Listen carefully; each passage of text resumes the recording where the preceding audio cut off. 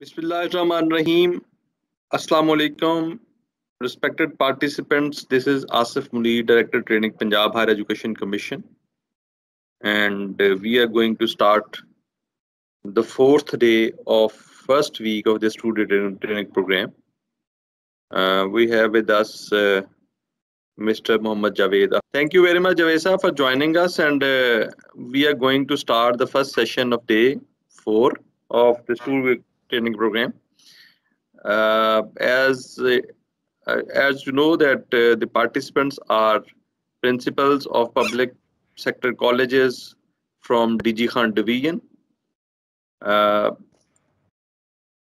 And the topic of today's talk is audit paras and uh, procurement rules will also be discussed in the next session and uh, Mr. Javed Akhtar will be discussing those rules as well. Uh, I would give a brief introduction of uh, Mr. Muhammad Javed Akhtar. Participants, Mr. Muhammad Javed Akhtar is currently serving as uh, Director Audit and Accounts at Lahore Development Authority. He has a rich experience of accounting, finance, budgeting, uh, and uh, procurement, and of course in audit as well. Uh, I think we have enough number of participants with us and uh, we should start this session. Javed Saab, over to you, sir. Thank you very much, Asif Bismillah ar-Rahman rahim आप सब participants को मेरी तरफ से बहुत बहुत मुबारकबाद हो कि आपके लिए एच e ने ऐसे इंतज़ाम किए हैं कि ऑन जॉब आपकी वो ट्रेनिंग हो जाए जो एकेडमिक सिलसिले में आपको नहीं उसका पता होता। इल्म तो होता है, लेकिन पोटेंशियल होता है। और पोटेंशियल इसलिए होता है कि आपने उस पर वर्किंग नहीं की होती। लेकिन बतौर प्रिंसिपल ये आपके लिए ज़रूरी है कि आपको फाइनेंशियल मैनेजमेंट का पता हो। पहला जो हमारा सेशन है आज वो पब्लिक फाइनेंशियल मैनेजमेंट के एक कंपोनेंट के साथ है और वो कंपोनेंट है ऑडिट जो करना है हमने, जो अकाउंटेबिलिटी का एक पिलर है ऑडिट वो उसको हमने कैसे करना है? तो हम इसका सीक्वेंस हमारे पास ये होगा, सबसे पहले हम देखेंगे कौन से रूल्स हैं और ऑडिट की प्रैक्टिस क्या हैं। दूसरे नंबर पे हम देखेंगे कि जब ऑडिट का पैरा बनता है तो वो कैसे बनता है और उसको हमने सेटलमेंट कैसे करनी है, उसको उसको पैरा पैरा डिस्पोज ऑफ़ कैसे होना है। और तीसरे नंबर पे हम ये देखेंगे कि हम ऑडिट पैरा बनने से बच कैसे सकते हैं। ये तीन हमारी होंगी, बेसिक जो हमारी डिस्कशन के जो मौजूद होंगे, वो ये होंगे। पहले नंबर पे आप ये देखें कि आप गालबन ये आपका तीसरा लेक्चर होगा और वो जो मुतलक है, इसकी आडट के है। लेकिन आडट एक कंपोनेंट है फाइनेंशियल मैनेजमेंट का। आपका बेसिकली ये जो ट्रेनिंग कोर्स है, ये फाइनेंशियल मैनेजमेंट पे है। फाइनेंशियल मैनेजमेंट का मतलब ये है कि आप अपने रिसोर्स को इस तरह से इस्तेमाल करें कि आप कम पैसों में ज़्यादा से ज़्यादा उसका फ़ायदा उठा सकें। यही बिहेवियर जो है वो हमारे घर वाले अखराज हैं। उसके बाद हम किसी कमेटी के मेंबर हैं। हम अपने छोटे एक डिस्ट्रिक्ट के लेवल पे हैं, अपने गाँव के लेवल पे हैं। तो ये जिम्मेदारियाँ हमने माशरती तौर पे तकसीम की हुई होती हैं माशरती रवैयों में। हरकत भी है तो हम देखते हैं सबसे पहले कि हमारे पास पैसे कितने हैं। हम उसके हिसाब से बजटिंग करते हैं। फिर उस बजटिंग के बारे में हम उसको खर्च करने के लिए तरीक़ाकार वदा करते हैं। मसलन कोई छोटी सी चीज़ लेनी है तो बच्चे को भी भेज के मंगवाई जा सकती है। लेकिन अगर ज़्यादा पैसे खर्च करने हैं तो बाकायदा उसको प्लान करके मिल के जाकर करते हैं। आडट जो है उसका मतलब ये है कि हमने जो पहले दो हिस्से किए हैं, उनके बारे में हम ये जान सकें कि क्या हमारा बजटिंग वाला प्रोसेस ठीक था और क्या हमने उन पैसों को ठीक तरह से खर्च किया है जब हम फाइनेंशियल मैनेजमेंट को पब्लिक फाइनेंशियल मैनेजमेंट में तकसीम करते हैं, इसमें वो सारी जिम्मेदारियाँ आ जाती हैं जो जिम्मेदारियाँ सरकारी हैसियत में आपको दी हुई यानी अगर आप डी हैं तो गवर्नमेंट ने आपको ग्रांट की सूरत में पैसे दिए हैं बजट में से पैसे दिए हैं, और आपने वो पैसे सारा साल खर्च किए तो साल के आखिर में उसको ये देखना कि जो आपको कवानीन बताए गए थे, पैसे जिस मकसद के लिए दिए गए थे आपने उसी मकसद के लिए किए हैं या कहीं और खर्च कर दिए हैं? क्या उन तमाम कवानीन को आपने जहन में रखा है जिनके मुताबिक पैसे खर्च होने थे या नहीं किया?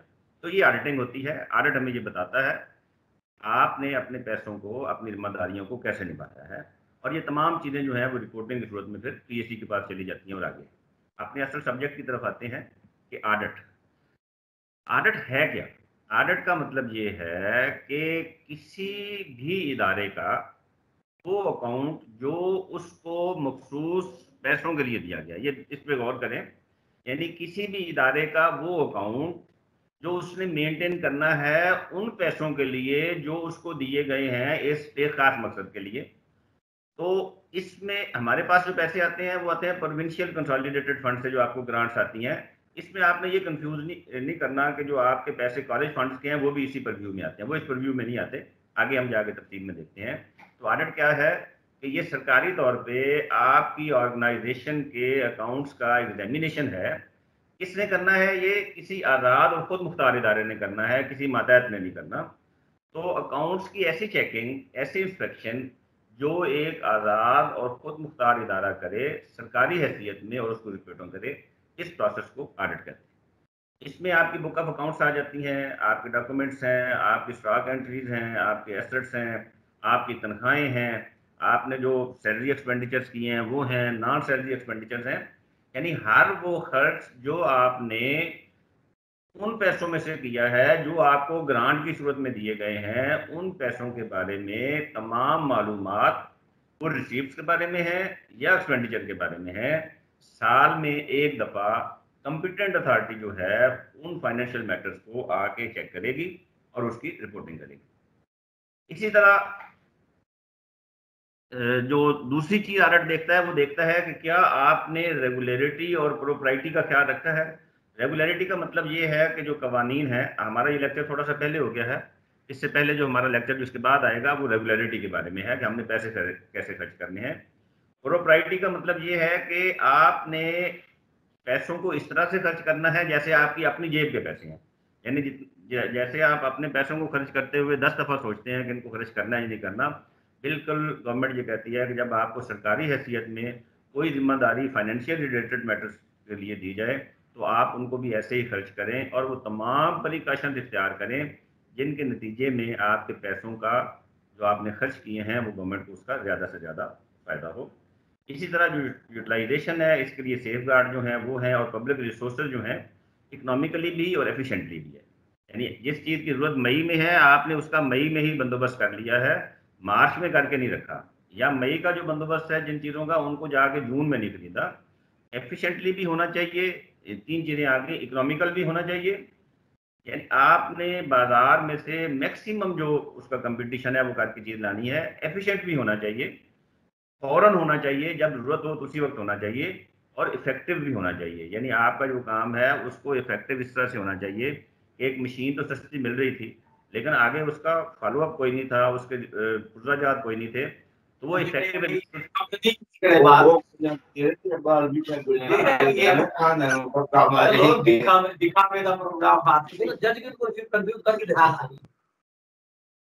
कोई एक साहब अगर बात करेंगे तो मुझे समझ आएगी। हेलो। जी, आगे है कि मैटर जो है वो आप जो फैक्ट्स हैं उनको करें। ये ये डेफिनेशन है। आगे हम आते हैं कि ये करता कौन है ऑडिट आप ये बात समझ लें कि जब जो चेकिंग का निज़ाम है, अगर इस निज़ाम को किसी और निज़ाम के मातहत कर दिया जाए ये सबॉर्डिनेट इदारा हो जाए तो उसमें इफ़ एंड बट्स लग जाते हैं। जब एक मातहत इदारे को आप चेकिंग का निज़ाम देंगे तो उसके जो सुपीरियर्स हैं वो उसको दबा सकते हैं, उसे कह सकते हैं कि आप ये फेवर दें, यहाँ पे छोड़ दें, यहाँ पे कर लें। तो हमेशा जब आपने ऑडिट करवाना होता है, जब आपने स्क्रूटनी करवानी होती है अकाउंटेबिलिटी करवानी होती है तो आपको एक ऐसे इदारे की ज़रूरत होती है जो इंडिपेंडेंट हो। पाकिस्तान में भी एक सुप्रीम ऑडिट इंस्टीट्यूशन है, जिसको ऑडिटर जनरल ऑफ़ पाकिस्तान कहते हैं। और इनका काम जो है प्रोविंशियल कंसोलिडेटेड फंड से गवर्नमेंट जो पैसे ग्रांट्स की सूरत में मुख्तलिफ़ महकमों को देती है, उनके ऑडिट की ज़िम्मेदारी पाकिस्तान में बतौर supreme audit institution auditor general of Pakistan की है। इन्होंने क्या करना होता है? इन्होंने कंडक्ट करना होता है आपका ईयरली बेसिस पे एक्सपेंडिचर अकाउंट चेक करना होता है और रिसीव्ड अकाउंट चेक करना होता है। जितनी भी टीयर्स हैं गवर्नमेंट की फेडरल गवर्नमेंट हो प्रोविंशियल गवर्नमेंट हो लोकल गवर्नमेंट हो ऑटोनमस बॉडीज हों, हर वो इदारा जहाँ पे प्रोविंशियल कंसोलिडेटेड फंड के पैसे ग्रांट की सूरत में गए हैं या एन की सूरत में गए हैं, किसी भी सूरत में गए हैं उन तमाम पैसों के अखराज का और उन तमाम पैसों की रिसीव का जो इंडिपेंडेंट और इम्पार्शल मैनर से ऑडिट करना है चेक करना है, वो ऑडिटर जनरल पाकिस्तान की ज़िम्मेदारी ये होता कौन है ऑडिटर जनरल पाकिस्तान कैसे इसको करते हैं? इसकी, इस, इसकी हैसियत को इम्पार्शल कैसे बनाते हैं? इसको दबाव से आज़ाद कैसे रखते हैं? जो मैंने कहा था कि सुप्रीम होना चाहिए तो कोई ना कोई तो अपॉइंट करता है। तो डेफिनेटली एक मॉरल ऑब्लिगेशन भी हो सकता है कि जिसने अपॉइंट किया है, आप उसकी बात माने। लेकिन नहीं, इसका जो सिस्टम बनाया गया है, वो सिस्टम इस तरह से बनाया गया है कि अपॉइंटमेंट की हद तक तो इख्तियार है इंतजामिया का। Once A G is appointed उसके बाद उसका इख्तियार गवर्नमेंट का ख़त्म हो जाता है। जिसकी अपॉइंटमेंट करनी है प्रेसिडेंट ऑफ़ पाकिस्तान ने। इसका टेन्योर जो है वो पाँच साल के लिए है।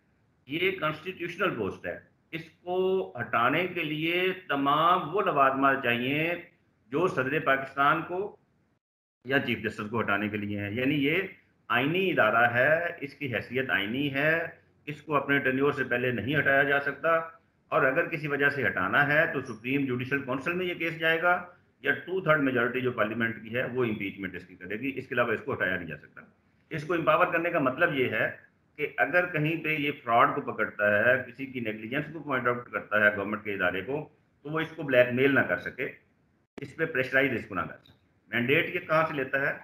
तो जब भी हम कोई इदारा इस्टबलिश करते हैं, जब भी हम गवर्नमेंट का कोई डिपार्टमेंट बनाते हैं तो हमेशा हम देखते हैं उसको एम्पावर कहाँ से करना है। गवर्नमेंट ऑफ़ पाकिस्तान में हमारा जो सुप्रीम पावर डॉक्यूमेंट है जिसमें तमाम पावर्स जहाँ से हम लेते हैं, वो हमारा उन्नीस सौ तिहत्तर का आइन है। यानी आइन पाकिस्तान हमें ये बताता है कि किस आदमी के, किस इदारे के क्या फ़्राइज़ हैं, उसकी जिम्मेदारियाँ क्या हैं, उसके इख्तियार क्या हैं, और उसने कौन कौन से काम करने हैं और किन कामों में जवाबदेह होना है।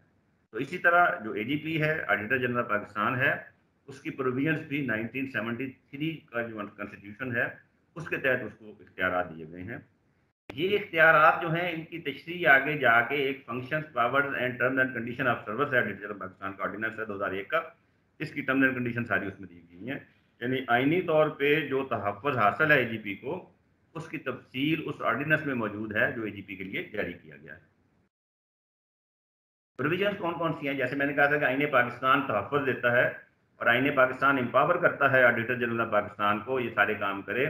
और उसकी ताकत जो है, वो बिरा शिरकत गहरे है, मुतलक ताकत है, उसमें कोई मुदाखलत नहीं कर सकता। तो सबसे पहले जो है, वो आर्टिकल 168 है। 168 बताता है कि मोड ऑफ़ अपॉइंटमेंट क्या होगा ऑडिटर जनरल पाकिस्तान का, उसकी टर्म एंड कंडीशन क्या होगी। वो शुरू में मैंने बताया है आपको कि 168 के तहत ही सदर पाकिस्तान ने करना है, पाँच साल के लिए करना है, और इसकी इम्पीचमेंट जो है, वो थ्रू उसके सुप्रीम जुडिशल काउंसिल है, या एक्ट ऑफ़ पार्लियामेंट है टू थर्ड मेजोरिटी के साथ। तो यहाँ पर भी तय हो गया कि इसकी अपॉइंटमेंट कैसे होनी है। 169 प्रोटेक्ट करता है उन तमाम इख्तियार को और उन तमाम पावर्स को जो कानून ने ऑडिटर जनरल पाकिस्तान को दी हैं, उन तमाम मामला को, उन तमाम अकाउंट्स को, उन तमाम पैसों की अखराज को या आमदनी को चेक करने के लिए हाँ वो फेडरेशन के हों, किसी भी सूबे के हों या कोई भी अथॉरिटी ऐसी हो जो गवर्नमेंट ने कायम किया है। मसलन लोकल गवर्नमेंट्स हैं अटानमस बॉडीज़ हैं तो ये तमाम के तमाम जहाँ पे गवर्नमेंट के पैसे खर्च होने के लिए आते हैं, वो ऑडिटर जनरल पाकिस्तान के परव्यू में आते हैं। यहाँ पे उसको पावर जो उसको, जो उसकी सेफ्टी है, जो उसका तहफ़ है, वो 169 करता है। 170 आगे उसकी फर्दर उसको स्ट्रेंथन करता है और उसमें वो ऑडिटर जनरल पाकिस्तान को ये इख्तियार देता है कि वो फॉर्म्स भी बनाए। यानी ये जो हम अकाउंट्स बनाते हैं, हमारे पास जो आप कैश बुक का एक फॉर्मेट है, आपने वो देखा होगा, या हमारे पास रजिस्टर्स हैं, सरकारी उनका फॉर्मेट है तो वो सारा फॉर्मेट जो है ऑडिटर जनरल पाकिस्तान तय करता है कि किस तरह का फार्म होगा कंटीजेंट फार्म कैसे होगा सैलरी फार्म कैसे होगा। इन तमाम के लिए जो प्रिंसिपल्स हैं और जो तरीक़ाकार हैं, और कैसे अकाउंट बनाना है, किस तरह अकाउंट रखना है इनकम की एंट्रीज कहाँ करनी है एक्सपेंडिचर एक्सपेंडिचर की एंट्रीज कहाँ पे करनी है, महीने के आखिर में रिकनसिलेशन करनी है या नहीं करनी सारा प्रोसीजर जो है, ये 170 के तहत ऑडिटर जनरल पाकिस्तान तय करता है और तमाम इदारे पाबंद हैं कि वो उस पर अमल करें इन लेटर्स पे आगे है 171 ये भी इसी से मुतलक है ऑडिटर जनरल पाकिस्तान से मुतलक है कि जब auditor general of Pakistan audit कर लेगा, जब उसकी ऑडिट रिपोर्ट तैयार हो जाएगी तो उस रिपोर्ट को फॉलोअप कैसे किया जाएगा? उस रिपोर्ट के मुताबिक जो जिम्मेदारान हैं, उनके खिलाफ कार्रवाई कैसे की जाएगी और उनके फोरम्स कौन कौन से होंगे? तो मैकेनिज्म ये तय करेगा 171 ये पार्लियामेंट को जाना है तो प्रोविंशियल असम्बलीज को जाना है। अगर ये फेडरल के अकाउंट्स हैं तो ये पार्लियामेंट में सबमिट होंगे थ्रू प्रेजिडेंट और अगर प्रोविंशियल असम्बलीज के हैं तो ये रिपोर्ट्स जो ऑर्डर्स की, ये गवर्नर को सबमिट होंगी असम्बली को देने के लिए थ्रू गवर्नर सबमिट होंगी। तो ये हमारी कॉन्स्टिट्यूशनल प्रोविज़न है। इनके तहत ऑडिटर जनरल पाकिस्तान की पावर्स है अब इसका मैंडेट क्या है? मैंने कहा था कि जो तशरीहत हैं, जो डिटेल्स हैं, वो इसके ऑर्डिनेंस 2001 में होंगी। तो इसके मैंडेट में ये शामिल है कि auditor general of Pakistan consolidated fund जो है, वो फेडरेशन का है या प्रोविंस का? कंसोलिडेटेड फंड जो है प्रोविंस का जो है, वो प्रोविंशियल कंसोलिडेटेड फंड कहलाएगा और फेडरल का जो है, वो फेडरल कंसोलिडेटेड फंड कहलाएगा। कंसोलिडेटेड फंड का मतलब ये है कि वो तमाम पैसे जो हम हम टैक्सेस की मद में इकट्ठे करते हैं, हम उनको कर्जे लेते हैं किसी पर्पज़ के लिए, उनको हम एक पूल में डालते हैं। वो पूल तकसीम करने वाला होता है। तो प्रोविंशियल कंसोलिडेटेड फंड में वो पैसे भी होंगे जो उसको फेडरल से आए हैं, उसके अपने रिसोर्सेज जो पैसे इकट्ठे किए हुए होंगे, वो भी होंगे। तो प्रोविंशियल कंसोलिडेटेड फंड से जितने भी पैसे खर्च किए जाएँगे, उन तमाम का जो एक्सपेंडिचर का ऑडिट है उसका मैंडेट है ऑडिटर जनरल पाकिस्तान का। अब इसमें आपके कॉलेज फंड होते हैं तो आपका जो कॉलेज फंड होता है, वो लोकल फंड होता है। आपने खुद उसको जनरेट किया होता है। उसमें प्रोविंशियल कंसोलिडेटेड फंड से पैसे आपको नहीं मिलते, लिहाजा वो ऑडिटर जनरल ऑफ़ पाकिस्तान के प्रव्यू में नहीं आता। लेकिन बदकिस्मती से जब वो ऑडिटर्स आते हैं तो वो कॉलेज फंड्स भी मांग लेते हैं और कहते हैं कि इनका भी ऑडिट करवाएँ। हालाँकि उनका वो मैंडेट नहीं है। उनका मैंडेट सिर्फ़ पीसीएफ में से आगे है पब्लिक अकाउंट्स हैं, जितने भी पेंशन का है जीपी फंड का है बेनाविलेंट फंड का है, जितने भी ये पब्लिक अकाउंट्स हैं या कोई और पब्लिक अकाउंट है पब्लिक अकाउंट्स का मतलब होता है अमानतें, यानी जो अमानतदार अकाउंट हैं, जैसे पेंशन है तो पेंशन एक अमानत है, सरकारी मुलाजमीन की, उसमें वो पैसे डालते हैं, उनको पेंशन अदा करते हैं, इसके अलावा उसका इस्तेमाल और कोई नहीं हो सकता। जितनी भी ट्रांजेक्शन है एक्सपेंडिचर की पब्लिक अकाउंट से, वो भी ऑडिटर जनरल ऑफ़ पाकिस्तान के मैंडेट है इसके बाद है सर्टिफिकेशन ऑफ़ अकाउंट्स आपने एक्सपेंडिचर कर लिया, आपके पास इनकम आ गई, आपने उसकी स्टेटमेंट्स बना ली। उन स्टेटमेंट्स की वेरिफिकेशन करना कि आपने ये तमाम काम जो है, वो कानून और कायदे के मुताबिक किया है और इसमें कोई गलती नहीं है। सर्टिफाई करना किसी के अकाउंट्स को ये ठीक है तो ये भी काम मैंडेट ऑडिटर जनरल पाकिस्तान का है। इस तरह गवर्नमेंट की जितनी भी रिसीव्स हैं, जितने भी टैक्सेस रेवेन्यू हैं नॉन टैक्स रेवेन्यू हैं तो सारे जो हैं, उनको ऑडिटर जनरल पाकिस्तान वेरीफाई करता है कि क्या पैसों को सही तरह से जमा किया गया है, उनको आगे बैंक में डिपॉजिट करवाया गया है या नहीं करवाया गया। इसी तरह आपके जितने भी स्टोर्स के अकाउंट हैं स्टॉक्स हैं आप गवर्नमेंट साइड पर बड़े बड़े जितनी भी परचेजेज होती हैं, वो तमाम परचेजेज जो हैं, उनके स्टोर और स्टॉक की फ़िज़िकल वेरिफिकेशन भी ऑडिटर जनरल पाकिस्तान करता है। आखिर में कंपनीज़ हैं कॉरपोरेशन हैं, जैसे एल है, एक अथॉरिटी है कॉरपोरेशन बनती हैं कंपनीज़ कायम होती हैं एक्ट बना के, उन तमाम का जिसमें फंडिंग पी सी एफ़ से होती है। ऑडिटर जनरल पाकिस्तान के मैंडेट में शामिल है अब हम यहाँ पे आ गए हैं मैंडेट तो हमने तय कर दिया है। अब ऑडिट की पावर्स क्या है? यानी अगर हम इसकी बात ना माने ऑडिटर जनरल पाकिस्तान की बात ना माने तो इसके पास कौन से इख्तियार हैं? तो ये ऑडिटर जनरल ऑफ़ पाकिस्तान के इख्तियार में ये शामिल है तो वो किसी भी ऑफ़िस के, किसी भी अकाउंट को, जो पाकि, पाकिस्तान के मातहत हो, या किसी सूबे के मातहत हो, या किसी बल्दियाती इदारे के मातहत हो लोकल गवर्नमेंट हो, या कोई ट्रेजरी हो, यानी तमाम ऑफ़िस जो गवर्नमेंट के बिज़नेस में किसी न किसी तरीके से शामिल हैं, उनकी इंस्पेक्शन का इख्तियार ऑडिटर जनरल पाकिस्तान के पास है। अब ये कैसे करता है? ये इन राइटिंग किसी भी ऊपर वाले बयान किए गए इदारे को, किसी भी अफसर को, इन राइटिंग कह सकता है कि मुझे आप अपनी ट्रांजैक्शन का रिकॉर्ड पुटअप करें। और ना सिर्फ़ ये है कि पुटअप करें, बल्कि ये कह सकता है कि फलां जगह पे लेके आए। इसी तरह राइटिंग किसी भी ऑफिशियल को, जो जिम्मेदार है अकाउंट्स का, उनके लिए जिसके पास इख्तियार है अकाउंट को रखने का या उसका कंट्रोल है कोई भी क्वेश्चनर दे बना के दे सकता है कि आप ये सवालों के जवाब दें जो उसके, उस काम से रिलेटेड होंगे। इसी तरह अगर कोई ऑडिटर जनरल ऑफ़ पाकिस्तान की या ऑडिट वालों की बात जो है वो ना माने तो जो डिसिप्लिनरी एक्शन है अंडर पीडा वो इनिशिएट किया जा सकता है और उस पर खिलाफ कार्रवाई हो सकती है। इसी तरह ये भी उसकी पावर्स हैं कि वो जो अपनी ओपिनियन है, सबसे पहले उस इदारे को, जिसके ज़रिए उनके अकाउंट्स होते हैं और इसी तरह जो फेडरेशन के मैंने बताया कि वो होते हैं प्रेसिडेंट के लिए तो ये आगे आर्टिकल 171 है, इसमें वो प्रोविंशियल असम्बली के सामने रखा जाता है और फिर आगे उसकी फॉलोअप शुरू होता है कि इसके एतराज़ा कैसे हैं ये कैसे नहीं। अब कौन कौन सी चीज़ें हैं जिनका ऑडिट हो सकता है? सबसे पहले और जो बुनियादी रिकॉर्ड है हमारे पास, वो है कैश बुक हमारे पास जितना भी अकाउंटिंग का रिकॉर्ड है, जितनी भी चीज़ें हैं, उनमें से सबसे अहम जो चीज़ है, वो कैश बुक होती है। कैश बुक हमारा ओरिजिनल रिकॉर्ड है। बाकी जितना भी रिकॉर्ड हमारे पास अकाउंट्स का होता है, वो ओरिजिनल रिकॉर्ड नहीं होता, वो सेकेंडरी रिकॉर्ड होता है। सेकेंडरी से मुराद ये है कि वो तमाम फिगर्स वो तमाम इंफॉर्मेशन हमने कैश बुक से ली हुई होती है। जो पहली एंट्री सरकारी तौर पे authentic entry book of accounts में होती है, वो कैश बुक में होती है। आपने प्रोसीजर अभी आपने बजट वाला पढ़ा होगा, फिर आगे, अभी इंशाल्लाह इसके बाद हम देखेंगे कि हमने अखराज कैसे करने होते हैं। तो ये अखराज के बाद वाली बात है। तो जब आप पैसे खर्च कर लेते हैं, या आपने पैसे रिलाइज कर लेते हैं, होते हैं तो आपका सबसे पहले काम क्या होता है? आपने सबसे पहले उसको कैश बुक में दर्ज करना। तो सबसे बुनियादी और पहली चीज़ क्या है? कैश बुक है। और सबसे पहले जो ऑडिट वालों ने जिसको एग्जामिन करना होता है और जिसकी बुनियाद पे आपसे रिकॉर्ड लेना होता है, वो कैश बुक है। कैश बुक की मेंटेनेंस में आप लोगों को बहुत ज़्यादा एहतियात करनी चाहिए। यूँ ही पैसे रिलाइज हों, उसको फ़ौर दर्ज करना चाहिए। जब भी आप कोई खर्च करें तो उसको फ़ौरन कैश बुक में दर्ज करना चाहिए। रोज़ाना की बुनियाद पर कैश बुक को देखना चाहिए, क्लोज करना चाहिए और महीने में एक दफ़ा कम अज़ कम उसकी रिकन्सिलेशन ज़रूर करनी चाहिए। रिकन्सिलेशन आगे हम पढ़ेंगे, लेकिन रिकन्सिलेशन दो तरह की होती है।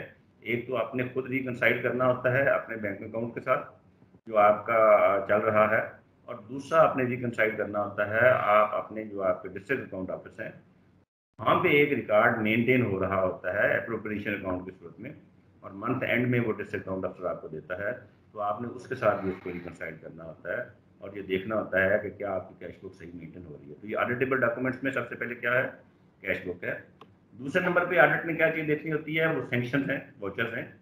जब आप पैसे खर्च करते हैं तो उसके तीन दर्जे होते हैं। सबसे पहले आप उसकी अप्रूवल लेते हैं। अप्रूवल लेके फिर उनके पैसों का बंदोबस्त होता है। फिर उसके लिए प्रोसीजर इख्तियार करके उनको खर्च किया जाता है और फिर किसी रजिस्टर में उस परचेजर जो है, उनको दर्ज करके और चेक में दे दिया जाता है। जो सेंक्शन हैं, जितनी भी सेंक्शन होंगी और उस सेंक्शन के नतीजे में जितने भी वोचर्स बने हुए होंगे, ये सेकंड स्टेज पे ऑडिट देखता है और इसकी बुनियाद होती है कैश बुक कैश बुक में से वो देखते हैं कि कौन कौन से अखराज उन्होंने देखते हैं, वो वोचर्स वगैरह दिखवाते हैं।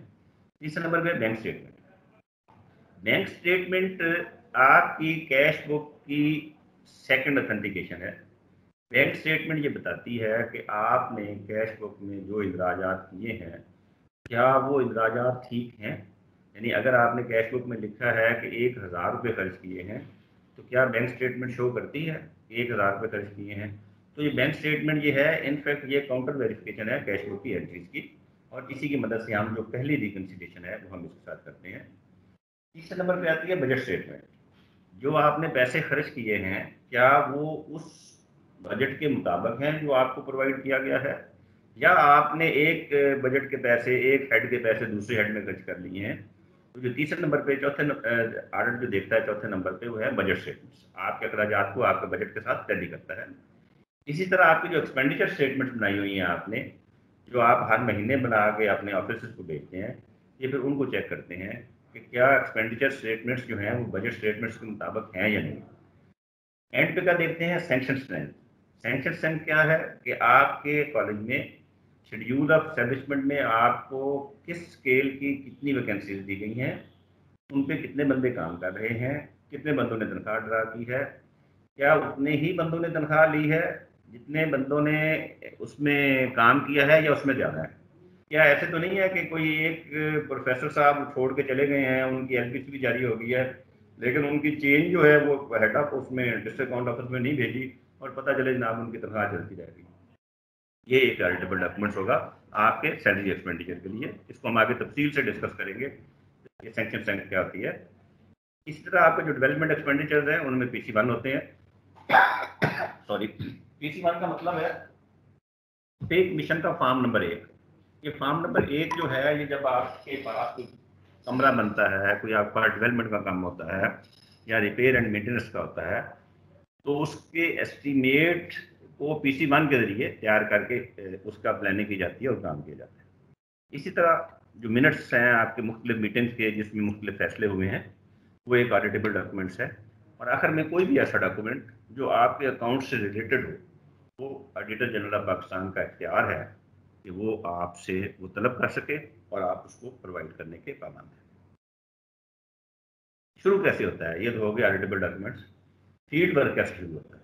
तो फ़ील्ड वर्क के लिए जो ऑडिट टीम है, ये कोई हार्ड एंड फास्ट नहीं है कि दो लोगों की होगी, तीन की होगी, चार की होगी। इसका साइज़ जो है, वो ऑडिट टीम और जो उनका सुपरवाइजरी अफसर होता है, जो डायरेक्टर होता है, वो तय करता है और ये वॉल्यूम के मुताबिक होता है। बड़े इदारों में बड़ी टीम भेजी जाती है, छोटे इदारों में छोटी टीम भेजी जाती है।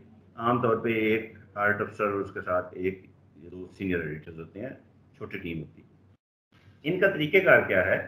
ये इस तरह नहीं हो सकता कि आगे बैठ जाएँ और कहें कि हमारे के लिए आगे हमें दे दें। इनके मैंडेट में, इनके प्रोटोकॉल में शामिल है कि इन्होंने ऑडिट प्रोग्राम इन राइटिंग जो शेड्यूल है इनका, उससे पहले उन्होंने उसको आपको भेजना है। आपको बताना है कि हम फलां तारीख को आपके पास आ रहे हैं आते ही इन्होंने ऑडिट शुरू नहीं करना होता, बल्कि एक इब्तदाई इफ्ताही मीटिंग इन्होंने करनी होती है मैनेजमेंट के साथ प्रिंसिपल के साथ।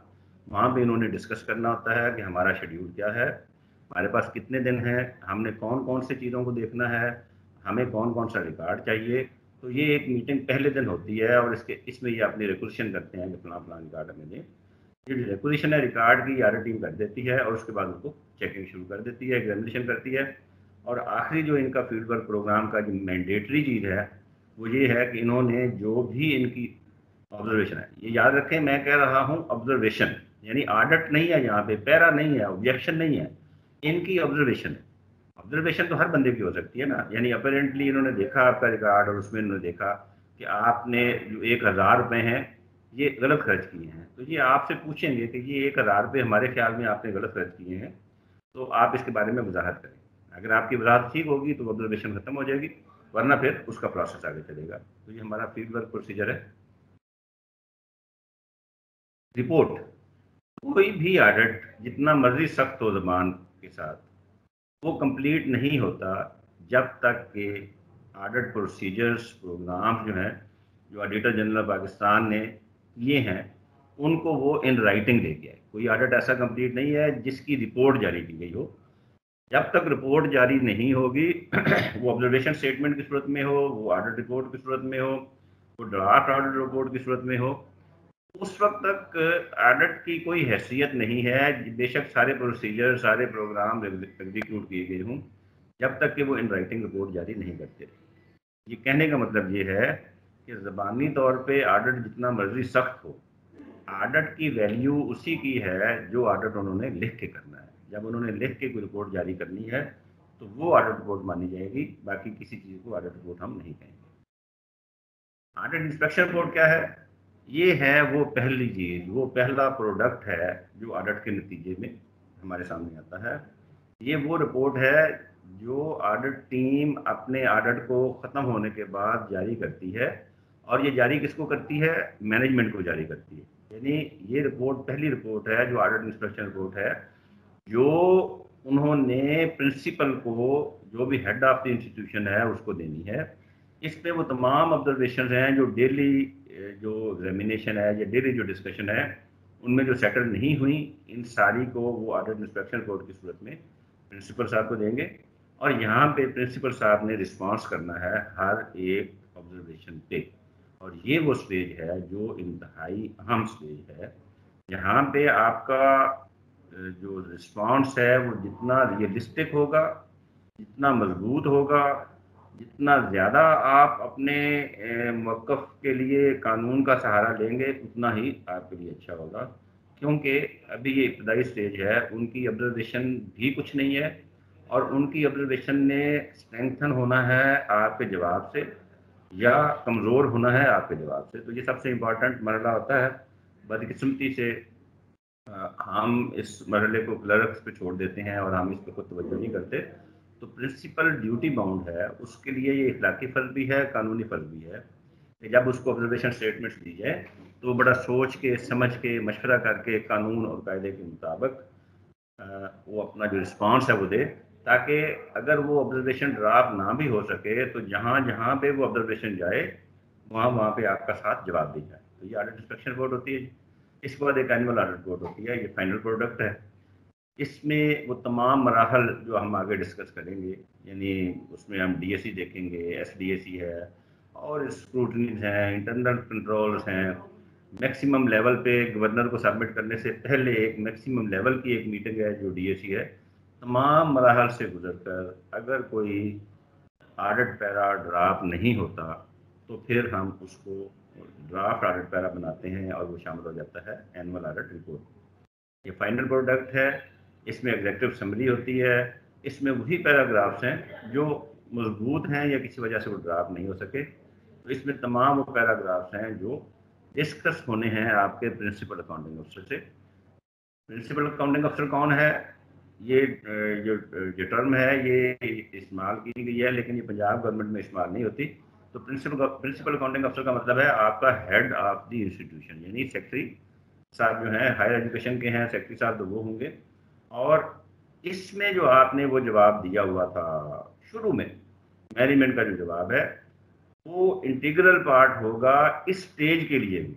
और यहाँ पे उस जवाब की रोशनी में उस एतराज़ को एज ए फ्रेश एग्जामिन किया जाएगा। और उसके बाद ये फैसला होगा। रिकमेंडेशन होंगी कि इसको एनुअल ऑडिट रिपोर्ट में आगे ड्राफ्ट बारे में शामिल करना चाहिए या नहीं करना चाहिए। ये ऑडिट जो हम हमने ये देखा है कि ऑडिट हो गया तो ऑडिट का इसका वो क्या होगा? फॉर्मेट क्या होगा? अब फॉर्मेट देखें, समझने वाली बात यह है कि आपकी जो कैपेसिटी है प्रिंसिपल की वो आपकी ज़ाती हैसियत नहीं है। इसी तरह आपका जो स्टाफ है, जो डी हैं, उनकी ज़ाती हैसियत नहीं है, पर्सनल कैपेसिटी नहीं है। फाइनेंशियल मैटर्स में आपका इंटरनल कंट्रोल्स हैं, आपकी इंस्ट्रक्शंस होती हैं, वो पर्सनल कैपेसिटी में कोई नहीं करता, ऑफिशियल कैपेसिटी में करता है।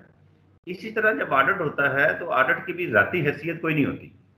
ऑडिट की भी पर्सनल कैपेसिटी कोई नहीं है, ऑफिशियल कैपेसिटी है। और जब आप कोई काम ऑफिशियल कैपेसिटी में करते हैं तो वो mister A B C X Y Z नहीं होता, बल्कि बाई डेजिग्नेशन होता है। वो प्रिंसिपल होगा, वो डायरेक्टर पब्लिक रिलेशन होगा डीपीआई होगा उसमें एडिशनल सेक्रेटरी होगा सेक्रेटरी होगा। इसी तरह जो प्री ऑडिट करने वाले हैं डिस्ट्रिक्ट अकाउंट ऑफ़िस होगा, या ऑडिटर जनरल का कोई नुमाइंदा होगा ऑडिट अफसर होगा। तो ये तमाम चीज़ें वो हैं जो बाई डेजिग्नेशन है। इनमें रात का कोई तल्लक नहीं है, कोई भी हो सकता है। जो अपॉइंटमेंट जिसकी बतौर ऑडिट ऑफिसर है, वो आएगा। तो जब आप सरकारी हैसियत में काम करते हैं तो ये बात आप समझ लें कि आपकी पर्सनल लाइकिंग डिसलाइकिंग नहीं होती। आपने तमाम कुछ जो है, वो करना होता है। एक एक उस दायरे में जो दायरा आपको बना के दिया गया है। मसलन, आपके अखराज को उन्होंने चेक करना है तो सेकंड लेक्चर हमारा पेपरा के बारे में है। तो पेपरा में एक प्रोसीजर बड़ी तफसील से दिया गया है कि जब आपने पैसे खर्च करने हैं तो पहले बजट बनेगा। बजट में से आपको पैसे रिलीज़ होंगे। आपने उन पैसों को देखना है कि कितने पैसे हैं, उनके हिसाब से आपने पहले तय करना है कि हमने कौन सा प्रोसीजर इख्तियार करना है। उस प्रोसीजर के तहत आप उनको खर्च करते हैं। जब आप खर्च करते हैं तो एक जिम्मेदार आदमी के पास इख्तियार हैं। वो अपना इख्तियार एक्सरसाइज करके उसकी मंजूरी देता है। जब वो मंजूरी देता है तो आप उसकी पेमेंट करते हैं और बुक अकाउंट में रखते हैं। तो ये एक प्रोसीजर है। अब ये प्रोसीजर सिर्फ़ आपके लिए नहीं है। ये प्रोसीजर बजट बनाने वाले के लिए भी यही था। इसने आपको पैसे दिए हैं। आप उसको इम्प्लीमेंट कर रहे हैं, आपके लिए भी यही था। और ऑडिट जो कर रहा है, उसके लिए भी यही तो ज़ाती बात कोई नहीं होती। तो जो फॉर्मेट है, वो हमेशा रूल से शुरू होता है। जब भी आप देखें, आपके पास जो भी ऑडिट करा होगा तो वो शुरू करेंगे कि फलां रूल के तहत जो प्रोविज़न है रूल की, उसके तहत आपने ये काम ऐसे करना था। अब इस बात से शुरू करके आगे वो कहेंगे, लेकिन हमारी जो ख्याल है, जो हमने चेक किया है, हमारी जो फाइंडिंग्स हैं, उसमें ये है कि आपने उस रूल को वायोलेट किया। जाती कोई बात नहीं है, वो कानून आपके पास भी मौजूद है, उसके पास भी मौजूद है। आपने इम्प्लीमेंट किया है, वो उसके तहत आपकी सर्टिफिकेशन कर रहा है, आपकी अकाउंटेबिलिटी कर रहा है चेक कर रहा है। आप उसके बाद वो कंडीशन बताएगा कि आपने रूल को कहाँ कहाँ पे वायलेट किया है, नीचे फिर वजह भी बताएगा। कि आपने क्यों इसको किया है? उसके ख्याल में आपने रूल को वायलेट क्यों किया है? मसलन ये है, आप ये समझिए कि पचास हज़ार का एक एक्सपेंडिचर है, वो प्रिंसिपल के उसमें सेंक्शनिंग पावर में है। उसी किस्म के दो बिल हैं, पचास पचास हज़ार के। तो कोई साहब मशवरा देते हैं जी कि अगर हम इनको इकट्ठा करेंगे तो डायरेक्टर के पास भेजना पड़ेगा। आप मेहरबानी करके दो अलग अलग मंजूरियाँ दे दें। अब ये काज डेवलप हो गई कि आपने अपने इख्तियार से तजावज़ किया है। आपने फंड स्प्लिट किए हैं तो ये लिखेगा, वो कानून ये कहता था कि फंड स्प्लिट नहीं होने, लेकिन हमने ये देखा है कि दो बिल बने हुए हैं, और इसकी वजह ये है कि ये अगली अथॉरिटी को इन्होंने बाईपास किया है ताकि उसके पास मिले। अब इसका जो फैक्ट है, जो मटेरियलिटी है, वो बताएगा। अब ये एक आरट पैरा जो है, ये कंप्लीट हो गया, ये फॉर्मेट है एक ड्राफ्ट पैरे का। इसके बाद जो आगे चीज़ आती है आरट पैरे में, वो जो मैंने पहले आपको बताया है, वो मैनेजमेंट का रिप्लाई है। अब इसका, ये ऑब्जर्वेशन की सूरत में आपको पैरा दे दिया जाएगा मैनेजमेंट इस पर बताएगी कि नहीं भाई, जिस कानून का आपने हवाला दिया है, उसकी तशरी आप गलत कर रहे हैं, आपकी फाइंडिंग गलत है। उस कानून के तहत हमने जो काम करना था, वो ये एक, दो, तीन, चार, पाँच स्टेप हैं, वो सारे स्टेप हमने इख्तियार किए हैं और उन स्टेप्स के मुताबिक ये है, आपका ख्याल गलत है, हमने कानून की पासदारी की है, कानून को वायलेट नहीं किया। मैनेजमेंट का रिप्लाई हो गया। आगे फिर रिकमेंडेशन होती हैं। ऑडिट वाला रिकमेंडेशन देगा, क्या देगा? हाँ इनका जवाब सेटिस्फैक्ट्री है ऑब्जर्वेशन स्टेटमेंट जो है, उसको ड्रॉप किया जाता है। या कहेगा कि नहीं सेटिस्फैक्ट्री नहीं है, इन्होंने जो तशरी की है, वो कानून के मुताबिक नहीं है तो अगले फॉर्म चला जाएगा। तो जो हमारा ड्राफ्ट पैरा होता है, उसका फॉर्मेट है कि वो रूल से शुरू होगा, उस पर उसकी फाइंडिंग होगी, वजूहत बयान करेगा, उसके बाद उसका जवाब है मैनेजमेंट का, वो इसमें आएगा, और आगे उसकी रिकमेंडेशन आएँगे। अगला सवाल जो सबसे अहम है और जिसकी हमें ज़रूरत है कि सेटलमेंट कैसे होगी आडिट के पहले की? यानी आडिट जो है, ये जैसे ये आप देखें पहले, ये क्राइटेरिया तो हो गया। इसमें आडिट पैरा जो है वो बन गया। अब रिकमेंडेशन हो गई स्पेसिफिक हो गई ऑब्जर्वेशन स्टेटमेंट से निकल गई वो बात। तो अब हम क्या करें? अब पैरा तो बन गया है ऑब्जर्वेशन स्टेटमेंट से निकल गया है। तो अब उसका एक पूरा प्रोसीजर दिया हुआ है कानून में कि उसको ड्रॉप कैसे करना है। वो क्या है प्रोसीजर उसका? इसके लिए मुख्तलिफ़ फोरम्स हैं। मुख्तलिफ़ स्टेजेस बनाई गई हैं। हर स्टेज पे वो पैरा जो है उसको भेजा जाएगा। उसको एग्जामिन किया जाएगा कि हो सकता है वो जो आपके पास ऑडिट अफसर आया था, वो हो सकता है वो बॉयस्ड हो। हो सकता है उसको, उसकी समझ ही ना हो उसको कानून की। हो सकता है किसी वजह से वो आपसे नाराज़ हो गया हो। तो जब अगले फोरम पे जाएगा तो वो ऑडिट अफसर नहीं होगा, उसी के महकमे का कोई और अफसर आएगा। और इसी तरह आप अकेले नहीं होंगे। आपके महकमे का भी कोई अफसर, और अफसर उसमें मौजूद होगा। और इसी तरह फिर जो फिनांस डिपार्टमेंट है, जिसने आपको पैसे दिए हैं, उसका नुमाइंदा भी मौजूद होगा। तो मुख्तलिफ़ फोरम्स हैं, जहाँ पर ये सेटलमेंट के लिए पैराज हैं वो डिस्कस होते हैं। और डिस्कस होते होते देखते हैं, जितने सेटल होते जाते हैं, उसके बाद आगे बात चलती जाती है। तो हम इसको एक एक करके देखेंगे सेटलमेंट के लिए कौन कौन सी चीज़ें हैं। सबसे पहले जो सेटलमेंट है, उसके लिए हमें इसकी क्लासिफिकेशन समझनी चाहिए। कि आर्डर पैरा जो है उसकी क्लासिफिकेशन क्या है? क्लासिफिकेशन में सबसे पहले नंबर पे, जैसे हमने डिस्कस किया है, वो ऑब्जर्वेशन स्टेटमेंट है। ऑब्जर्वेशन स्टेटमेंट पहला हिस्सा, पहला कदम जिसमें हमें पता चलता है कि हमारे अकाउंट रिकॉर्ड में कौन सी गलती है, या कौन सी गलती बताई जा रही है। इस स्टेज पे इसकी जो डिस्पोजल है, जो सेटलमेंट है, वो मैनेजमेंट और ऑडिट अफसर के दरमियान में होगी। अगर मैनेजमेंट हो जाती है मैनेजमेंट मुतमिन करने में कामयाब हो जाती है ऑडिट को तो ये ऑब्जर्वेशन स्टेटमेंट ख़त्म हो जाती है। अगर यहाँ पे ख़त्म नहीं होती तो फिर ये ऑर्डनरी पैरे की सूरत में रिपोर्ट बना के थ्रू अपने हेड ऑफ़ द डिपार्टमेंट जो उनका होता है ऑडिट वालों का, उसमें आपके महकमे को भेज देते हैं। जब आपके महकमे को भेज देते हैं तो आपके महकमे ने एक सिस्टम बनाया हुआ है, जिसको डीएसी कहते हैं डिपार्टमेंटल अकाउंट्स कमेटी होती है। वो ऑर्डिनरी पैरा उसमें आ जाता है। अगर संजीदा नोयर का पैरा हो और ऑब्जर्वेशन स्टेटमेंट में सेटल नहीं हुआ, उसका कोई फाइनेंशियल इम्पेक्ट है, किसी किस्म का ऑडिट ने फ्रॉड का खदशा ज़ाहिर किया हुआ है, किसी तरह की मिस अप्रोप्रिएशन ज़ाहिर की हुई है, किसी तरह का कोई और सीरियस मैटर जो है, उसको वो एडवांस पैरे की शक्ल में भेजता है, उसको स्पेशल जो अकाउंट की कमेटी होती है, उसमें होता है।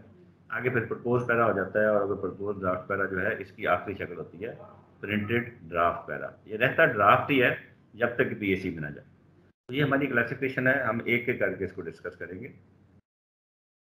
सबसे पहले ऑब्जर्वेशन स्टेटमेंट ऑब्जर्वेशन स्टेटमेंट में, के बारे में मैंने आपको बताया है कि ये मैनेजमेंट वाला काम है और इसको डिस्पोजल इसकी मैनेजमेंट लेवल पे होती है।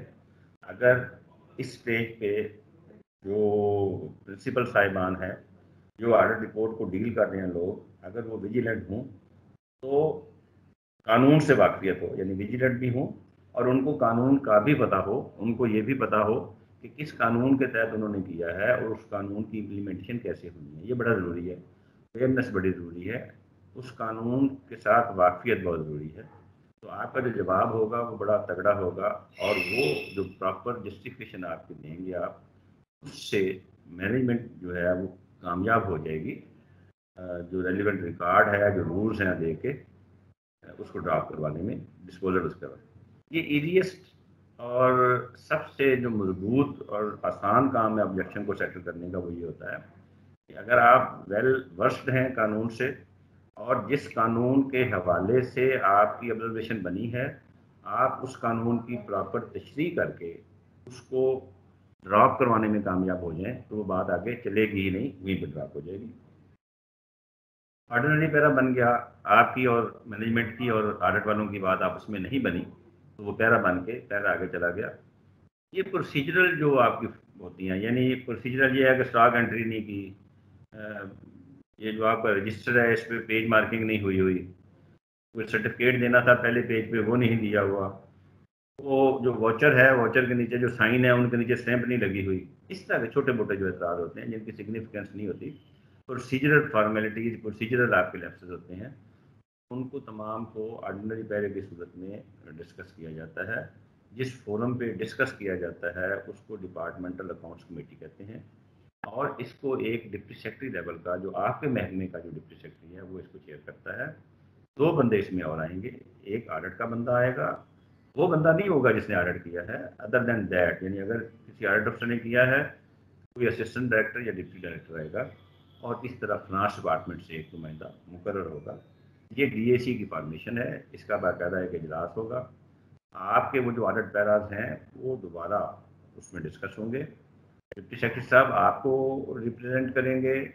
ऑडिट वाला बंदा ऑडिट को रिप्रेजेंट करेगा और जो फिनांस का बंदा है, वो गवर्नमेंट को रिप्रेजेंट करेगा। फिनांस डिपार्टमेंट को रिप्रेजेंट करेगा। यहाँ पे दोबारा डिस्कस होगा। बात वही है, उसी कानून का, जिस कानून के हवाले से उसने इतराज़ लगाया है। उसी कानून को डिस्कस किया जाएगा और ये समझा जाएगा कि क्या उस कानून की रोशनी में ये इतराज़ बनता भी है या नहीं बनता। अगर बनता है तो किस हद तक बनता है? अगर यहाँ पे ड्राफ्ट हो गया तो ठीक है, अगर ना ड्राफ्ट हुआ तो वो पैरा पेंडिंग हो जाता है, आगे चल पड़ता है। एडवांस पैरा, जैसे मैंने आपको बताया है कि एडवांस पैरा उस वक्त होता है जब कोई सिग्निफिकेंस मैटर हो फाइनेंशियल मैटर हो सीरियस कोई मैटर हो और उसको वो समझते हैं कि इसको डीएसी पे नहीं छोड़ना चाहिए। इसका लेवल थोड़ा सा बड़ा होना चाहिए और ये संजीदा मामला है, इसलिए ज़्यादा बड़े अफसरों को देखना चाहिए तो उसको हम एस डी कहते हैं। ये स्पेशल हमारी डिपार्टमेंटल अकाउंट्स कमेटी होती है, इसमें लेवल बड़ा हो जाता है। डिप्टी सेक्रेटरी के बजाय आप इनको चेयर करेंगे एडिशनल सेक्रेटरी लेवल का अफसर चेयर करेगा। बाकी नुमाइंदगान वही होंगे, एक ऑडिट का नुमाइंदा होगा, एक फ्रांस का नुमाइंदा होगा। Discussion with reference to rule ही होनी है कि जिस कानून के हवाले से वो ऑब्जर्वेशन है, उस कानून के हिसाब से वो बनती है या नहीं बनती और अगर बनती है तो किस हद तक बनती है? कितना हिस्सा हमने ड्राफ्ट करना है? मास पैरे के बाद ना आगे फिर प्रपोज ड्राफ्ट करा आता है। ये हाइस्ट फोरम है before going into B S C printing इसकी करने से पहले ये होता है। इसमें वो तमाम पैराग्राफ जिनके लिए आपने डी एस सीज की हैं या एस डी एस सीज की हैं और जहाँ पे आडट का फनास का और महकमे का इतफाक नहीं हो सका और किसी एक ने कहा है कि नहीं, इसकी संजीदा नोयत है, इसको और बड़े फोरम पे डिस्कस होना चाहिए। वो तमाम जो पैराग्राफ्स हैं, जो एस डी ए सी में भी सेटल नहीं हुए डी में भी सेटल नहीं हुए, उन तमाम को फिर हम कहते हैं, ये अब प्रपोज ड्राफ्ट पैरा है। यानी अब ये उन्होंने कहा है कि हमारे ख्याल में ये पैराग्राफ जो हैं, इनको बाकायदा ऑडिट रिपोर्ट की सूरत में एनुअल ऑडिट रिपोर्ट की सूरत में आगे गवर्नर को भेजने चाहिए। लेकिन यहाँ पे एक आखिरी फोरम होता है, ये पी जो हैं, इनको एक दफ़ा फिर डिस्कस किया जाता है। क्योंकि इन्होंने प्रिंट हो जाना होता है एनुअल ऑडिट रिपोर्ट में, लेकिन इससे पहले एक फाइनल अपॉर्चुनिटी होती है, जो मैनेजमेंट के पास होती है। उसमें यह है कि एक डीएसी एक और कन्वीन की जाती है इन पैराग्राफ्स के लिए। अब उसमें क्या होती है, उसमें आपका हाईएस्ट रैंक होता है, यानी आपके महकमे का हेड जो है सेक्रेटरी जो है सेक्रेटरी टू गवर्नमेंट जो है हायर एजुकेशन डिपार्टमेंट के, वो इसको चेयर करेंगे। इसी तरह आप ऑडिट से कोई भी नुमाइंदा नहीं भेजा जा सकता। यहाँ पे अब उनका भी हाईएस्ट फोरम आएगा डायरेक्टर जनरल ऑडिट जो है वो आएँगे। और इसी तरह फ्रांस का एक सीनियर ऑफिसर होगा। और ये जो कमेटी है, ये एक दफ़ा फिर देखेगी। फॉर्मेट वही है जो मैंने शुरू में बताया है कि जिस रूल के हवाले से वो इतराज़ लगाया गया है उसी रूल की रोशनी में उसको देखा जाएगा कि ये एतराज़ बनता भी है या नहीं लेकिन यहाँ पे भी अगर कंसेंसस नहीं होता एतराज़ जो है वो उसको होल्ड करते हैं ऑडिट वाले और अपना फिनांस वाले तो फिर उसको हम कहते हैं, अब ये डीपी बन गया है ड्राफ्ट पैरा बन गया है। अब ड्राफ्ट पैरा जो है, इसको ऑडिटर जनरल ऑफ़ पाकिस्तान हर साल एक annual audit report auditor general Pakistan जारी करता है। जिसमें उसने जितना भी ऑडिट किया होता है, उस पूरे डिपार्टमेंट के मुख्त हिस्सों का, उन तमाम को कंक्लूड करके उसमें वो डाल देता है और इसको हम कहते हैं एनुअल ऑडिट रिपोर्ट अब एनुअल ऑडिट रिपोर्ट जो है, अब इसमें नीचे वाले जो फोरम हैं, वो सारे बंद हो गए हैं। अब ये गवर्नर साहब को पेश होगी। गवर्नर साहब इसको एग्जामिन करेंगे और इसको प्रोविंशियल असम्बली में भेज देंगे। और प्रोविंशियल असम्बली इसको आगे पब्लिक अकाउंट्स कमेटी में भेज देगी। हम फॉर्मेट देखते हैं आगे पब्लिक अकाउंट्स कमेटी का क्या है। पब्लिक अकाउंट्स कमेटी इसमें वहीं से शुरू करेगी रूल्स की जस्टिफिकेशन से जिस रूल के तहत ये इतराज है, क्या बनता भी है या नहीं बनता। पब्लिक अकाउंट्स कमेटी क्या है?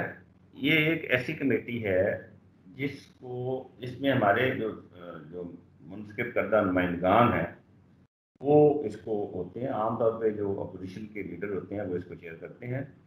चेयरमैन इसका पार्लियामेंटेरियन होता है अपोजिशन से होता है। मेंबर कौन होता है इसका? उस महकमे का सेक्रेटरी जिसका वो इतराज़ है। और दूसरा मेंबर कौन होता है? आडिट की तरफ़ से डायरेक्टर जनरल आडिट होता है। मास का नुमाइंदा तो होता ही है, इसमें वो जो है उसका, हमारा जो मॉनिटरिंग एंड ऑडिट वाला सेक्शन है, वो इसको पैराग्राफ को डील करता है। तो फिनांस का एक नुमाइंदा इसमें होगा। तो ये हमारी कंस्टिट्यूट होगी कमेटी अब इस कमेटी ने फाइनली सेटल करना होता है ऑडिट पैराग्राफ को। अगर कोई पैरा ऐसा है जिसको सेटल नहीं किया जा सकता तो उसके लिए फिर इन्होंने मैकनिज़म बनाना है। मैकनिज़म आगे हम डिस्कस करते हैं तो मैकनिज़म क्या हो सकता है? मैकनिज़म पैसे हैं तो यहाँ पे ऑर्डर हो सकता है डायरेक्ट हो सकता है। तो जो रिस्पॉन्सिबल इदारा है रिस्पॉन्सिबल ऑफिसर है, वो इतने पैसे जमा करवा दें। अगर अप्रूवल का मामला है तो फिनांस को भेजा जा सकता है एक्स पोस्पेक्टो अप्रूवल दे दें। अगर कोई डिसिप्लिनरी एक्शन है तो यहाँ पे डायरेक्ट किया जा सकता है कि फलां फलां जो लोग हैं, उनके खिलाफ आप कार्रवाई करके पेश करें। तो जो फाइनल अथॉरिटी है सेटल करने के लिए। इसी ने फिर आगे एक्शन लेने होते हैं और यहीं से वो प्राप्त होते हैं। फ़ंक्शन कमेटी का क्या है? तमाम अकाउंट्स जो हैं अप्रोप्रिएशन है, जो सम ग्रांटेड हैं असम्बली में इसने इसको एग्जामिन करना होता है कि असम्बली ने बजट की सूरत में कितने पैसे दिए थे, उस अप्रोप्रिएशन को किस किस को दिया गया था, जो उन्होंने खर्च किया है, कौन से कानून के तहत किया है ऑडिटर जनरल ऑफ़ पाकिस्तान ने किस कानून के तहत उसको ऑब्जेक्ट किया है? और ये तमाम चीज़ें असम्बली इसको देख के इसको कमेटी को रेफर कर देती है। अब कमेटी क्या करती है? सेटलमेंट के लिए अब कमेटी वाला काम खत्म हो गया। अब कमेटी ने जो डायरेक्शन देनी है, उसमें requirements for settlement of audit para है। कैसे है? जो ऑडिट पैरा बन गया, उसको सेटलमेंट कैसे करना है? तो उसके तीन चार स्टेजेज हो सकती हैं। सारी कानून के गिर्द घूमती हैं। पहले नंबर पे ये है कि अगर कोई प्रोसीजरल वायलेशन है, अगर आपने कोई ऐसी चीज़ है जो आपके फाइनेंशियल मैटर्स को तो डिस्टर्ब नहीं करती, लेकिन कानून ने कहा था कि इसके लिए तीन कोटेशन लेनी है, आपने दो ले ली, मिसाल दे रहा हूँ। तो अब ये एक ऐसा सिलसिला है जो जिसको रिवर्स नहीं किया जा सकता, अब उसके लिए आप तीन, तीसरी कोटेशन ले नहीं सकते। तो आपने कौन सी वायलेशन की है? प्रोसीजरल वायलेशन की है। तो ऑडिट पैरे को सेटल करने के लिए ये ज़रूरी है कि आपकी इस वायोलेशन को रेगुलर करने का इख्तियार जिसके पास है, उससे एक्सपोज फैक्टो अप्रूवल ले जाए। इसमें प्रोसीजर वायलेशन को रेगुलर करने का इख्तियार फिनांस डिपार्टमेंट के पास होता है। तो हम फिनांस डिपार्टमेंट से उसकी मंजूरी ले लेते हैं। हम पूछ लेते हैं फिनांस डिपार्टमेंट से कि जनाब, ये है सिलसिला, आप इसकी एक्सपोर्ट को अप्रूवल देते हैं। अब दूसरा नंबर क्या होता है? दूसरा नंबर होता है रिकवरीज का। रिकवरीज जो उन्होंने कैलकुलेट कर ली ऑडिट में, आपने भी समझाने की कोशिश की आपके डिपार्टमेंट ने भी समझाने की कोशिश की, उसको हाईएस्ट फोरम पे भी डिस्कस हुआ। लेकिन उन्होंने कहा जी कि नहीं गलती हुई है एक्सेस पेमेंट हुई है तो इसको हमने करना है, इसको करना है अब रेगुलर करना है। तो रेगुलर करने का इख्तियार किसके पास होगा? अगले साल रेगुलर करने का इख्तियार है फ्रांस डिपार्टमेंट के पास। तो फ्रांस डिपार्टमेंट में वो केस भेजा जाएगा उसकी एक्सपोर्ट फैक्टो अप्रूवल ली जाएगी और रिकवरीज के लिए जो मुतलका जिसकी गलती होगी उसे कहा जाएगा कि ये पैसे जमा करवाएँ। रिकवरीज वाला चैप्टर हो गया। अगर कोई डिसिप्लिनरी एक्शन लेना है, कोई ऐसी चीज़ है जिसमें नेग्लिजेंस है रिकवरीज तो नहीं हुई, नुकसान तो नहीं हुआ, लेकिन गैर ज़रूरी तौर पे डिले हो गया काम तो उस डिले को कवर करने के लिए जो इख्तियार किया जाएगा तरीक़ाकार जो है उसका डिसिप्लिनरी एक्शन का पीटा के तहत किसी इंक्वायरी अफसर को मुकर किया जाएगा, उसके मुताबिक इंक्वायरी करवाई जाएगी और आगे उसका चलेगा इसी तरह एक और तरीका भी है कि दोबारा पीएसी कहे कि आप ऐसे करें कि ये जो आपके, जो आपका एतराज़ है, इसकी जस्टिफिकेशन रिक्वायर्ड है। तो अब आप दोबारा डॉक्यूमेंट्री एविडेंस लगाएँ और डॉक्यूमेंट्री एविडेंस लगा के अपने जवाब के सपोर्ट में दोबारा सबमिट करें। तो अब ऑडिट वाला या कोई भी बंदा जो है, वो ओवर रूल नहीं कर सकता पीएससी के फैसले को। पीएससी यहाँ पे ये फैसला कर सकती है कि इस एतराज़ को दूर किया जाता है, उसको ख़त्म किया जा सकता है। जो वैलिड जस्टिफिकेशन है, उसकी मदद से भी होता है। तो जो सेटलमेंट ऑफ़ ऑडिट पैराज है, उसमें कितनी चीज़ें होंगी? ये हमारे पास चार पॉइंट्स हो गए बेसिक जो हैं। जो वैल्यूएशन है, उसको रेगुलर करवा लिया जाए। अगर कोई पैसे हैं एक्सेस पेमेंट्स हैं, कोई फ्रॉड है, कोई नेग्लिजेंस की वजह से नुकसान हो गया है, उसकी रिकवरी कर ली जाए। अगर कोई नेग्लिजेंस वाला केस है और उसमें हम उसके खिलाफ, उस अफसर के खिलाफ जो है वो डिसिप्लिनरी एक्शन रिकमेंड हो जाए। और P and D E and D के तहत, पीडा के तहत उसके खिलाफ कार्रवाई हो जाए, या फिर आखिर में पी सी कहे कि जो महकमा है, उसकी बात में वज़न है और उसके डॉक्यूमेंट्स को सही तरह से देखा नहीं गया तो नए सिरे से डॉक्यूमेंट्री एविडेंस लेके उसकी जस्टिफिकेशन लगा के उसको पीएससी में पेश किया जाए और पीएससी उसको ड्रॉप कर दे। सबसे, ये सारी बातें तो हो गई। ऑडिट पैरा बन गया हमने उसको मुख्त फोरम्स में डिस्कस भी कर लिया और उसको हमने ड्राफ्ट हुआ या हमने उसका जवाब दिया। सबसे बेहतरीन बात यह है कि हम ये कोशिश करें कि ऑडिट पैरा जो है वो बने ही ना। यानी हम इस तरह से उसको करें कि ऑडिट पैरा जो है वो उस तक नौबत ही ना आए और हमारा जो अकाउंट रिकॉर्ड है वो इस तरह से हो कि कोई उस पर ऑब्जेक्ट ना कर सके। लेकिन इस काम के लिए जो सबसे पहली और बुनियादी ज़रूरत है वो ये है कि बतौर वीडियो आपने उन तमाम रूल्स को पढ़ा है, जो जिनके तहत आप काम कर रहे हैं। यानी आपके जो सर्विस मैटर्स हैं, वो आपके सर्विस रूल्स के तहत हैं। तो एक प्रिंसिपल ने जब सर्विस मैटर्स में कोई फैसला करना है तो उस पर ये लाजम है कि वो उन सर्विस रूल्स को पढ़े, समझे कि अगर मेरे पास ट्रेवलिंग अलाउंस का बिल आया है तो मेरे इख्तियार क्या हैं ये जो बिल है वो किस तरह मिलना है। तनख्वाह का बिल आया है तो उसको पता होना चाहिए कि जो पहली सैलरी है, उसके लिए क्या प्रोटोकॉल है। कौन से अलाउंसेस हैं? बंदा छुट्टी पे गया है तो हम मैंने चेंज में कौन सी चीज़ें बंद करके भेजनी है? इसी तरह जब परचेजेज हैं प्रोक्योरमेंट है तो वो पेपरा को उसने, जो पूरा पेपरा अगर नहीं भी पढ़ा तो कम अज़ कम उतना हिस्सा ज़रूर पड़ा हुआ हो, जिसमें ट्रांजेक्शन जो है उनका करने का तरीका बताया गया है कॉन्ट्रैक्टर को हायर करने का तरीका बताया गया है। कॉन्ट्रैक्ट करना है तो कॉन्ट्रैक्ट के बारे में पता होना चाहिए। कैंटीन नीलाम करनी है तो कैंटीन के बारे में प्रोटोकॉल का पता होना चाहिए। कौन कौन से प्री रिक्विजिट्स हैं जिसमें ये करना है? फंड्स हैं, उनको मेंटेन करने का 2016 का आपका बड़ा हुआ एक डिटेल में एक हायर एजुकेशन डिपार्टमेंट ने लेटर जारी किया हुआ है। उसकी रोशनी में जो है वो करना चाहिए। इसी तरह अप्रूवल मैकेनिज्म बनाना चाहिए। तो बहुत सी ऐसी चीज़ें हैं। अगर आप वेल वर्स्ड विद रूल्स हैं विद पॉलिसी हैं विद इंस्ट्रक्शन हैं तो आपके एतराज़ात जो हैं वो बनेंगे ही नहीं। और अगर बनेंगे भी तो वो अमूमी नोयत के होंगे जिनका जवाब देना आसान होगा। तो पहले नंबर पे जो ऑर्डर ऑब्जेक्शन को अवॉइड करने का तरीका है, वो है फाइनेंशियल डिसिप्लिन फाइनेंशियल डिसिप्लिन उसी सूरत में कायम होगा जब आप कानून से वाकफ हैं। जब आपको पता है कि कानून जो है वो क्या कहता है कैश बुक के बारे में आपको पता हो सैलरी बिल्स के बारे में आपको पता हो पीओएल के बारे में आपको पता हो रिपेयर जो गाड़ियों की होती है उसके बारे में आपको पता हो कागज़ फंड्स कैसे रिलाइज करने हैं, किस तरह से यूटिलाइज करने हैं इसके बारे में आपको पता हो, और आपको ये पता हो कि जो अप्रोप्रिएशन अकाउंट है उसमें से एक फंड से दूसरे फंड में पैसे नहीं डालने उसमें बगैर ज़रूरत की चीज़ नहीं खरीदनी तो ये सारी चीज़ें जो हैं, ये हैं फाइनेंशियल डिसिप्लिन जिसको कहते हैं। फाइनेंशियल डिसिप्लिन का मतलब ये है कि आपके इनकम के मामला हैं या एक्सपेंडिचर के मामला हैं?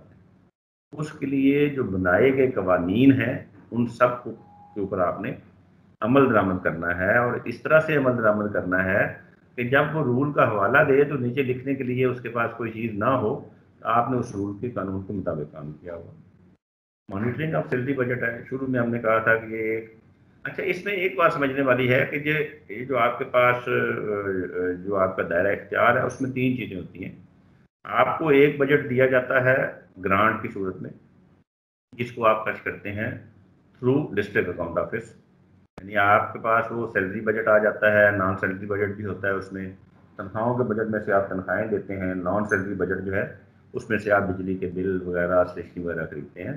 तो इसका मेकनिज़म जो है, वो होता है थ्रू डिस्ट्रिक्ट अकाउंट ऑफ़िस आप ग्रांट में आपने एक रजिस्टर आप बनाते हैं, मेरे ख्याल में आपने वो पहले पढ़ लिया होगा, जिसको अप्रोप्रिएशन रजिस्टर कहते हैं। उसमें आपने तमाम हेड्स लिखे हुए होते हैं ऊपर। यानी स्टेशनरी का हेडर उसमें रेड आपने लिखा होता है, कितने पैसे हैं हमारे पास। सैलरी का हेडर तो उसमें ये लिखा होता है। यानी जितने भी हेड आपके पास पैसों वाले आते हैं, और जब आप पैसे खर्च करते हैं तो आप उसमें लिख देते हैं कि इतने पैसे हमने फलाम मद में खर्च किए हैं, और उसको माइनस करके नीचे आप टोटल निकाल लेते हैं। उसका फ़ायदा क्या होता है कि आप कभी भी बजट से बाहर नहीं जाते। और अगर आप रजिस्टर नहीं बनाएँगे तो आपको पता ही नहीं चलेगा कि आप कब बजट से आउट हो गए। कब आपने किसी और फंड को इस्तेमाल करना शुरू कर दिया? तो अप्रोप्रिएशन रजिस्टर जो है उसको बनाएँ कैश बुक की मेंटेनेंस जो है उसको प्राइम आपकी ड्यूटी होनी चाहिए कि जिस बंदे के ज़िम्मे आपने लगाया हुआ है, उसको आप ऑन चेक करते रहें। उसे कहें भी रोज़ाना जितनी इनकम आनी है वो दर्ज करनी है, जितने अखराज आने हैं वो उसमें दर्ज करने हैं। लाइब्रेरी के हैं फंड्स हैं साइंस के फंड्स हैं। आपको उन पर बिल्कुल एक नज़र रखनी चाहिए, गहरी। उसमें देखना चाहिए कि जो पैसे आ रहे हैं, वो जमा हो भी रहे हैं या नहीं हो रहे। और अगर जमा हो रहे हैं तो क्या उसी तारीख को हो रहे हैं जिसमें रिलाइज हुए हैं या अदरवाइज़ हैं? तो ये तमाम बातें जो हैं, अगर आपने कानून और जबते के मुताबिक करनी है तो हम कहेंगे कि आपने फाइनेंशियल डिसिप्लिन मेंटेन किया लेकिन अगर आप कानून से आपकी वाकफियत नहीं है तो फाइनेंशियल इनडिसिप्लिन होगा और उसकी वजह से फिर पैराग्राफ जो है वो बनेंगे। क्योंकि पैरा हमेशा रूल के रेफरेंस से बनता है। कानून अगर पढ़ा है तो पैरा नहीं बनेगा। दूसरे नंबर पे है मॉनिटरिंग सैलरी बजट की। यानी एक हिस्सा आपका सैलरी बजट हो गया नॉन सैलरी हो गया और एक सैलरी हो गया। नॉन सैलरी अप्रोप्रिएशन अकाउंट मैंने आपको बताया जैसे है। सैलरी बजट जो है सैलरी बजट हमेशा ताबे होता है आपके शेड्यूल ऑफ़ स्टेब्लिशमेंट के कि आपके पास कितनी वैकेंसीज हैं, उन पर कितने बंदे काम कर रहे हैं। तो इसकी मॉनिटरिंग बहुत ज़रूरी है। तीसरे नंबर पे होती है maintenance of record account maintain करना। बाद दफ़ा ये होता है कि आप सारा काम बिल्कुल ठीक कर रहे हैं। ए टू जी आपने कानून का भी ख्याल रखा है, बाकी सारे मामला का भी ख्याल रखा है, लेकिन रिकॉर्ड को आपने यानी जो अप्रोप्रिएशन अकाउंट है कैश बुक जो है, आप अप्रोप्रिएशन अकाउंट तो बेहतरीन तैयार कर रहे हैं कैश बुक नहीं लिख रहे। सैलरी बजट तो ठीक ठाक जा रहा है, लेकिन आपने कभी देखा ही नहीं है कि पिछले महीने के और इस महीने के बजट में कितना फ़र्क है। तो अकाउंट्स की मेंटेनेंस जो है, ये तीन पिलर्स हैं, तीन कंपोनेंट हैं। अगर आप इनका ख्याल रखेंगे तो सैलरी और नॉन सैलरी में, और जो डेवलपमेंट अखराज होते हैं, उसमें तो आपके सुपरविजन की ज़िम्मेदारी होती है। वो हमेशा सी एन डब्ल्यू या पब्लिक हेल्थ वाले काम करते हैं। तो जब आप उसने, आपने उसमें सर्टिफिकेट देना है कि काम ठीक हो गया है तो सर्टिफिकेट की वर्डिंग जो है वो बड़ी इंपॉर्टेंट होनी चाहिए। और उसमें कोई टेक्निकल मैटर जो है, उसको आपको वेरीफाई नहीं करना चाहिए। तो मेंटेनेंस आप रिकॉर्ड हो गया। फाइनेंशियल डिसिप्लिन जो मैंने कहा है आपको तो इसमें कुछ बातें तो मैंने यहाँ पे बताई हैं और कुछ बातें यहाँ पे हैं। पहली बात क्या है फाइनेंशियल डिसिप्लिन की? Spend according to the budget पहली। क्लास है तो अपनी class. Spend according to the budget यानी जो बजट में आपको ग्रांट नंबर में जितने पैसे आपने दिए गए हैं आपने उससे बाहर नहीं जाना। अगर किसी वजह से आपका बजट कम हो रहा है तो आपने वेल इन टाइम अपने कंट्रोलिंग अफसर को आगाह करना है कि जनाब फ्लां हेड में हमारे पास पैसे कम हो रहे हैं तो उसका एक प्रोसीजर मौजूद है, वो रीअप्रोप्रिएशन करके भेजें सप्लीमेंट्री ग्रांट दें तो ये आप दैट टाइम आखिरी बात है, वो है spend according to the budget आप ये यकीन कर लें कि जो पैसे आपको दिए गए हैं, वही आपके हैं और सरकारी हैसियत में आपकी, जो आपकी जो लिमिट्स हैं, वो उन पैसों से बाहर नहीं है। अगर उन पैसों से बाहर जाना है तो उसका एक प्रोसीजर है। आप वो प्रोसीजर अडॉप्ट करें बजट के बाहर बिल्कुल ना जाए। दूसरे नंबर पे क्या है? जो फंड्स हैं, वो उसी पर्पज़ के लिए इस्तेमाल करें, जिसके लिए दिए गए हैं। बाद दफ़ा ये होता है, बाद बंदे मशवरा देते हैं जी, बिजली के बिल आ गए हैं, पैसे आपके पास नहीं है, फलां जगह से पैसे खर्च कर लें। इस तरह नहीं है। इस तरह की जो एडजस्टमेंट्स होती हैं, वो बाद में आदत पहले उपलब्ध होती हैं। तो पैसे जिस मकसद के लिए हैं बजट के हिसाब से खर्च करें। बजट जिस मकसद के लिए दिया गया है, सिर्फ़ उसी मकसद के लिए इस्तेमाल करें। अगर उस पर्पज़ में पैसे आपको सेट में कम है उन पैसों को आप डिमांड कर लें या उनकी इजाज़त से आगे करें इसके बाद जितने भी रूल्स हैं, जितने भी रेगुलेशन हैं, उनकी कंप्लाइंस करें। उनकी कंप्लाइंस करने के लिए ज़रूरी है कि आपने उनकी स्टडी की हो चौथे नंबर पे है फाइनेंशियल प्रोप्राइटी फाइनेंशियल प्रोप्राइटी बहुत वाइड रेंज लफ्ज है। ये दो लफ्ज हैं, इनका बहुत गहरा और बड़ा सी मतलब है। मैं ये आपको बताऊँ कि फाइनेंशियल प्रोप्राइटी का मतलब ये है कि जब आप पैसे खर्च करें आप समझें कि आपने अपनी जेब से खर्च कर किसी एक बंदे के फ़ायदे के लिए ना हो, किसी एक सेक्टर के लिए फ़ायदे के लिए ना हो, उसी वक्त खर्च करें जब उनकी ज़रूरत है। गैर ज़रूरी तौर पे पैसे निकलवा के अपने पास ना रखें और अगर रियलाइज़ किए पैसे तो उसी दिन कोशिश करें वो जमा हो जाए। तो फाइनेंशियल प्रोपराइटी जो कैनन्स हैं, इसके पाँच छः कैनन्स हैं, वो हमें बताते हैं कि हमने फाइनेंशियल डिसिप्लिन कैसे मेंटेन रखना इसी तरह जब आप पैसे खर्च करते हैं तो उसमें दो दो मैकेनिज्म उसमें होते हैं। एक उसकी अप्रूवल होती है, एक उसकी सेंक्शन होती है। इसमें फ़र्क को ध्यान में रखना चाहिए। अप्रूवल का मतलब ये है कि जब आपने कोई काम करना है, आपके पास जब कोई रेगुलेशन आती है तो आपसे वो पूछा जाता है being head of the institution कि क्या हम ये पैसे खर्च करें? ये पहला मरला है जिसमें आपने एस्टरटेन करना है कि ये पैसे खर्च करने की ज़रूरत है भी या नहीं। फ़र्ज़ करें साइंस का सामान खरीदना है और वो रेगुलेशन आ जाती है जी कि हमने इतनी चीज़ें देनी है। तो जब आपने उसकी अप्रूवल देनी है तो सबसे पहले आप देखें क्या स्टॉक शार्ट हुआ है। क्या कोई इस तरह के इम्तहान आने वाले हैं आगे जिसके लिए एक्स्ट्रा सामान की ज़रूरत है? या just to expend the amount मतलब ये इसको किया जा रहा है तो ये आपका फ़र्ज़ है कि अप्रूवल देते हुए आप देखें कि अप्रूवल देनी भी है या नहीं देनी। ये बहुत ज़रूरी है। ये पेपर में आगे पढ़ेंगे हम अप्रूवल मैकेनिज्म ये बहुत ज़रूरी है। अब आपने अप्रूवल दे दी है। आप वो सारा इंतज़ाम हो गया है, जैसे पैसे खर्च करने हो गए हैं। अब उसकी सेंक्शन की बारी आती है। तो सेंक्शन जो है, वो हमेशा कंपिटेंट अथॉरिटी से लेनी चाहिए। आपके पास डेलीगेशन ऑफ़ पावर रूल हज़ार सोलह में मौजूद है, उसमें बताया गया है category one two three four में आपका एक अलग सब्जेक्ट आपने पढ़ा होगा। हमेशा जो एक्सपेंडिचर है, उसकी अप्रूवल जो है, सोच के देनी चाहिए और सेंक्शन उससे करवानी चाहिए जिसके पास उसका इख्तियार हो। इस आखिर जो है, वो है सेंक्शन करना इंटरनल कंट्रोल इंटरनल कंट्रोल क्या है? वो बैरियर हैं जो आपने बतौर हेड ऑफ़ द ऑफ़िस लगाए हुए हैं। कि कहीं लीकेज ना हो जाए, कहीं कोई रूल वायलेट ना हो जाए तो इंटरनल कंट्रोल दो तरह के होते हैं। एक होते हैं administrative internal control administrative internal control क्या है? कि आप सारे कामों को खुद तो लुक आफ्टर कर नहीं सकते। आप अपने इस इख्तियार की हरारकी बना के थोड़े थोड़े यानी आप मतलब फ़र्ज़ करें जो साइंस का आपका जो हेड है, आप कुछ इख्तियार उसको दे देते हैं। उसे कहते हैं कि भाई ये हमारी ज़िम्मेदारी है। ये इतने पाँच हज़ार रुपये तक खर्च करें, आप उसको इख्तियार देते हैं तो आपसे कहते हैं ये पैसे तुमने खर्च कर लेने लेकिन महीने में दो दफ़ा मुझे चेक करवा देना है, कहाँ कहाँ पे खर्च किए हैं। आपसे बोझ भी कम हो जाएगा और आपका जो निज़ाम है वो स्ट्रेंथन हो जाएगा। फाइनेंशियल कंट्रोल क्या है? दरमियान में कोई बंदा एक और हो, जिसके जिम्मे हो कि उसने चेक करके, उसने सारी चीज़ें करके एक एक उसके लिए एक चेक लिस्ट बनाई जा सकती है। आप हर काम के लिए एक चेक लिस्ट बना लें। और जो मुतल का बंदा है, उसे कहें भी ये चेक लिस्ट है, इस पे आगे यस नो लिखा हुआ है ऊपर उसकी इबारत हो कि आपने ये काम किया है, नहीं किया किया नहीं किया यस नो में जब चेक करेगा, आप एक नज़र में देख लेंगे कि इसने कौन कौन सी ऑब्जर्वेशन कौन कौन सी रिक्वायरमेंट्स जो हैं वो कानून के मुताबिक पूरी की हैं, कौन सी नहीं की। आप अपने जो इंटरनल कंट्रोल्स हैं, उनको स्ट्रेंथन करें। अगर आप ये इकदाम सब करेंगे तो आप बेहतरीन फाइनेंशियल डिसिप्लिन कायम करने में कामयाब हो जाएँगे। और अगर फाइनेंशियल डिसिप्लिन आप कामयाब हो गए करने में, इसका मतलब ये है कि आपके एतराज़ात अगर दस आते हैं तो हो सकता है एक भी ना रहे। और अगर एक या दो एतराज़ात वो लगा भी नहीं ऑडिट वाले कि अब हमने रिपोर्ट बनानी है तो पहले या दूसरे मरले पे उड़ जाएँगे। प्रोवाइडेड आपका फाइनेंशियल डिसिप्लिन मज़बूत दूसरे नंबर पे सैलरी में ज़्यादा होते हैं नॉन सैलरी में तो सारा हो गया। सैलरी बजट में बहुत से प्रॉब्लम आते हैं और जिनकी वजह से बड़े पैदा बन क्लास बनते हैं।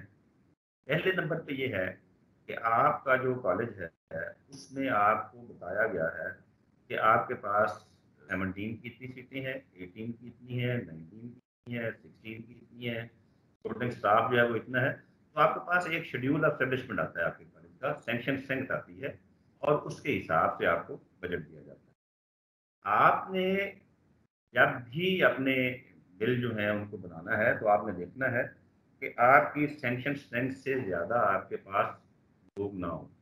अगर कोई बंदा आ जाता है और आप देखते हैं कि आपके पास पोस्ट नहीं है उसकी ज्वाइनिंग ही ना लें, उसको वापस दें। उसे कहें मेरे पास जो बजट है और मेरे पास जो सेंक्शन स्ट्रेंथ है, उसमें इसकी एडजस्टमेंट नहीं है। दूसरे नंबर पे है कि जो सेंक्शन स्ट्रेंथ है, उसके हिसाब से आप इस्टेब्लिशमेंट चेक रजिस्टर तैयार करना है इस्टेब्लिशमेंट चेक रजिस्टर क्या होता है? उसमें प्रिंटेड मिल जाते हैं ये। उसमें आपने लिखना होता है कि ये बी एस की दस पोस्टें हैं। अब दस पोस्टों को आगे बाइफरकेट किया होता है और उसके साथ आगे लिखा होता है इनकम्बेंट का नाम। किस पोस्ट को कौन ऑक्यूपाई कर रहा है? या फिर ट्रांसफ़र हो किसी की तो उसको काट के उसकी जगह दूसरे का नाम लिखें। एस्टेब्लिशमेंट चेक रजिस्टर तैयार करवाएँ। उसके बाद ये है कि आप अगर गौर करें तो आपकी तनख्वाह में तब्दीली दो जगहों पे आती है। एक होती है जुलाई में और एक होती है दिसंबर में। जुलाई में आमतौर पर स्केल वगैरह तब्दील होते हैं। पेज जो है वो रिवाइज होती हैं। और दिसंबर में इंक्रीमेंट आती है। अगर आप इन दो स्टेजेस पे थोड़ी सी तवज्जो कर लेनी है प्रिंसिपल आपकी जो, आपका जो सैलरी बजट है, आपका जो एम्प्लॉज रिलेटेड एक्सपेंडिचर है, उनमें कभी एतराज़ नहीं लगेगा। जुलाई में क्या होता है? जुलाई में आपने सेंक्शन जो आपका स्ट्रेंथ है, जो शेड्यूल है, उसको एक दफ़ा आप रिव्यू कर लेते हैं।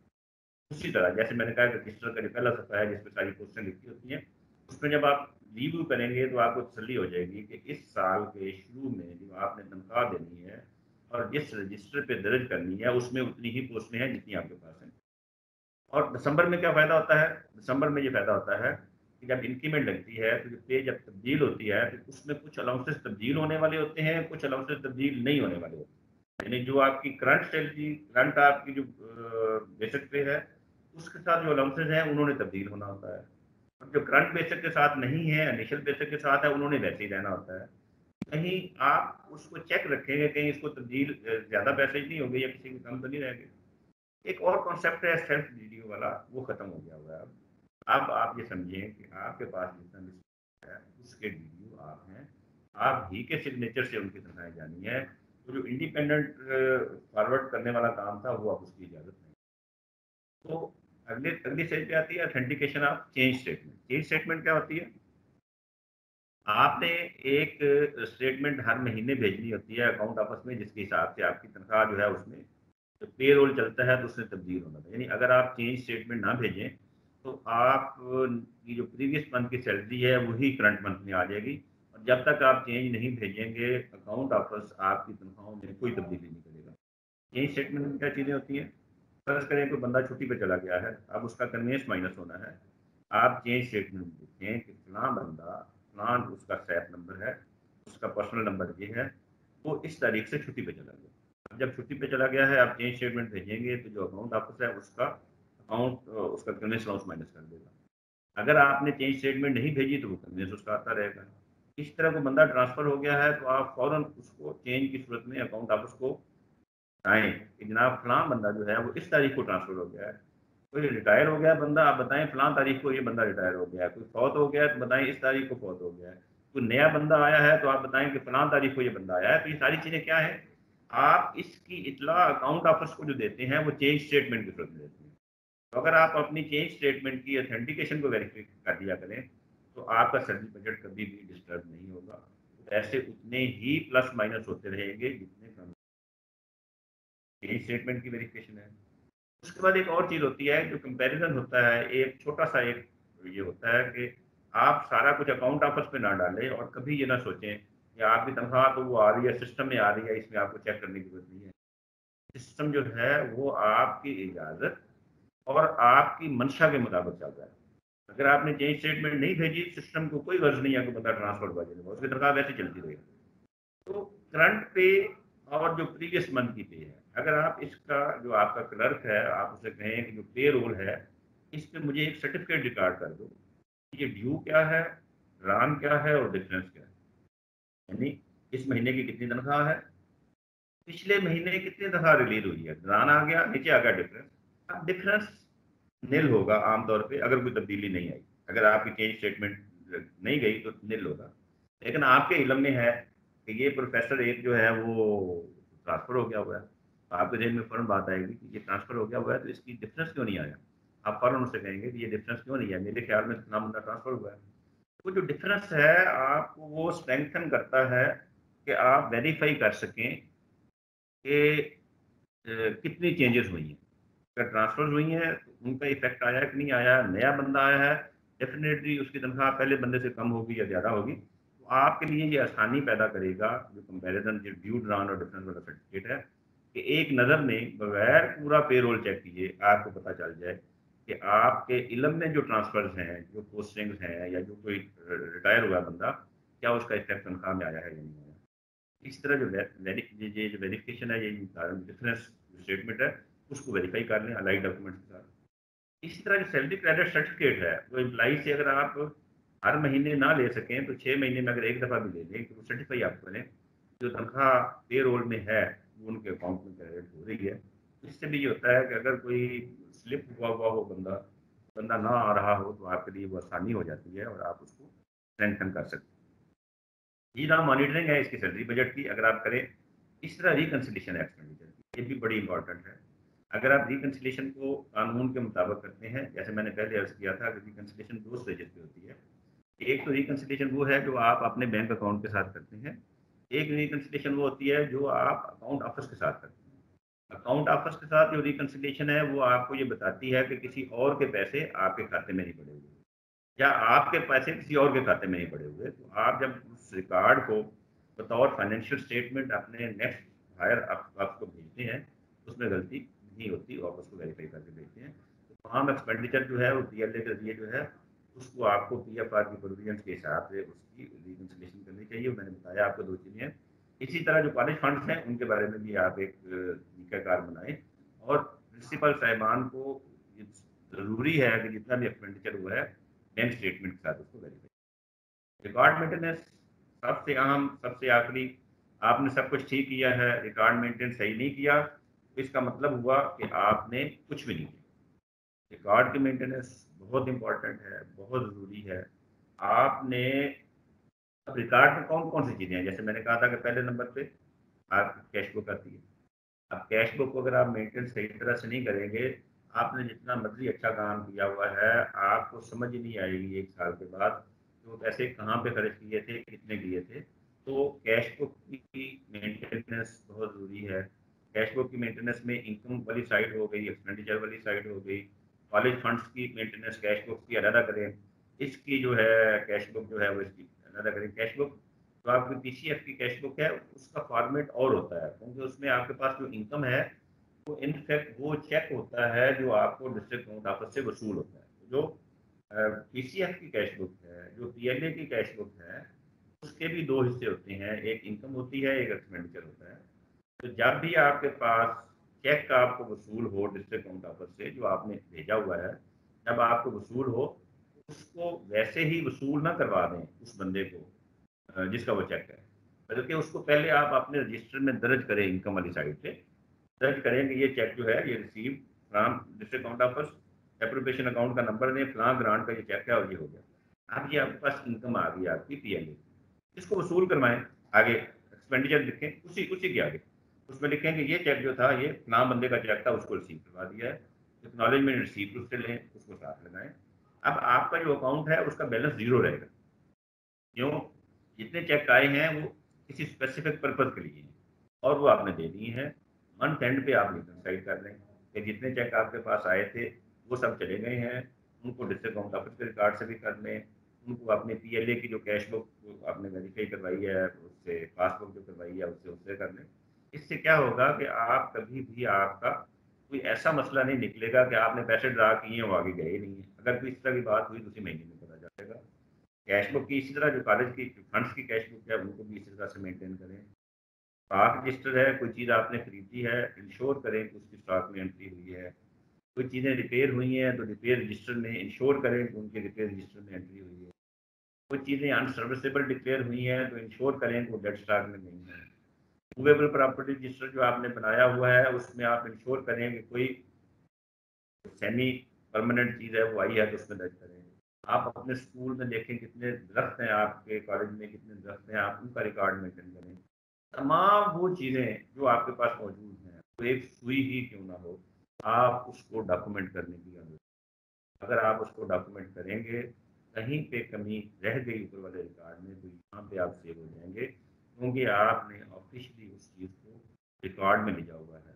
दिया हुआ है, उसको आपने मेंटेन किया हुआ लेकिन अगर नहीं किया हुआ तो ये बड़ी ख़राब बात हो जाती है, जैसा कि बात करनी इस तरह से रिकॉर्ड मेंटेन करें, जब उसकी रिट्रीवल यदि हो, यानी जैसे गार्ड फाइल्स हैं, इस तरह से प्रिपेयर करें कि मंथ वाइज हूँ, और उनको आप करें, इस तरह जो वॉचर्स हैं, उनमें आप गार्ड फाइल्स तैयार करें मंथ वाइज तैयार करें, उसके ऊपर लिखा हुआ हो कि ये रिकॉर्ड फलां महीने का है, ये फलां का है, ये फलां का है।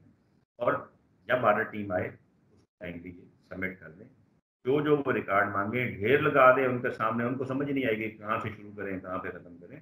जब ढेर लगा हुआ होता है रिकॉर्ड का तो चेकिंग वाले बंदे का हौसला पस्त हो जाता है कि मेरा एक्सपेरिमेंट है एक्सपीरियंस है मेरा। जब आप रिकॉर्ड को रिलेक्टेंट होते हैं देने में तो वो शेयर होते हैं और वहाँ पर आपको नुकसान होता है। कोई सवाल इस पूरे सिलसिले में अगर किसी के जहन में है तो मैं हाजिर हूँ, आप मुझसे पूछ सकते हैं। इससे को रिलेटेड जो बातें हैं, वो भी आप पूछ सकते हैं। अस्सलाम वालेकुम सर। जी वालेकुम सलाम। सर मैं principal government associate college for women Alipur से बात कर रही हूँ।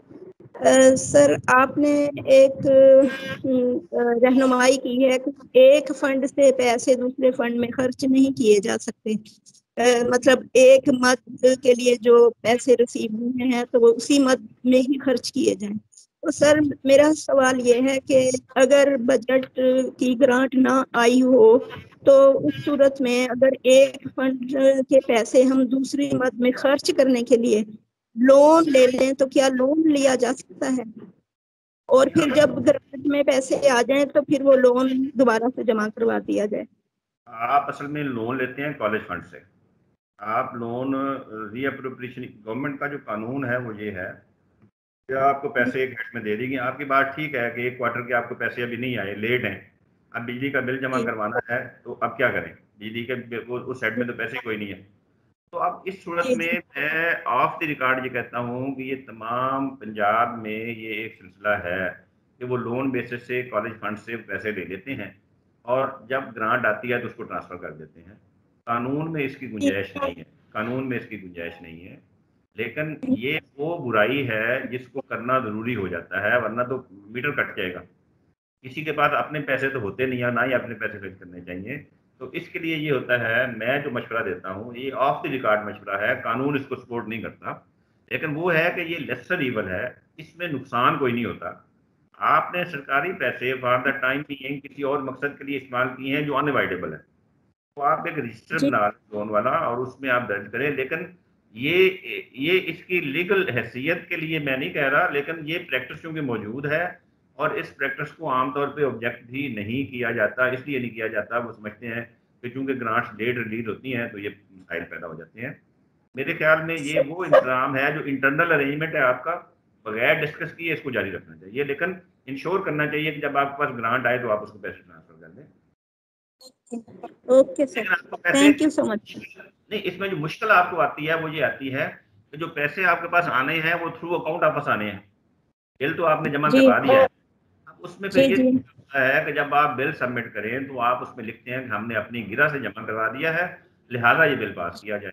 आप जब वो पास करेंगे तो वो चेक आप उस अकाउंट में जमा करवा दें लेकिन ये आपका इंटरनल अरेंजमेंट है टाइम गैप अरेंजमेंट कानून इसको सपोर्ट नहीं करता लेकिन इसको मान लेते हैं सब। सही sir. Thank you so much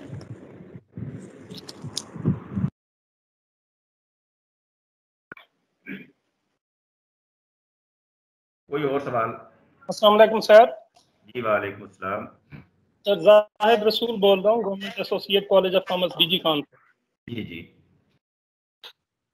sir हमारे पाँच छः साल पुराने ऑडिट पैराज हैं। जी।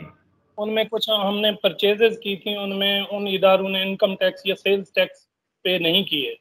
जी। अब उन हम उनके बारे में क्या कर सकते हैं? उन्हें देखें- बतौर विद होल्डिंग एजेंट आपके पास ये एक्सक्यूज है ही नहीं कि आपने पेमेंट कर दी और आपने गवर्नमेंट टैक्स चेकर चेकर के जो पैसे थे उनको आपने डिडक्ट नहीं किया। मैंने यही अर्ज़ की थी। ये सिर्फ़ इसलिए है कि आपने या तो डिपेंड किया है अपने क्लर्क पे या फिर आपने इस हिस्से को कानून के इस हिस्से को पढ़ा नहीं है। देखें एट सोर्स जो डिडक्शन है वो उस बंदे की ज़िम्मेदारी होती है जिसने वो पेमेंट की है। अब अगर इनकम टैक्स के पैसे नहीं लिए गए सेल्स टैक्स के पैसे नहीं लिए गए और कॉन्ट्रैक्टर को ज़्यादा पेमेंट हो गई है तो उसकी रिस्पॉन्सिबिलिटी डेफिनेटली उस एजेंट पे फिक्स होगी जिसने वो पेमेंट की है। उसका एक ही अच्छा, सर, तरीका है। उसका एक तरीका तो प्रीवियस प्रिंसिपल्स के हैं। अब मैं इन्हें किस तरह सेटल करूँ? उन्होंने हमें मेरी अर्ज़ सुने ना अब आप तो आए हैं अभी। फ़र्ज़ करें आए हैं या छह माह पहले आए हैं। वो पह रहे हैं पाँच साल वाले पहले। पाँच साल पहले एक बंदे ने ये किया था और उसने वो पैसे जमा नहीं करवाए थे और वो पैरा चल रहा है। अब इस पैरे की फाइनेंशियल इम्प्लीकेशन है। फाइनेंशियल इम्प्लीकेशन का पैरा सिर्फ़ उसी वक्त सेटल होता है जब वो पैसे जमा हो। और ये लिजिटिमेट एतराज़ है जेनवन एतराज़ है कि पेमेंट करते हुए आपने वो टैक्सेस नहीं काटे जो गवर्नमेंट ने कहा था काटने के लिए। अब इसका तरीका ये है कि आप अप्रोच करें उस कॉन्ट्रैक्टर को जिसकी वो पेमेंट थी या उन साहिब को जिनका है बहरहाल ये पैरा उसी वक्त आपका सेटल होगा जब आप ये पैसे जमा करवाएँगे। वरना गवर्नमेंट एक्सपेक्टर का लॉस है और ये लैस लॉस पूरा होना। Thank you sir thank you अस्सलाम वालेकुम सर। जी वालेकुम अस्सलाम अस्सलाम वालेकुम। सर मैं मुजफ्फरगढ़ कॉलेज से बोल रही हूँ प्रिंसिपल। सर एक तो ये कि जब हमारे यहाँ कोई भी ऑफिसर्स या ऑफिशियल्स छुट्टी पे जाता है तो अकाउंट ऑफ़िस जब उनकी लीव सेंक्शन होती है तो उसकी कॉपी अकाउंट ऑफ़िस को चली जाती है। क्या इसके बावजूद हमें चेंज फॉर्म जमा करवाना चाहिए? कन्वेंस अलाउंस के हवाले से आपने भी बात की आपके आपके चेंज फॉर्म के बगैर अगर कोई बंदा सैलरी लेता रहा तो उसकी ज़िम्मेदारी आप पे है। अकाउंट ऑफ़िस इस चीज़ का जिम्मेदार बिल्कुल नहीं है कि उसने जमा करवाया है। सेल्फ डीडीओ का कॉन्सेप्ट अब कोई नहीं है। आपके पास जो एस्टेब्लिशमेंट है, आपके पास जो लोग काम करते हैं उनके सर्विस मैटर्स को लुक आफ्टर आपने करना है। अगर एक बंदे की छुट्टी मंजूर हुई है तो उसकी तनख्वाह में से कन्वेंस अलाउंस उस वक्त तक माइनस नहीं होगा, जब तक आप उसकी चेंज ऑफिशियली अपने सिग्नेचर के साथ अकाउंट ऑफ़िस में नहीं भेजेंगे। क्योंकि पे रोल आपके पास आता है, उस बंदे के पास नहीं आता, उसके पास सिर्फ़ उसकी पे स्लिप जाती है। जो पे रोल है पूरा कॉलेज का, वो तो आपके पास आता है। अब आप उसने उस पे रोल का ड्यू ड्रान और डिफरेंस निकालेंगे तो एक तो आपको उसका पता चल जाएगा दूसरा, कोई भी चेंज सैलरी सेटअप में आती है, आपने उसको लिख के चेंज की सूरत में अपने अकाउंट ऑफ़िस को भेजना है, ताकि वो नेक्स्ट पे रोल चलने से पहले उसको इनकॉर्पोरेट कर लें और उतने पैसे कम या ज़्यादा कर दें। ओके सर अच्छा सर दूसरा क्वेश्चन मेरा ये है कि जैसे लास्ट ईयर कोरोना की वजह से कुछ अरसा इदारे बंद रहे और अब भी इस साल भी यही सूरत हाल थी तो उसमें हमारी जो कैंटीन की एक रकम मखसूस होती है, यानी बोली लगती है, उसका एक रेट फिक्स होता है।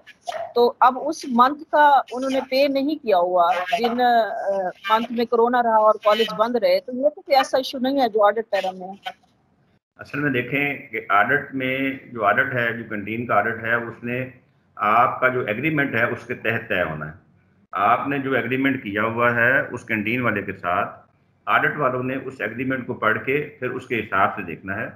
अगर तो उस एग्रीमेंट में कोई आपने ऐसी क्लास डाली हुई है पोस्ट मेजर की क्लास डाली हुई है कि अनअवॉइडेबल सर्कमस्टांसिस में आप उसको कोई रायत देंगे तो फिर तो होगी। लेकिन अगर आपने उसमें लिखा हुआ है कि बारिश आए, अंधेरी आए, सैलाब आए, जो मर्ज़ी हो तुमने पैसे देने हैं, अगर ये शर्त लिखी हुई है और उसने उस पर सिग्नेचर किए हुए हैं तो फिर ये मैटर जो है, ये सेटल नहीं होगा। बाहर हाल उसको पैसे देने पड़ेंगे। प्रैक्टिकली ये पूरे पंजाब में इस वक्त ये इशू जो है, वो चल रहा है कि इस तरह के जितने भी कॉन्ट्रैक्ट थे, वो सारे सफ़र हुए हैं। लेकिन हर जगह पे यही है कि अगर तो आपने कोई ऐसी कंडीशन उसमें, उसके साथ एग्री की हुई है कि अगर अनअवॉइडेबल सर्कमस्टांसिस होंगे तो आप उसको बेनिफिट करेंगे, आप उसको फ़ायदा पहुंचाएँगे, फिर तो ठीक है। लेकिन अगर ऐसा नहीं है तो फिर कुछ भी नहीं होगा। एग्रीमेंट के हिसाब से चलना है। आप सब लोगों की और कोई क्वेश्चन है आपका तो आप पूछ सकते हैं। किसी भी किस्म का बेशक हो फाइनेंशियल मैनेजमेंट के बारे में, उसमें मैटर नहीं करता कि ये ऑडिट ही के बारे में हो।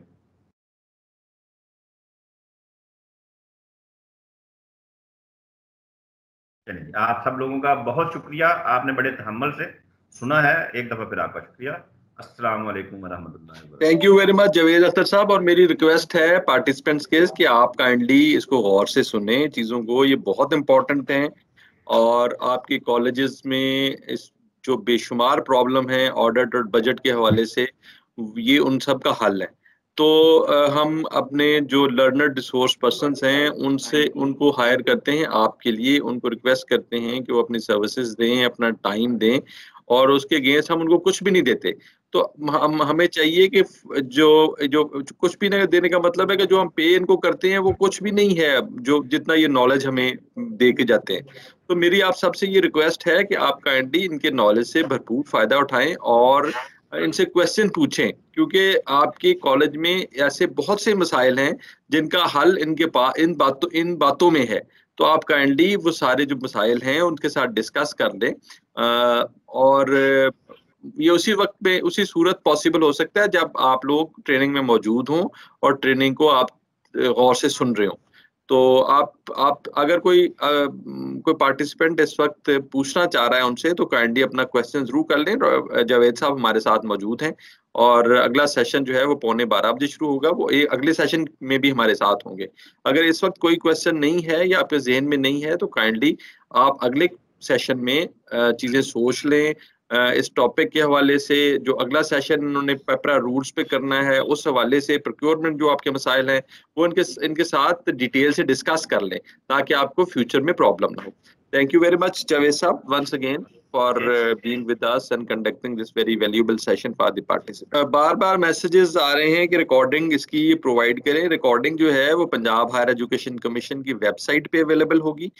और आप वहाँ से इसको एक्सेस कर सकते हैं। पंजाब एच e का जो यूट्यूब चैनल है, वहाँ पे अवेलेबल है इसकी इसकी रिकॉर्डिंग आप वहाँ से उसको एक्सेस कर सकते हैं, देख सकते हैं, सुन सकते हैं।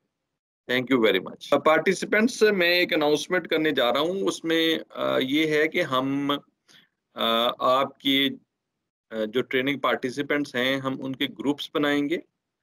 और फिर एक एक टॉपिक सब ग्रुप्स को दिया जाएगा और at the end of this training program आपके जो चार, पाँच लोगों का एक ग्रुप है होगा, वो ग्रुप प्रेजेंट करेगा उस टॉपिक पे।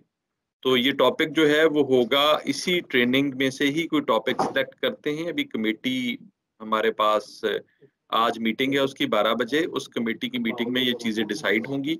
तो आप लोग काइंडली इसके लिए भी तैयार रहिए और अपने साथियों को भी ये बात कम्युनिकेट कर दीजिए। कि आपके नंबर ऑफ़ पार्टिसिपेंट्स 72 हैं टोटल हम उसमें से हर पाँच लोगों का एक ग्रुप बनाएँगे और वो इस तरह से तेरह, चौदह चौदह ग्रुप्स बन जाएँगे और उन चौदह ग्रुप्स की, हर ग्रुप की इंडिविजुअल एक प्रेजेंटेशन होगी किसी टॉपिक पे, जो कि टॉपिक यहाँ पे पढ़ाया गया होगा। तो kindly be prepare for that और that would be the part of your assessment उसमें जो तरीकेकार है, वो तय आज आज हो जाएगा। हमारे जो कमेटी मेंबर हैं, वो आज अटेंड करेंगे इस मीटिंग को।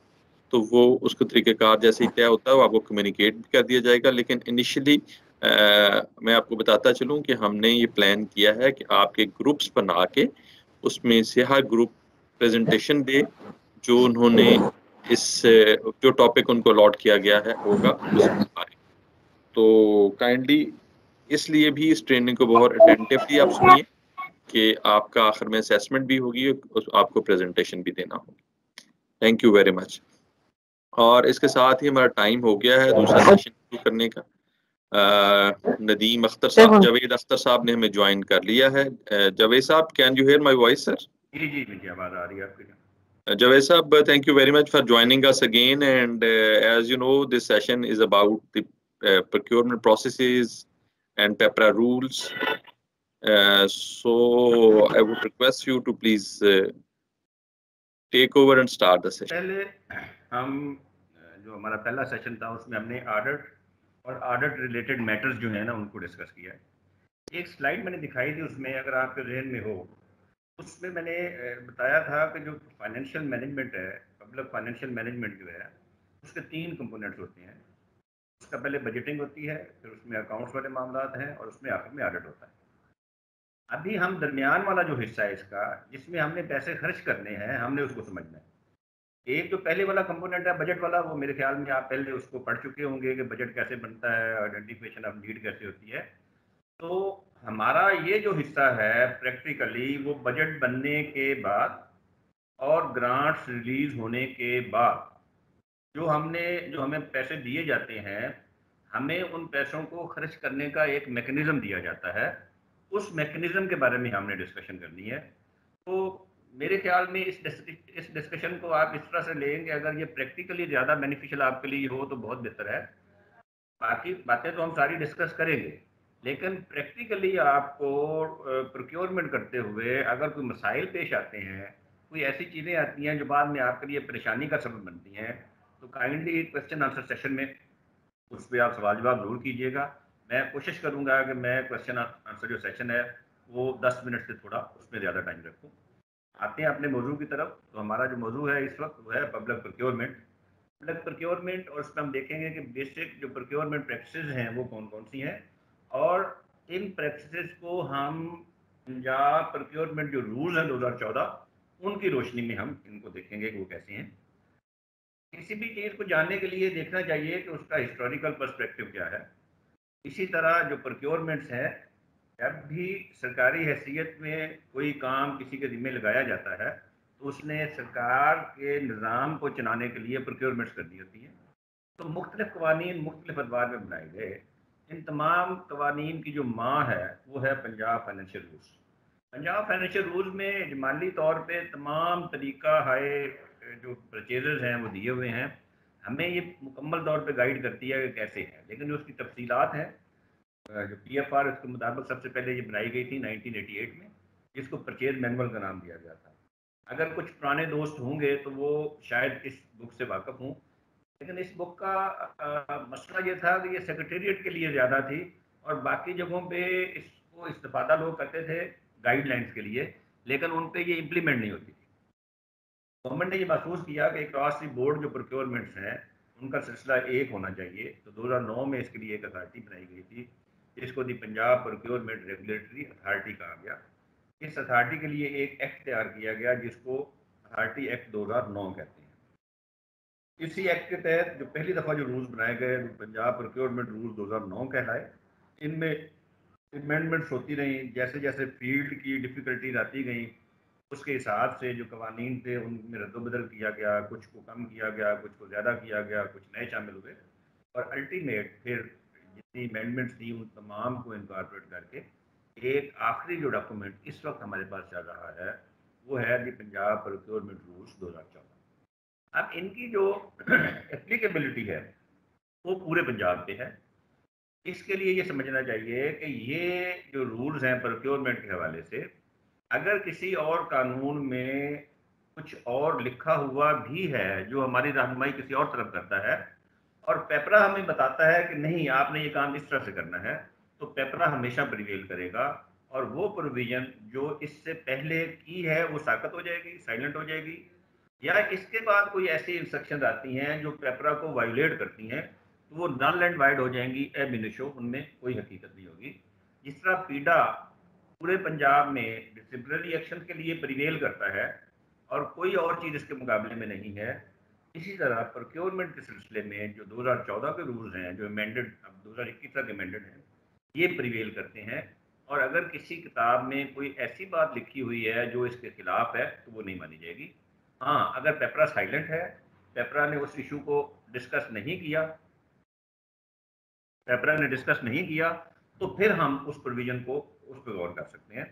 तो इस हिस्टोरिकल पर्सपेक्टिव में और इसको समझते हुए कि ये जो हम पढ़ रहे हैं, इसकी अहमियत क्या है और इसकी इम्प्लीमेंटेशन जो है वो कितनी ज़रूरी है।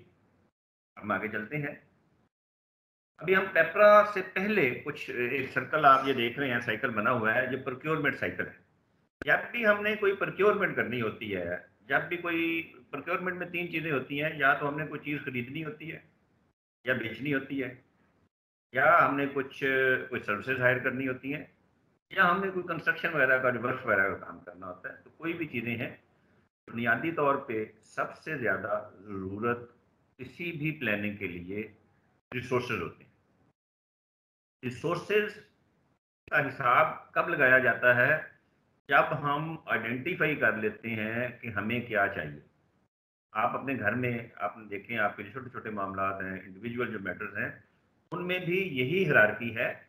और हमारे जो खातन हैं, जो अनपढ़ हैं, घरों में जो हैं, आप यकीन कीजिए कि वो भी इसी हरारकी के मुताबिक अपने घर का बजट बनाते हैं।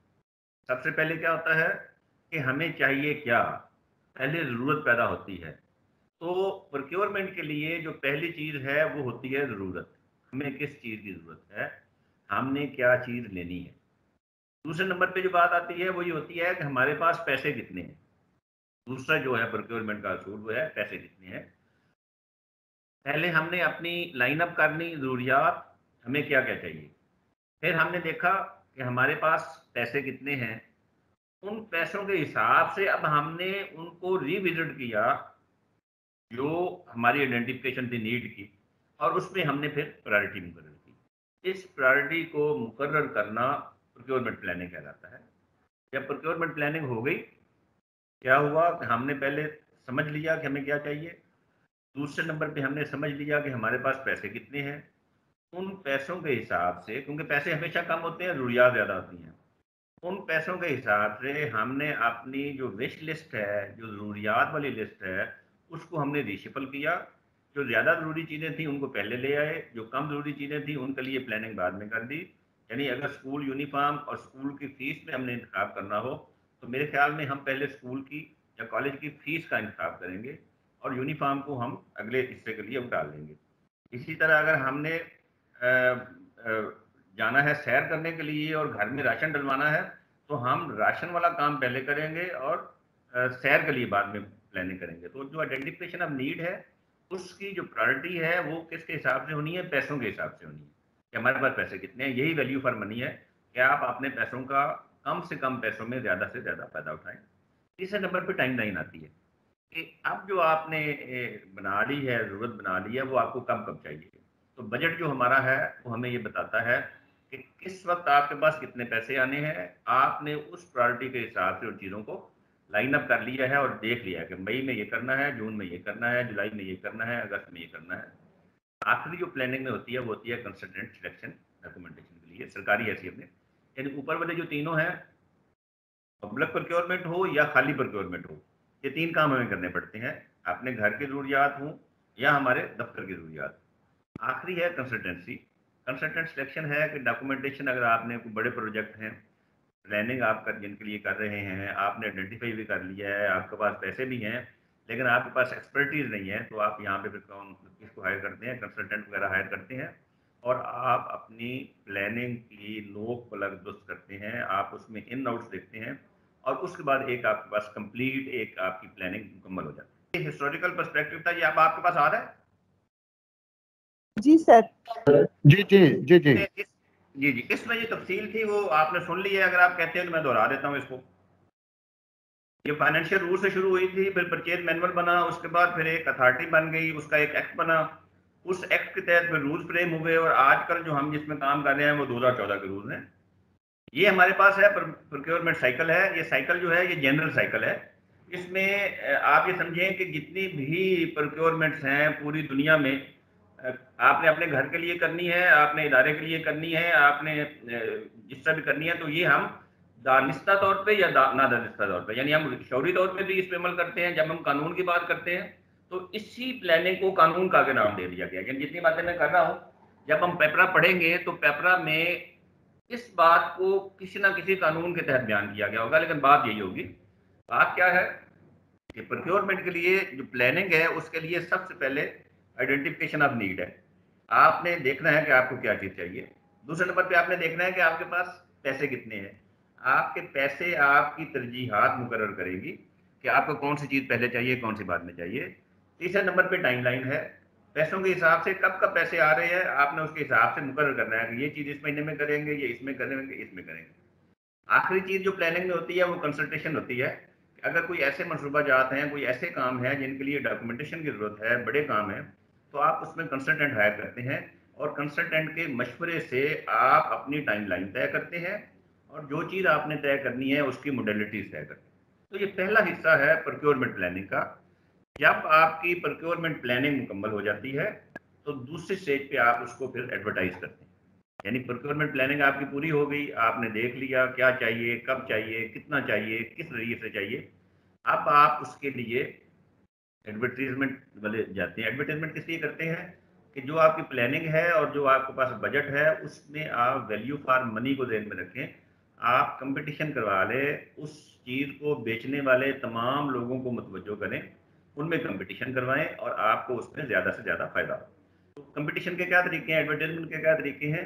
वो नेशनल और इंटरनेशनल लेवल के हैं अखबार में इश्तहार हैं। वो ढोल वाला भी एक होता था, हम उसके लिए भी करते थे। कि वो मुनादी जो है उसको देना। फिर पेपरा की अब वेबसाइट मौजूद है, अपने महकमों की वेबसाइट्स मौजूद हैं। तो हम अब नेशनली या इंटरनेशनली जो जिस तरह की हमारी प्रोक्योरमेंट है, उसके हिसाब से हम फैसला करते हैं कि हमें किस तरह की एडवर्टीजमेंट चाहिए। और ये टाइम लाइन है contract signing excuse me sir excuse me sir आपकी फिर वो स्लाइड जो है उसी पे रुकी हुई है हिस्टोरिकल पर्सपेक्टिव पे। जब आपने एडवर्टाइजमेंट करनी है तो उसके नतीजे में आपके पास रेट्स आने हैं। आपके पास लोगों ने आपको बताना है यानी आपने फ़र्ज़ ये अंदाज़ा लगाया हुआ है कि ये चीज़ हमने एक लाख रुपए की तैयार होनी है। तो आप जब आप एक लाख रुपए की अपने हिसाब से चीज़ को एडवर्टाइज करेंगे तो आपके पास बिल्डिंग आएगी। लोग बताएँगे आपको कि ये चीज़ हम इतने में देते हैं, ये इतने में देते हैं। तो ये रिक्वेस्ट फॉर प्रपोजल है। जब आपके पास ये सारी बिड्स आ जाएँगी तो आप क्या करेंगे? फिर आप इनमें इवेल्यूएट करेंगे। क्या करेंगे? इवेल्यूएशन करेंगे। आप देखेंगे कि किसका रेट ज़्यादा है, किसका कम है। इवेल्यूएशन में जो आपके टेक्निकल क्राइटेरिया को पूरा करता होगा, उसको आप कहेंगे कि हाँ ये चीज़ें जो है ना, आप प्रोवाइड करो। लेकिन इसके साथ ही साथ आप जो बाकी लोगों ने बिड की है, उनको, उनका हक ख़त्म नहीं करेंगे। आपने कहेंगे भी किसी बंदे को हमारी इस बात पे इतराज़ है तो हमारे साथ करे। कि हमने ये वैल्यूएशन जो किया, वो गलत किया है। अगर वो करेगा तो आगे हम तरीका उसको देखते हैं ग्रीमेंस एड्रेस के समझिए बिल्डिंग वाला प्रोसेस हो गया। बिल्डिंग वाले प्रोसेस के बाद आगे अब आपने कॉन्ट्रैक्ट डिवाइड डिवाइड करना है। पहले आपने प्लानिंग की प्लानिंग को आपने एडवर्टाइज किया। एडवर्टाइज करने के नतीजे में आपके पास बिल्डिंग वाले बंदे आए रिक्वेस्ट फॉर प्रपोजल में, आपके पास प्रपोजल आ गई। आपने उन प्रपोजल्स को एक कमेटी के ज़रिए एवेल्यूएट करवाया कि कौन से बंदे का कम से कम रेट है। लेकिन साथ ही बाकी बंदों को भी आपने आख दिया कि दस बंदे आए हैं, एक का रेट कम है तो नौ बंदों ने अगर कोई इतराज करना है तो कर। इस प्रोसेस से गुजर के अब आपने करना है कॉन्ट्रैक्ट कॉन्ट्रैक्ट जो है, वो बहुत सी किस्म का कॉन्ट्रैक्ट होता है साइनिंग में, उसमें हम निगोसिएशन भी करते हैं। उसमें हम गारंटीज भी मांगते हैं, उसमें हम बॉन्ड्स भी मांगते हैं। जिस तरह की नोयत हमारे कॉन्ट्रैक्ट की होगी, उसके हिसाब से हम टर्म्स एंड कंडीशन बनाएँगे और उन तमाम टर्म्स एंड कंडीशन को पूरा करके हम फिर वो कॉन्ट्रैक्ट जो है वो साइन करेंगे। जब हम कॉन्ट्रैक्ट साइन करते हैं तो फिर आगे उसकी आती है एग्जीक्यूशन आती है। एग्जीक्यूशन में क्या है कि हमने उस से फ़र्ज़ किया कि हमने उसे कहा कि टाइप अपना फैक्स मशीनें चाहिए या हमें चाहिए फोटोग्राफर फोटोकॉपी मशीन चाहिए या फर्नीचर चाहिए, कोई भी चीज़ है। जब हमने कॉन्ट्रैक्ट साइन करना है तो वो कॉन्ट्रैक्ट जो है under some terms and conditions है। तो जो मैनेजमेंट है कॉन्ट्रैक्ट की, हमने ये देखना है कि क्या वो जो कॉन्ट्रैक्टर जो अवार्ड जिसको हमने किया है, जो कॉन्ट्रैक्टर है, क्या वो सारे हमारी वो लवाजमात पूरे कर रहा है? हमारी सारी शराइत पूरी कर रहा है? वो शराइत बहुत सी हो सकती हैं। यानी अगर बाहर से कोई चीज़ आ रही है तो प्री शिपमेंट इंस्पेक्शन हो सकती है। यहाँ पे फर्नीचर को बना रहा है तो जो उसने मॉडल दिया है, उसके साथ उसको कर सकते हैं।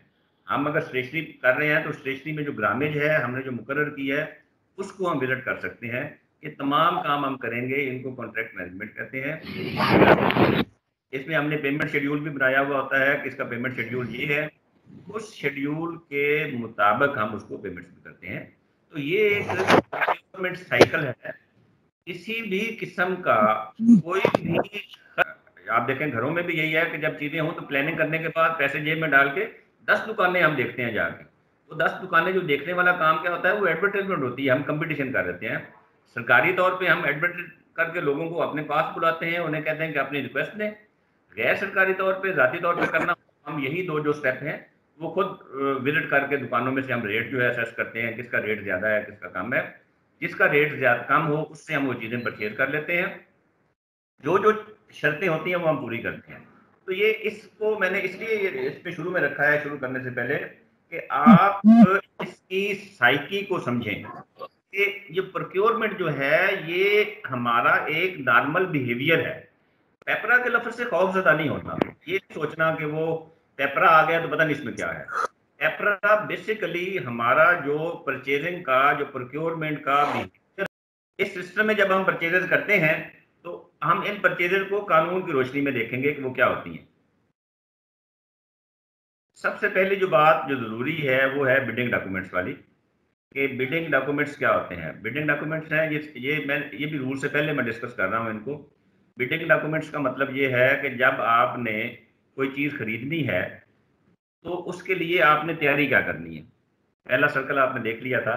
सबसे पहली जो चीज़ होती है बिडिंग डॉक्यूमेंट्स में, वो इन्विटेशन टू बिड जब आपने एडवर्टाइजमेंट के लिए जाना है, पहले जैसे था तो सबसे पहले आपने बिड डॉक्यूमेंट तैयार करना है। आपने आपने जो ज़रूरत आपने आइडेंटिफाई की हुई है प्लानिंग के टाइम पे, जिसके लिए आपने तैयारी की हुई है, अब आपने उस तैयारी को इस बिड में डालना है। आपने बताना है इंस्ट्रक्शंस देनी है बिल्डर्स को कि हमें ये चीज़ चाहिए, ये इस तरह की चीज़ होनी चाहिए, हमारी शराइ ये हैं, यानी जो फॉर्म ऑफ़ बिड है और जो कॉन्ट्रैक्ट है वो आपने तय कर देना है। कि ये चीज़ें जो है आपने इस फॉर्मेट में हमें देनी है, जो भी इंस्ट्रक्शन है मतलब इंस्ट्रक्शन नॉर्मली क्या होती हैं? जीएसटी रजिस्टर्ड बंदा हो एन में रजिस्टर्ड हो एक्टिव टैक्स पेयर हो, उसका अपना जो वो काम है लिजिटिमेट बंदा हो, और अगर बड़ा काम है तो उसकी फाइनेंशियल पोजीशन बेहतर हो। अगर कोई चीज़ हमने खरीदनी है तो उसका सैंपल हम उसे कह सकते हैं कि पहले दो। तो यानी वो तमाम चीज़ें जो हमें हेल्प आउट करती हैं अपनी ज़रूरत को पूरा करने के लिए, वो तमाम हम जो इंस्ट्रक्शन हैं टू बिडर उसमें डाल देते हैं, जब बिड इन्वाइट करते हैं। इसी तरह आगे स्पेसिफिकेशन होती हैं। स्पेसिफिकेशन आगे हम डिस्कस करते हैं, इसमें मैं आपको बताता हूँ स्पेसिफिकेशन को कैसे करते हैं। स्पेसिफिकेशन का मतलब ये है एग्जैक्ट जो आपको चीज़ चाहिए, यानी अगर आपको कागज़ चाहिए स्टेशनरी चाहिए तो आप बताएँगे ग्रामीण बताएँगे, उसमें उसका बताएँगे कि ये वाइट हो या इसका जो पेपर है, वो कितनी, किस क्वालिटी का हो? ए फोर में क्या हूँ? डबल ए वाला कागज़ है तो क्या है? ये सारी चीज़ें क्या हैं? ये स्पेसिफिकेशन में आएँगी। इसी तरह अगर आपने चीज़ें खरीदनी है तो उसमें आप नंबर ऑफ़ गुड्स भी देते हैं कि इतनी हमें चीज़ें चाहिए। सबसे आगे जो बात आती है, वो होती है कि आप आप उससे पूछते हैं कि ये सारी चीज़ें तुम दोगे तो सही, लेकिन कब कब प्रोवाइड करोगे? फ़र्ज़ करें एक बंदा रेट उसका कम है, लेकिन कहता है जी कि मैं तो आपको दूँगा छः महीने के बाद। और आपको ज़रूरत है एक महीने के बाद। तो आप क्या करेंगे?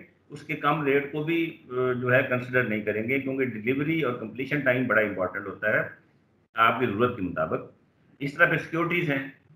आप उसको बताएँगे, जैसे कि आप, जिसने कोटेशन डालनी है, हमारी जो बुनियादी शर्त होती है, वो जो होती है कि पाँच परसेंट तक, यानी पाँच परसेंट तक, एक परसेंट भी हो सकती है, दो परसेंट भी हो सकती है, ये सिक्योरिटी हम कहते हैं, इसको बिड सिक्योरिटी कहते हैं। तो बिड सिक्योरिटी उसके साथ देगा अपनी कोटेशन के साथ। इस तरह के मुख्तलिफ़ स्टैंडर्ड्स हैं, आप वो तय करेंगे, उसको बताएँगे।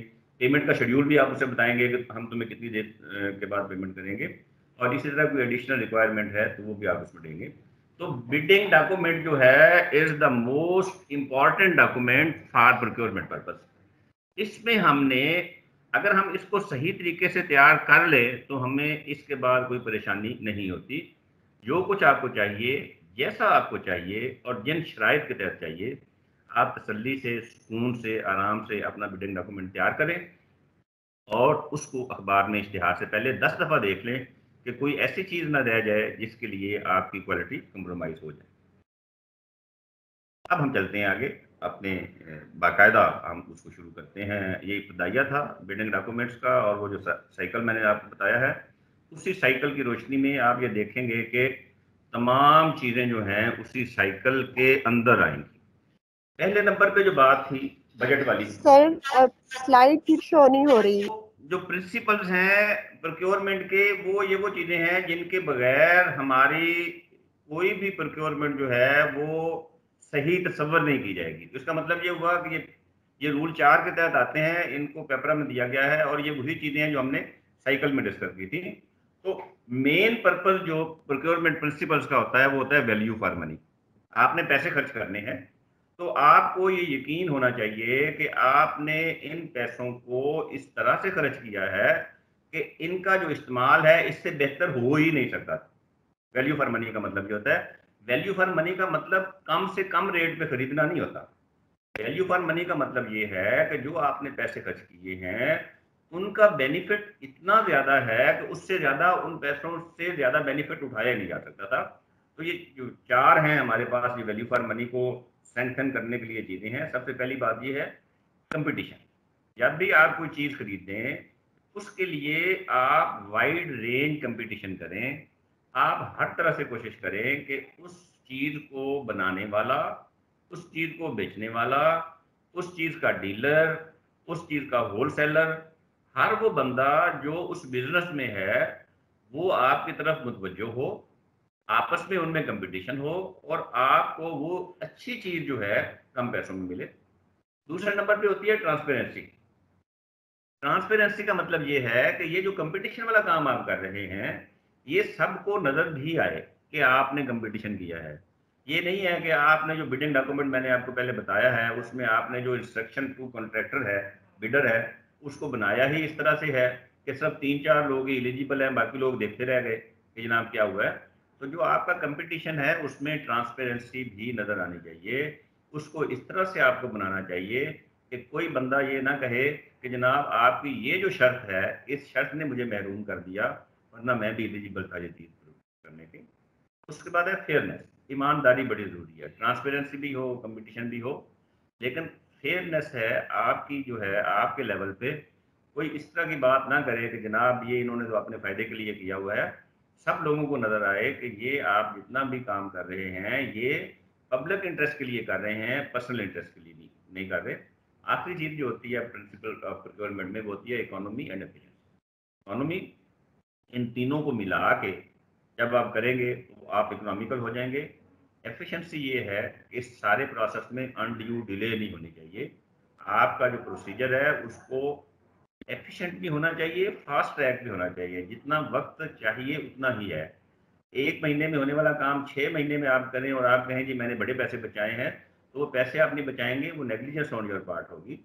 इन तमाम बातों का ख्याल रखते हुए हमें इकोनॉमिकल भी होना पड़ेगा और हमें एफिशिएंट भी होना पड़ेगा। ये चार चीज़ें जब मिलती हैं, उस वक्त हम कहते हैं कि हमने पैसों को खर्च करते हुए इस बात का ख्याल रखा है कि इन पैसों से हम ज़्यादा से ज़्यादा बेनिफिट हासिल करें। अब वैल्यू फॉर मनी का जो प्राइवेट सेक्टर है, उसमें तस्वर है कम पैसे खर्च करके ज़्यादा चीज़ें लेना। लेकिन पब्लिक सेक्टर में वैल्यू फॉर मनी का मतलब ये नहीं होता। वैल्यू फॉर मनी का मतलब है कि आपको वापस क्या आ रहा है। यानी जो आपने पैसे खर्च किए हैं तो उसका आपको क्या फीडबैक है? आपके पास क्या है?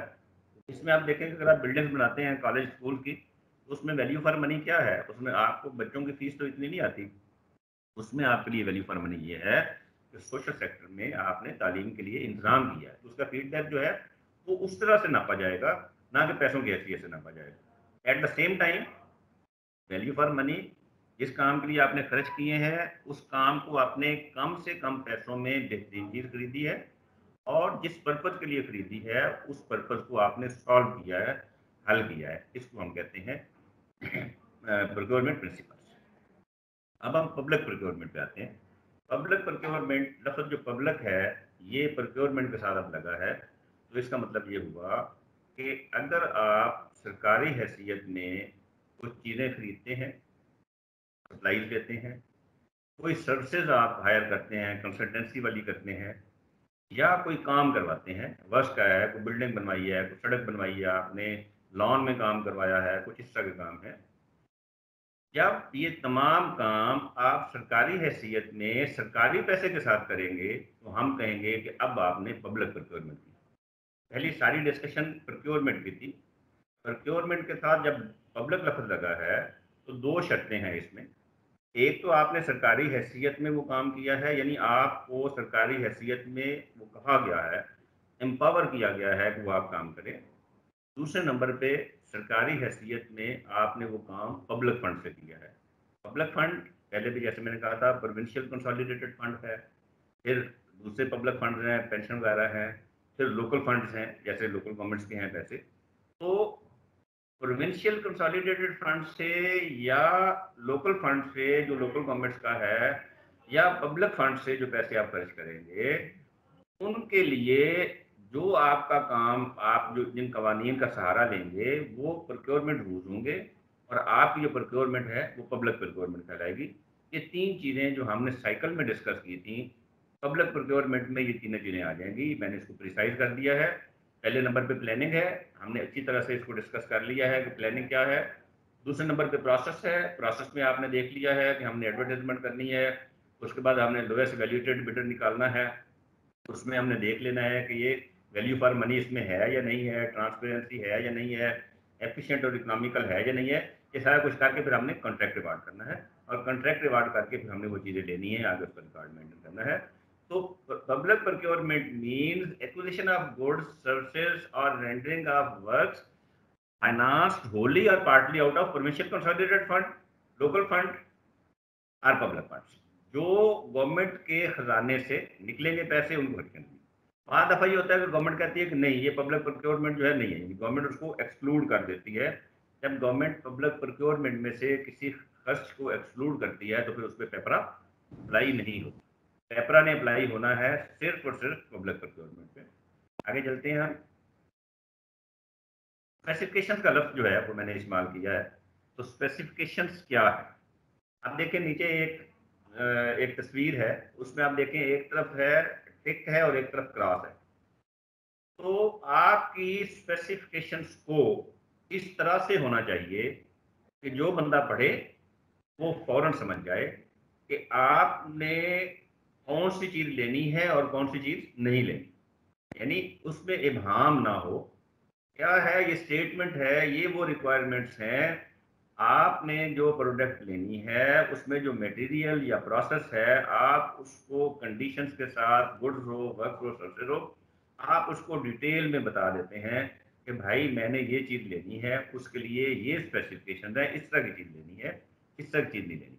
तो स्पेसिफिकेशन मीन आपकी जो प्रोक्योरमेंट है, उसके बारे में आपका जो स्टैंडर्ड है, उस स्टैंडर्ड को आपने बड़े अच्छे तरीके से एलेबोरेट करना है। अब बात जगह पे ये है कि स्पेसिफिकेशन अवेलेबल नहीं होती। मसलन ब्रांड नेम जो है वो लोग इस्तेमाल करते हैं फ्लिप्स है या ये इसका बाकी जैसे जो इदारे हैं ब्रांड जो चीज़ें देते हैं फर्नीचर है, इस तरह का। उस वक्त जब आपकी स्पेसिफिकेशन दानी आप प्लस यानी टेक में और क्रास में जब आप ज़्यादा फ़र्क नहीं कर सकते, आप टेक वाले मामले में अपने आप को क्लियर नहीं समझते तो फिर आप क्या करते हैं?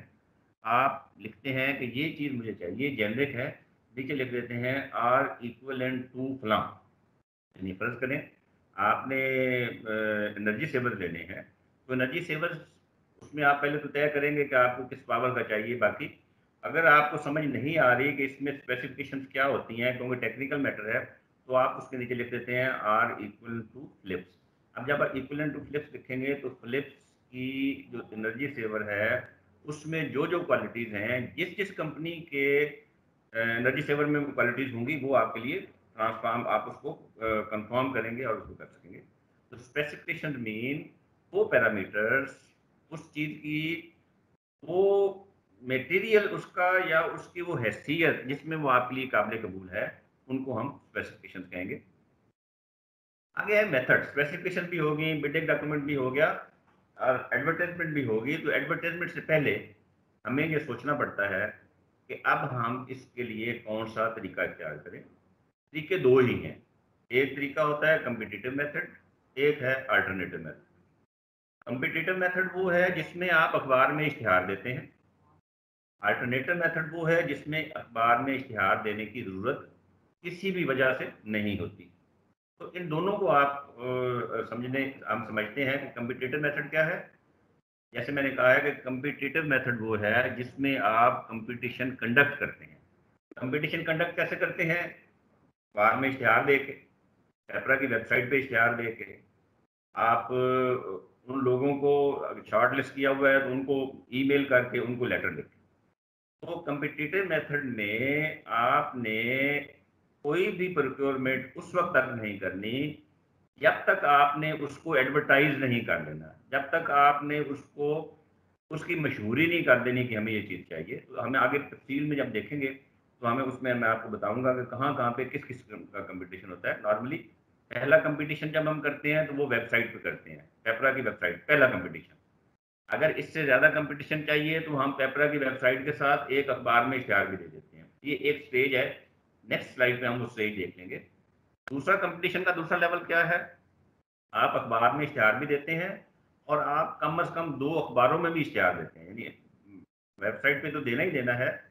कम अज़ कम दो अखबारों में आप इश्तहार देते हैं। एक उर्दू में होता है, एक इंग्लिश में होता है। तो ये हमारा सेकंड फ़ेज़ कंपटीशन होता है, जिसको ओपन कंपटीशन कहते हैं। अब इसमें और कंपटीशन भी होता है फ्रेमवर्क कॉन्ट्रैक्ट के लिए। ये फ्रेमवर्क कॉन्ट्रैक्ट का जो कॉन्सेप्ट है, इसको समझ लें आप। फ्रेमवर्क कॉन्ट्रैक्ट का मतलब ये है कि आपके वो अखराज जो बार बार आपने करने होते हैं, यानी पूरा साल आप अखराज करते रहते हैं, लेकिन एक खर्च ऐसा है जिसकी बार बार ज़रूरत पड़ती है।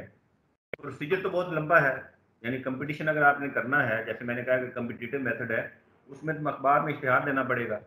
लाजमी बात है, इश्तहार दे के कुछ देर रुकना भी पड़ेगा, कुछ दिन देने पड़ेंगे, फिर आप उसकी कंपेरेटिव एनालिसिस करेंगे, फिर आप अवार्ड करेंगे। तो यहाँ पे आपकी ज़रूरत मल्टी डायमेंशनल है, यानी रिकरिंग नेचर है, आपको वो बार बार वो चीज़ चाहिए तो फिर कानून आपको ये इजाज़त देता है कि आप साल के शुरू में एक ही दफ़ा अखबार में इश्तहार दे दें और कहें कि, जनाब, ये चीज़ें हैं, ये हमें बार बार चाहिए साल के दौरान। कोई आदमी जो हमारे साथ रेट तय कर ले और जब भी हमें इस चीज़ ज़रूरत पड़े, हम उसको लेटर लिखें और हमें दे दें। इसको हम कहते हैं फ्रेमवर्क कॉन्ट्रैक्ट इसमें एक ही दफ़ा रेट तय हो जाते हैं, फिर पूरा साल वो रेट जो है वो अप्लाई हम करते हैं। रेट बढ़ जाए या कम हो जाए, उसमें आपको फ़ायदा हो जाए या नुकसान हो जाए तो फ्रेमवर्क कॉन्ट्रैक्ट में हम रेट जो है थ्रू कंपटीशन एक दफ़ा तय कर लेते हैं और उसके बाद वही उन्हीं रेट पे होता है। तो एक सिंगल एक्टिविटी बेसिस है, इसके उलट, यानी एक चीज़ आपको एक ही दफ़ा चाहिए, उसमें आप डिसाइड कर लेते हैं कि वेबसाइट पे जाना है न्यूज़पेपर में जाना है या किस तरह करना है। ये हमारा पहला हिस्सा है, इसको हम कहते हैं कंपिटिटिव मेथड इसमें प्राइम यही होता है कि आपने कंपटीशन करना दूसरा है अल्टरनेटिव मेथड अल्टरनेटिव मेथड का मतलब ये है कि जहाँ पे आप कंपटीशन नहीं करते। आप कंपटीशन ना करने की दो वजह हो सकती हैं। एक तो वजह ये हो सकती है कि अमाउंट बड़ी कम है कंपटीशन का फ़ायदा कोई नहीं है। दूसरी बात ये है कि बंदा ही कोई मौजूद नहीं है जिसके साथ आप कंपटीशन करवा सकें किसी का, एक ही बंदा मौजूद है चीज़ें अपने, हमने लेनी है।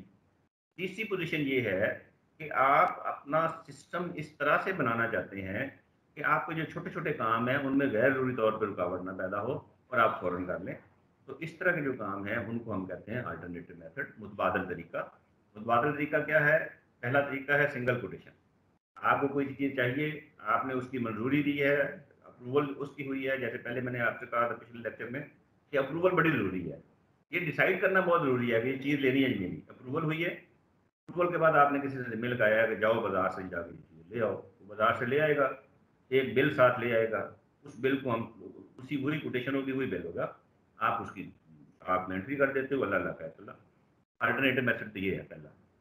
अब इसमें अमाउंट मुकर है, यानी ये सिंगल कोटेशन ये है, ये जैसे घर का करियाने की दुकान से सामान मंगवाने वाला काम है, सरकारी हैसियत में भी ये करियाने वाला ही काम है। यानी आप, छोटी ज़रूरत है गवर्नमेंट ने अब इसके लिए लिमिट मुकर कर दी है, कि इतने पैसों तक आप सिंगल कोटेशन पे परचेजेस कर सकते हैं।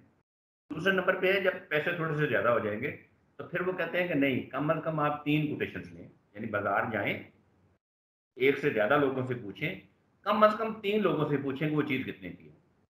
उन तीनों में से जो सबसे कम रेट आपको ऑफ़र करे, आप उससे खरीद लें। तो ये दूसरी थ्री कोटेशन होगी।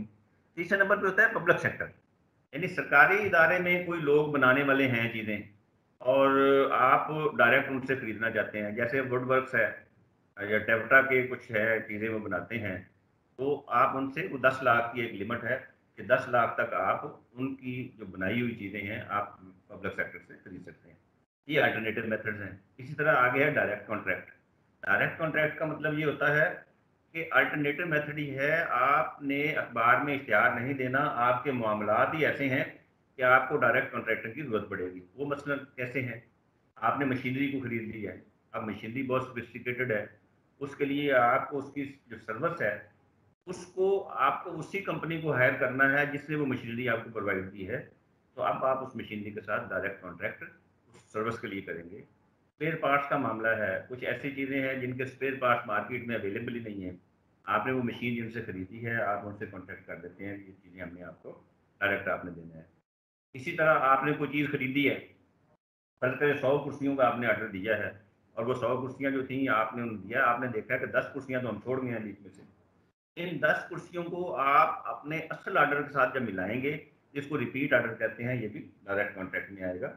इसी तरह आगे जैसे दिया हुआ एमरजेंसी एमरजेंसी क्या है? नेचुरल क्लेमिटी है। तूफ़ान आ गया है, सैलाब आ गया है बारिशें हो गई हैं, कोई वबा फूट पड़ी है।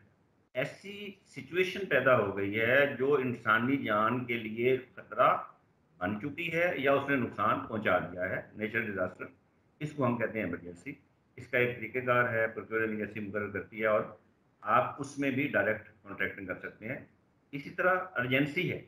अर्जेंसी और इमरजेंसी में ये फ़र्क है कि अर्जेंसी का मतलब ये है कि आप, इसकी मिसाल आप समझ लें, ऐसे है कि 14 अगस्त का आपने अपने कॉलेज के लिए एक प्रोग्राम बनाया हुआ है कि हमने ये तकरीर करवानी है, ये सरमनी होगी। अचानक आपको पैगाम आता है आपके आपके हाई आपसे डायरेक्टर की तरफ़ से, कि जनाब इस दफ़ा, जैसे पिछली दफ़ा हुआ था, इस दफ़ा जो 14 अगस्त है, वो यकम अगस्त से 14 अगस्त तक मनाया जाएगा। अब आपकी जो प्लानिंग थी, वो मुकम्मल थी सिर्फ़ 14 अगस्त के लिए। आपको ये बात बताई जाती है कोई 26 जुलाई को, कि अगस्त तो जनाब पूरे का पूरा, आपने पूरा ये जो चौदह दिन है, ये आपने सरमनी करनी है। अब आपके पास वक्त नहीं है कि आप उन इंतज़ाम को कंपटीशन कर दिए करवा सकें। अब, क्योंकि वक्त कम हो गया, जितना वक्त चाहिए हमें, उतना वक्त आपके पास नहीं है। काम भी आपने करना है। चार दिन के बाद तो आपने काम करना है। तो यहाँ पे आप जब उसको खरीदेंगे डायरेक्ट जाके, उसको हम कहते हैं अर्जेंसी क्या कहते हैं? अर्जेंसी कहते हैं। अर्जेंसी का मतलब है due to shortage of time जब आपको फैसला करते हैं उस वक्त हम उसको जो परचेजेज हैं, उनको कहते हैं कि हमने ये अर्जेंसी के तहत खरीदी है और अर्जेंसी में आप हमेशा क्या करते हैं? निगोसिएशन करते हैं भाव ताव करते हैं, बंदे को बुलाते हैं, तीन बंदों को, चार बंदों को बुला लिया, उनके दरमियान में कंपटीशन करवा दिया निगोसिएशन कर ली और निगोसिएशन में आपने रेट कम करके तो आप उससे काम करवा सकते हैं। एक होती है डायरेक्ट कॉन्ट्रैक्टिंग जहाँ पे फिक्स प्राइस होती है, जैसे पेट्रोल है आपका। अब पेट्रोल आपको फिक्स प्राइस में मिलता है गवर्नमेंट ने इसका रेट मुकर दिया है। या कुछ ऐसी चीज़ें जिनमें गवर्नमेंट रेट मुकर कर दे तो जो फिक्स प्राइस वाली चीज़ें हैं, उनको भी आपने अखबार में इश्तहार देने की ज़रूरत है बुनियादी बात यह है कि जहाँ पे आप समझते हैं कि इश्तहार देने से आपकी वैल्यू फॉर मनी बढ़ेगी, वहाँ पे इश्तहार दें। और जहाँ पे आप समझते हैं कि इश्तहार देने का फ़ायदा ही कोई नहीं है, एक ही बंदा है या फिक्स प्राइस है, या टाइम हमारे पास नहीं है, या इमरजेंसी लगी हुई है तो वहाँ पर आप डायरेक्ट कॉन्ट्रेक्टिंग करते हैं या निगोसिएशन करते हैं। आगे हम इसकी इसकी मजीद भी आगे हम इसको पढ़ेंगे। इस चार्ट को ये अब देखें ये सबको विजिबल है। सबके लिए विजिबल है ये? चलिए अब इस पे गौर से हम देखते हैं। ये जितनी बातें मैंने पहले की हैं आपको पहली स्लाइड में हम प्रैक्टिकली उनको देखते हैं। तो पहली स्लॉट जो सिंगल कोटेशन वाली है इसमें आपने अप्रूवल देनी है और बंदे को भेजना है बाज़ार और उसे कहना है चीज़ खरीद के ले आ। और वो जो चीज़ खरीद के लाएगा उसकी स्टार्टेटरी करनी है और पेमेंट कर देनी है। एक ही मैसेज वो पहली स्लॉट है सेवेंटी फाइव थाउज़ेंड ये पहले पचास हज़ार होता था गवर्नमेंट ने इसको इन्हेंस कर दिया है ये इसमें क्या क्या शर्तें हैं? सिंगल कोटेशन आपने लेनी है दिखाने के लिए नहीं लानी सिंगल कोटेशन उधर ही लेनी सप्लायर सिंगल कोटेशन लेके उसका रेट रीजनेबिलिटी आपने देख लेनी है कि इसका रेट रीजनेबल है। आपने उसको वैल्यूएटेड कर लेना है और करके वहीं पे उस चीज़ पे उसको खरीद लेना है आपने और खरीद के उसके पास ले आना है जिसने आपको अप्रूवल दी थी। अगर उसके इख्तियार में है तो वो उसको आपको सेंक्शन दे देगा। अगर नहीं है तो जिसके सेंक्शन का इख्तियार है उसके पास देगा, काम खत्म हो गया। आपने इसमें कुछ और ज़्यादा नहीं करना। सब कंपिटेंट अथॉरिटी को इंश्योर करना है कि वही कंपिटेंट अथॉरिटी है जिसने अप्रूवल दी है और वही कंपिटेंट अथॉरिटी है जिसने सेंक्शन दी है। स्टॉक एंट्री इंश्योर करनी है आपका काम खत्म हो गया। इसमें कोई ज़्यादा लंबा चौड़ा ना अखबार में जाने की ज़रूरत है, ना कोटेशन कॉल करने की ज़रूरत है। दूसरा नंबर आता है जब आप सेवेंटी फाइव थाउज़ेंड से ऊपर चलते हैं।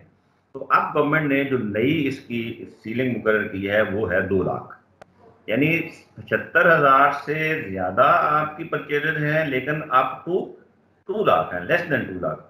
तो पचहत्तर हज़ार से ज़्यादा और दो लाख से कम। अब यहाँ पे भी गवर्नमेंट इतबार करती है आप पे, लेकिन पहले इतना नहीं करती। पहले तो उसने कहा था कि आपकी मर्ज़ी है, बस आप जाएँ, बाज़ार में से कोटेशन लें चेक करें और लोएस्ट मार्केट रेट वेरीफाइड का रेट दें, आपके पास अप्रूवल भी है, आपके पास सेंक्शन भी है, आप पेमेंट कर दें। यहाँ पे गवर्नमेंट कहती है कि नहीं, आपके जिम्मे ये है कि आपने जो स्पेसिफिकेशन बनाई है, जो रेगुलेशन आपने बनाई है, उसको आपने जो करना है उसमें एनालाइज जो करना है, जो रेट का एनालिसिस करना है, वो कम अज कम तीन कोटेशन आपने लेनी है। कितनी लेनी है? रिटर्न कोट कर लें, जाके उसको मंगवा लें, तीन कोटेशन उससे ले लें, और ये जो तीन कोटेशन हैं, ये आपने जो कमेटी बनाई हुई है, वो लेगी। सिस्टम वही रहेगा। अप्रूवल ऊपर है अप्रूवल के बाद ये सिस्टम है। आपने तीन कोटेशन ले ली। उन कोटेशन को आपने कंपेरेटिव स्टेटमेंट की शक्ल में बना लिया, और उसमें आपने देख लिया। कि ये रिटर्न कोर्स जो है, इनमें सबसे कम रेट किसका है? जिसका कम रेट है, उसको आप अवार्ड ऑफ़ कॉन्ट्रैक्ट करेंगे, उसको वर्क ऑर्डर देंगे। वर्क ऑर्डर दे के उसको, वो वही प्रोसेस है, वो चीज़ आपको देगा, आप उसको एग्जामिन करेंगे, उसकी स्टॉक एंट्रीज करेंगे और उसको पेमेंट कर देंगे। तो ये प्रोसेस जो है, ये सेकंड फ़ेज़ प्रोसेस है। इसमें हमें कंपटीशन की ज़रूरत लोकल कंपटीशन की ज़रूरत है कंपेरेटिव एनालिसिस की ज़रूरत है इसमें हमें अखबार में जाके या कहीं और जाके करने की ज़रूरत नहीं है तो ये हमारी सेकंड फ़ेज़ होगी। यानी दो स्टेजेस ऐसी हैं हमारी परचेजेस की। यही सबसे अहम है जो आपको कॉलेज में ज़रूरत होती है। सेवेंटी फाइव थाउज़ेंड एक तरफ़ हो गया टू लाख तक विथ थ्री कोटेशन हो गया। बाकी सारे इसके लवाजमात वही हैं। तीसरी स्टेज है वो दो लाख से ऊपर। दो लाख से ऊपर दो स्टेजेस हैं। दो लाख से ऊपर जब आपने जाना है तो अब यहाँ पे एडवर्टाइजमेंट ज़रूरी हो गई है।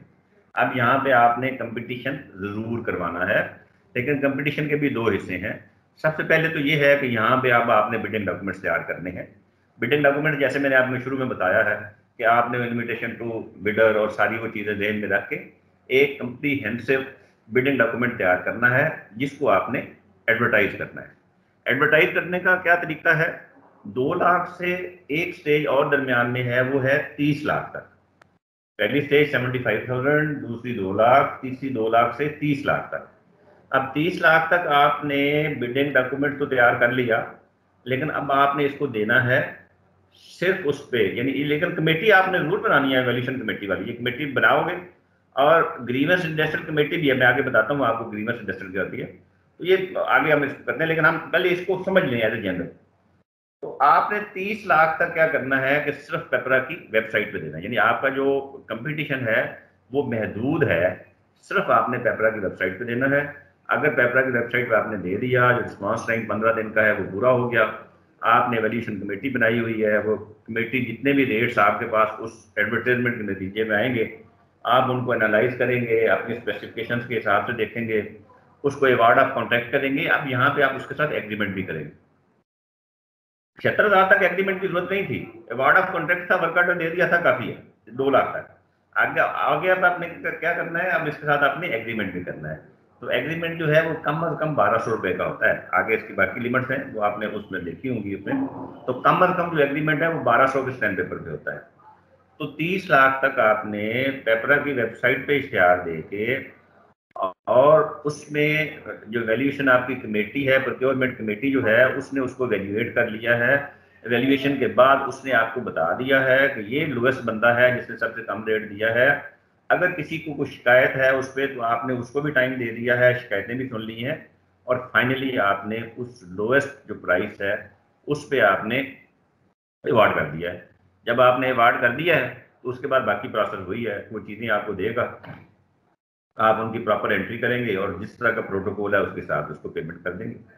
प्रोसीजर यही रहेगा, लेकिन जब तीन, तीस लाख से ऊपर चले जाएँगे, यानी दो लाख से ज़्यादा है और तीस लाख से भी ज़्यादा है, यानी दो लाख से ऊपर है और अनलिमिटेड है या पचास लाख है या साठ लाख है तो अब आपके लिए ज़रूरी है कि पेपरा की वेबसाइट के अलावा अब आपने दो अखबारों में कम अज़ कम इश्तेहार देना है। जैसे मैंने शुरू में आपको बताया था साइकिल में जब हमने डिस्कस किया तो एज ए जनरल हमने देखा था, अब यहाँ पे आप स्पेसिफिक समझ लें कि दो अखबारों में आपने इश्तहार कब देना है। दो अखबारों में आपने इश्तहार उस वक्त देना है जब आपका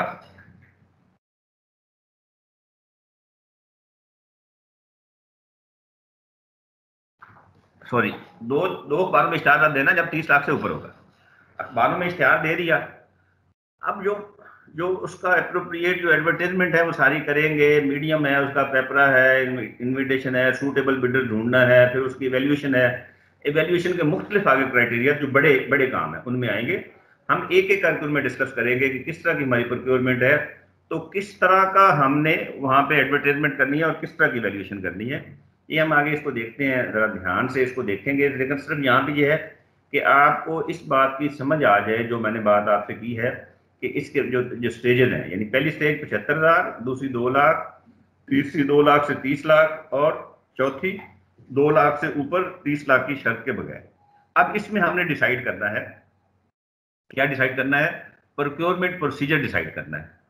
प्रोक्योरमेंट प्रोसीजर क्या है? वो रूल 38 है हमारा। उसमें मुख्तलिफ़ स्टेजेस दी हुई हैं कि किस स्टेज पे आपने कैसे करना है। हम उसको देखते हैं आगे क्या है।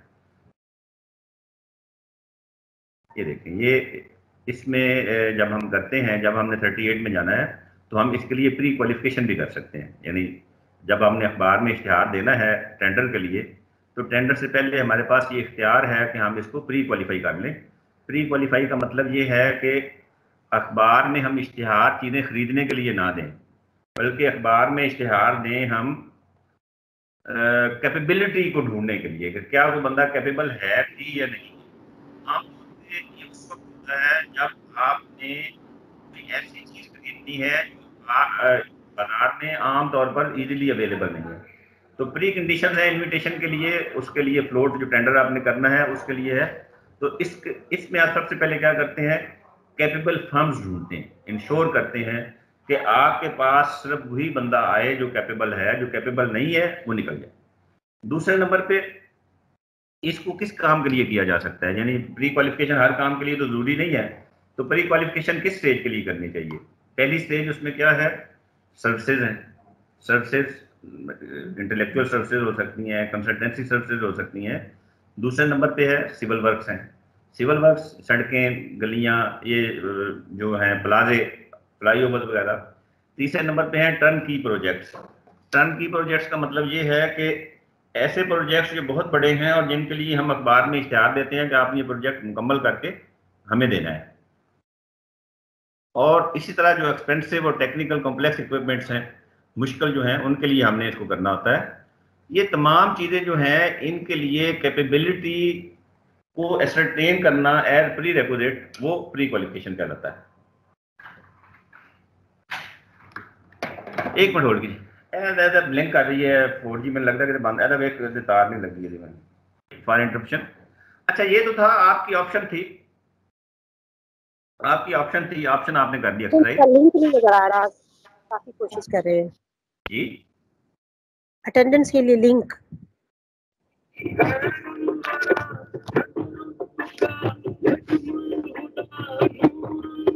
मैम अभी वो आया नहीं है लिंक लिंक आपके चैट बॉक्स में आ गया है और हमारे व्हाट्सएप ग्रुप में भी आ गया है काइंडली देख लें। अच्छा जी, कुछ जगहों पे है, जहाँ पे प्री क्वालिफिकेशन मैंडेटरी है। मैंडेटरी से मुराद है बहुत ज़रूरी है। वो क्या है, जब आपने कोई चीज़ें खरीदनी है और 100 मिलियन या इससे ज़्यादा की चीज़ें खरीदनी है, अब यहाँ पे ज़रूरी है आपके लिए कि आपने प्री क्वालिफिकेशन के बगैर ये चीज़ें नहीं खरीदनी। लाजमी है कि आपने कॉन्ट्रैक्टर का इंतज़ाम प्री क्वालिफिकेशन के लिए करना है। पहले आपने अखबार में इश्तहार देना है प्री क्वालिफिकेशन के लिए, और उसमें से जो सूटेबल बंदा है, उनको निकाल के शॉर्ट लिस्ट करके फिर उनसे आपने काम करवाना है। अगर गवर्नमेंट ये चाहे तो उसको इसमें से माइनस कर सकती है, कह सकती है कि आप फास्ट ट्रैक प्रोजेक्ट है तो आप इसमें प्री क्वालिफाई ना करें। लेकिन उसके लिए ज़रूरी है कि जो गवर्नमेंट का मुतल इदारा है, जिसको हम कहते हैं provincial development working party P W P D W P कहलाता है उसकी इजाज़त के बगैर हम इसको एक्सक्लूड नहीं कर सकते। 100 मिलियन से ऊपर या जो लार्ज कंसल्टेंसीज हैं, उनमें हमें मैंडेटरी है कि हमने प्री क्वालिफाई करना है। कुछ फास्ट ट्रैक्स होते हैं, जहाँ पे टाइम बड़ा ज़रूरी होता है। पोटेंशियल कंसल्टेंट्स होते हैं लिमिटेड कंसल्टेंट्स होते हैं कॉम्प्लेक्स नेचर के प्रोजेक्ट्स होते हैं। तो यहाँ पे गवर्नमेंट ये इजाज़त देती है कि आप किसी भी गवर्नमेंट के इदारे से जो वो सर्विसेज़ प्रोवाइड करता है उसके साथ डायरेक्ट कॉन्ट्रैक्टिंग कर लें प्रोवाइडेड वो पेपरा की वेबसाइट पे भी मौजूद हो और वो खुद काम करे। क्या करे? खुद काम करे। ये नहीं है कि गवर्नमेंट का इदारा समझ के वो काम ले ले और बाकी सब लेट करता रहे। खुद काम करता रहे। उसके लिए है, इसी तरह जो प्री क्वालिफिकेशन है, वो पी एन डी जो हमारा प्लानिंग एंड डेवलपमेंट डिपार्टमेंट है, ये अलहदा से एक एक्सरसाइज करता है हर साल और उसमें ये शॉर्ट लिस्ट कर देता है। कंसल्टेंट्स जो है ना, वो लीगल फाइनेंशियल और टेक्निकल मैटर्स में। आप उनमें से भी कोई बंदा ले सकते हैं और बजाय खुद करने के। तो ये फैसिलिटी जो पीएनडी वाली है शॉर्ट लिस्ट वाली है, ये कोई भी प्रोक्योरिंग एजेंसी इसको इस्तेमाल कर सकती है। इसी तरह जो इन्फॉर्मेशन है क्वालिफिकेशन की डिसक्वालिफिकेशन की, वो जब आपने प्री क्वालिफिकेशन करना है तो इस तमाम प्रोसेस से गुजरते हुए उनको फ़ौरन वो आपने इंफॉर्मेशन प्रोवाइड करनी है। और जहाँ पे आपने प्री क्वालिफिकेशन करनी है, वहाँ पे ये लाजमी है कि जब आपने फर्दर प्रोसेस करना है तो उसमें सिर्फ़ और सिर्फ़ जो प्री क्वालिफाइड लोग हैं, वही पार्टिसिपेट कर सकें। उसके बाद, बाकी लोगों की गुंजाइश उसमें नहीं होती कि वो पार्टिसिपेट कर सकें।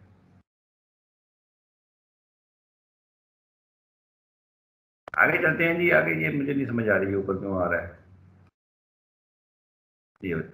आगे जनाब, ये ये आप, ये प्री क्वालिफिकेशन वाली बात हो गई जी। प्री क्वालिफिकेशन के बाद जो हमने शुरू में ये देखें इसमें यहाँ पे आप देखेंगे ये है कि थर्टी एट वाला जो है वो मुख्तलिफ़ इसके सिलेक्शन कॉन्ट्रैक्टर की सिलेक्शन के मुख्तलिफ़ तरीके हैं। ये तरीके जो हैं इनसे प्री क्वालिफिकेशन हट के थी। इन तरीकों वाली बात जो है ये कंप्लीट हो गई है। आगे हम चलते हैं। इसमें देखें, ये प्रोक्योरमेंट रूल्स हैं, जो आगे कुछ रूल्स हैं, हम उनको अब एक एक करके आपको मैं, इसमें करता जाऊँगा ताकि आपके लिए वो आसानी हो जाए उसको समझने के लिए। असल जो हमने पहला जो चार्ट पढ़ा है, उस चार्ट में जो इंफॉर्मेशन है, वो सफिशेंट इंफॉर्मेशन है आपको, जितना आपको चाहिए। यानी आप ये देखेंगे, ये जो स्लाइड है, इस पर अगर आप गौर करें तो प्रैक्टिकली जो चीज़ें आपने प्रोक्योर करनी है, उनमें वो सारी चीज़ें इसमें आ जाती हैं। सेवेंटी फाइव थाउज़ेंड तक एक सिंगल कैश मीमू हो गया। दो लाख तक तीन कोटेशन हो गई। दो लाख से ऊपर तीस लाख तक पेपरा की वेबसाइट या एक अखबार का इश्तहार हो गया। और दो लाख तीस लाख से दो लाख से लेकर अगर तीस लाख से ऊपर निकल जाता है तो फिर आपने प्रॉपर सिलेक्शन ऑफ़ कॉन्ट्रैक्टर करनी है। सिलेक्शन ऑफ़ कॉन्ट्रैक्टर के दो तरीके हो गए। एक तरीका तो है थ्रू प्री क्वालिफिकेशन आप कॉन्ट्रैक्टर जो सिलेक्ट करें, वो प्री क्वालिफिकेशन जो है, उसमें करें उसकी पहले और उसके बाद उसको अवार्ड करें। और दूसरा ये है कि आप डायरेक्ट जो है कॉन्ट्रैक्टर को करें। उसमें पहले नंबर पर क्या आती है? ब्लैक लिस्टिंग है। आपने इश्तहार दिया, आपके पास बंदे आ गए, उन्होंने आपको बड़ा अच्छा ब्रोशर बनाया हुआ था, बहुत खूबसूरत प्रेजेंटेशन थी, आपने उनकी बात मान ली। आपने कहा, ये बंदा ठीक है, काम करेगा। जब उसने काम शुरू किया तो पता चला, जनाब, ये बंदा तो सिर्फ़ कागज़ी हद तक था। जो काम करने के काबिल ही नहीं है। तो आपने फिर क्या किया कि आपने उसको बुलाया। आपके पास ये इख्तियार है। आप उसको बुलाएँ आप उसे कहें कि तुमने हमारा वक्त ज़ाया किया है। अगर वो अपनी गलतियाँ दुरुस्त कर ले तो ठीक है, वरना आपके पास इख्तियार है कि आप उसकी ब्लैक कर दें। ब्लैक लिस्ट का तरीका क्या होता है कि आप उसकी पर्सनल हेयरिंग करते हैं और फिर लिखते हैं कि इन इन वजूहत की वजह से तुम्हें ब्लैक लिस्ट किया ब्लैक लिस्टिंग का इम्पैक्ट क्या है? एक तो इम्पैक्ट ये है कि वो आपका काम जो कर रहा था, अब वो मजीद काम वो नहीं कर सकेगा। उसके जितने पैसे आपके हैं, वो सारे पैसे हो जाएँगे। और दूसरा उसको नुकसान ये होगा कि ब्लैक लिस्टिंग वाला आपने पेपरा को भी जो है कन्वे करना है। इस पार्टी ने, इस वर्ग ने हमारे साथ ये एग्रीमेंट किया था जिसमें ये नाकाम रहा है, लिहाजा इसको बैन कर। अब पेपरा में बैन दो तरह का हो सकता है, या तो तरह की जितनी भी ट्रांजेक्शन हैं प्रोक्योरमेंट हैं, उनके लिए बैन हो जाएगा। या फिर उसको तीन महीने के लिए छः महीने के लिए पूरे पंजाब में बैन कर देंगे। तो ब्लैक लिस्टिंग जो है, ये आपका इख्तियार है जब आप दूसरे नंबर पे है प्रिंसिपल मेथड ऑफ़ प्रोक्योरमेंट आप ये याद रखें कि शुरू वाले हिस्से में आपने दो हिस्से हमने देखे थे कंपटीशन है। प्रिंसिपल मेथड ऑफ़ प्रोक्योरमेंट जो है एप्रा में, वो है प्राइम जो है, वो है कंपटीशन एप्रा ये कहता है कि सबसे अच्छा तरीका प्रोक्योरमेंट के लिए वो है कंपटीशन दोबारा है उसका। कंपटीशन करवाएँ और कंपटीशन करवा के ट्रांसपेरेंसी कायम रखें और लेकिन बाकी तमाम चीज़ें जो हैं वो अल्टरनेटिव मेथड में आती हैं प्रिंसिपल तीसरे नंबर पे है रिस्पॉन्स टाइम मैंने बड़ी दफ़ा आपने कहा ये अखबार में इश्तहार देना है और उसके बाद फिर वो क्वेश्चन बनानी है। जो अखबार में आपने इश्तहार देना है या पेपरा की वेबसाइट पर देना है आपकी मर्ज़ी है, आप जितना मर्ज़ी टाइम लेकिन जो कम अज़ कम टाइम है, वो पंद्रह दिन। पंद्रह दिन से कम टाइम नहीं होगा रिस्पॉन्स टाइम पंद्रह दिन कैसे है? तीस लाख से ऊपर का है तो आपने उसमें अखबार में इश्तहार भी देना है और पेपरा की वेबसाइट पे भी देना है। अब इन दोनों एक ही दिन रिफ्लेक्ट होना चाहिए। जिस दिन अखबार में इश्तहार आए, उसी दिन उसका पेपरा की वेबसाइट पर फ़र्ज़ करें किसी वजह से वो इश्तहार पेपरा की वेबसाइट में एक दिन बाद आता है, अखबारों में अब ये जो पंद्रह दिन है, ये बाद वाला जो आपका इश्तहार आया है वेबसाइट एक दिन बाद आया है, आपने एक दिन बाद से पंद्रह दिन। इसका तरीका ये होता है कि आप पूरे पंद्रह दिन नहीं रखते, आप एक दो दिन रखते हैं, ताकि आपके पास मार्जिन हो अगर आपका डिस्प्ले जो है वो एक दिन कहीं लेट हो जाए। तो आपको दोबारा दोबारा अखबार में इश्तहार न देना पड़े। इसको कहते हैं रिस्पॉन्स टाइम थर्टी डेज़ जो है वो है इंटरनेशनल के लिए। यानी कम अज़ कम। यानी अगर आपने पाकिस्तान के अंदर से कॉन्ट्रैक्टर बुलाए हुए हैं तो उनके लिए पंद्रह दिन है। लेकिन अगर आपने एडवर्टाइजमेंट की है कि इंटरनेशनल जो बिल्डर्स हैं वो भी हिस्सा ले सकते हैं तो कम अज़ कम आपको तीस दिन देने पड़ेंगे। ये हमारा रिस्पॉन्स टाइम है मिनिमम बिडिंग डॉक्यूमेंट्स हमने बड़ी तफसील से पहले डिस्कस किए हैं। आपने उनसे समझ लिया होगा कि जब बिल्डिंग डॉक्यूमेंट्स आपने बनाने हैं, उनके प्री रिकॉर्ड्स क्या क्या हैं और आपने किस तरह से बनाने हैं। एक और जो शर्त है, वो बिड सिक्योरिटी की होती है। जब भी आपने, ये बिड सिक्योरिटी शुरू होती है जब आपने उस पर जाना है वेबसाइट पे जाना है या उधर जाना है आगे अखबार में इश्तहार देना है, उस वक्त। उससे पहले, यानी सेवेंटी फाइव थाउज़ेंड और अप टू टू हंड्रेड जो है थाउज़ेंड है, दो लाख तक वहाँ पे बिड सिक्योरिटी की ज़रूरत नहीं होती है, याद रखना है। बिड सिक्योरिटी की ज़रूरत उस वक्त होनी है जब आपने कंपटीशन में जाना है। तो इसकी लिमिट जो है वो मुकर की हुई है पाँच परसेंट। पाँच परसेंट का मतलब ये नहीं है कि आपने पूरा पाँच परसेंट लेना है। यानी आपकी मर्ज़ी है, ये सीलिंग है अप टू फाइव परसेंट है। आप बिड सिक्योरिटी दो परसेंट भी रख सकते हैं, तीन परसेंट भी रख सकते हैं, चार परसेंट भी रख सकते हैं, लेकिन बहरहाल पाँच परसेंट से ज़्यादा आप किसी सूरत इसको नहीं रख सकते। अब इसके लिए किस अमाउंट पे इसको कैलकुलेट करना है? बिड सिक्योरिटी बिड सिक्योरिटी ने कैलकुलेट होना है आपके एस्टिमेट पे। फ़र्ज़ करें, आपने अखबार में इश्तहार दिया है कि हमें ये फर्नीचर चाहिए और ये फर्नीचर जो है इसकी कीमत बीस लाख। बीस लाख का ही हमारा टेंडर है।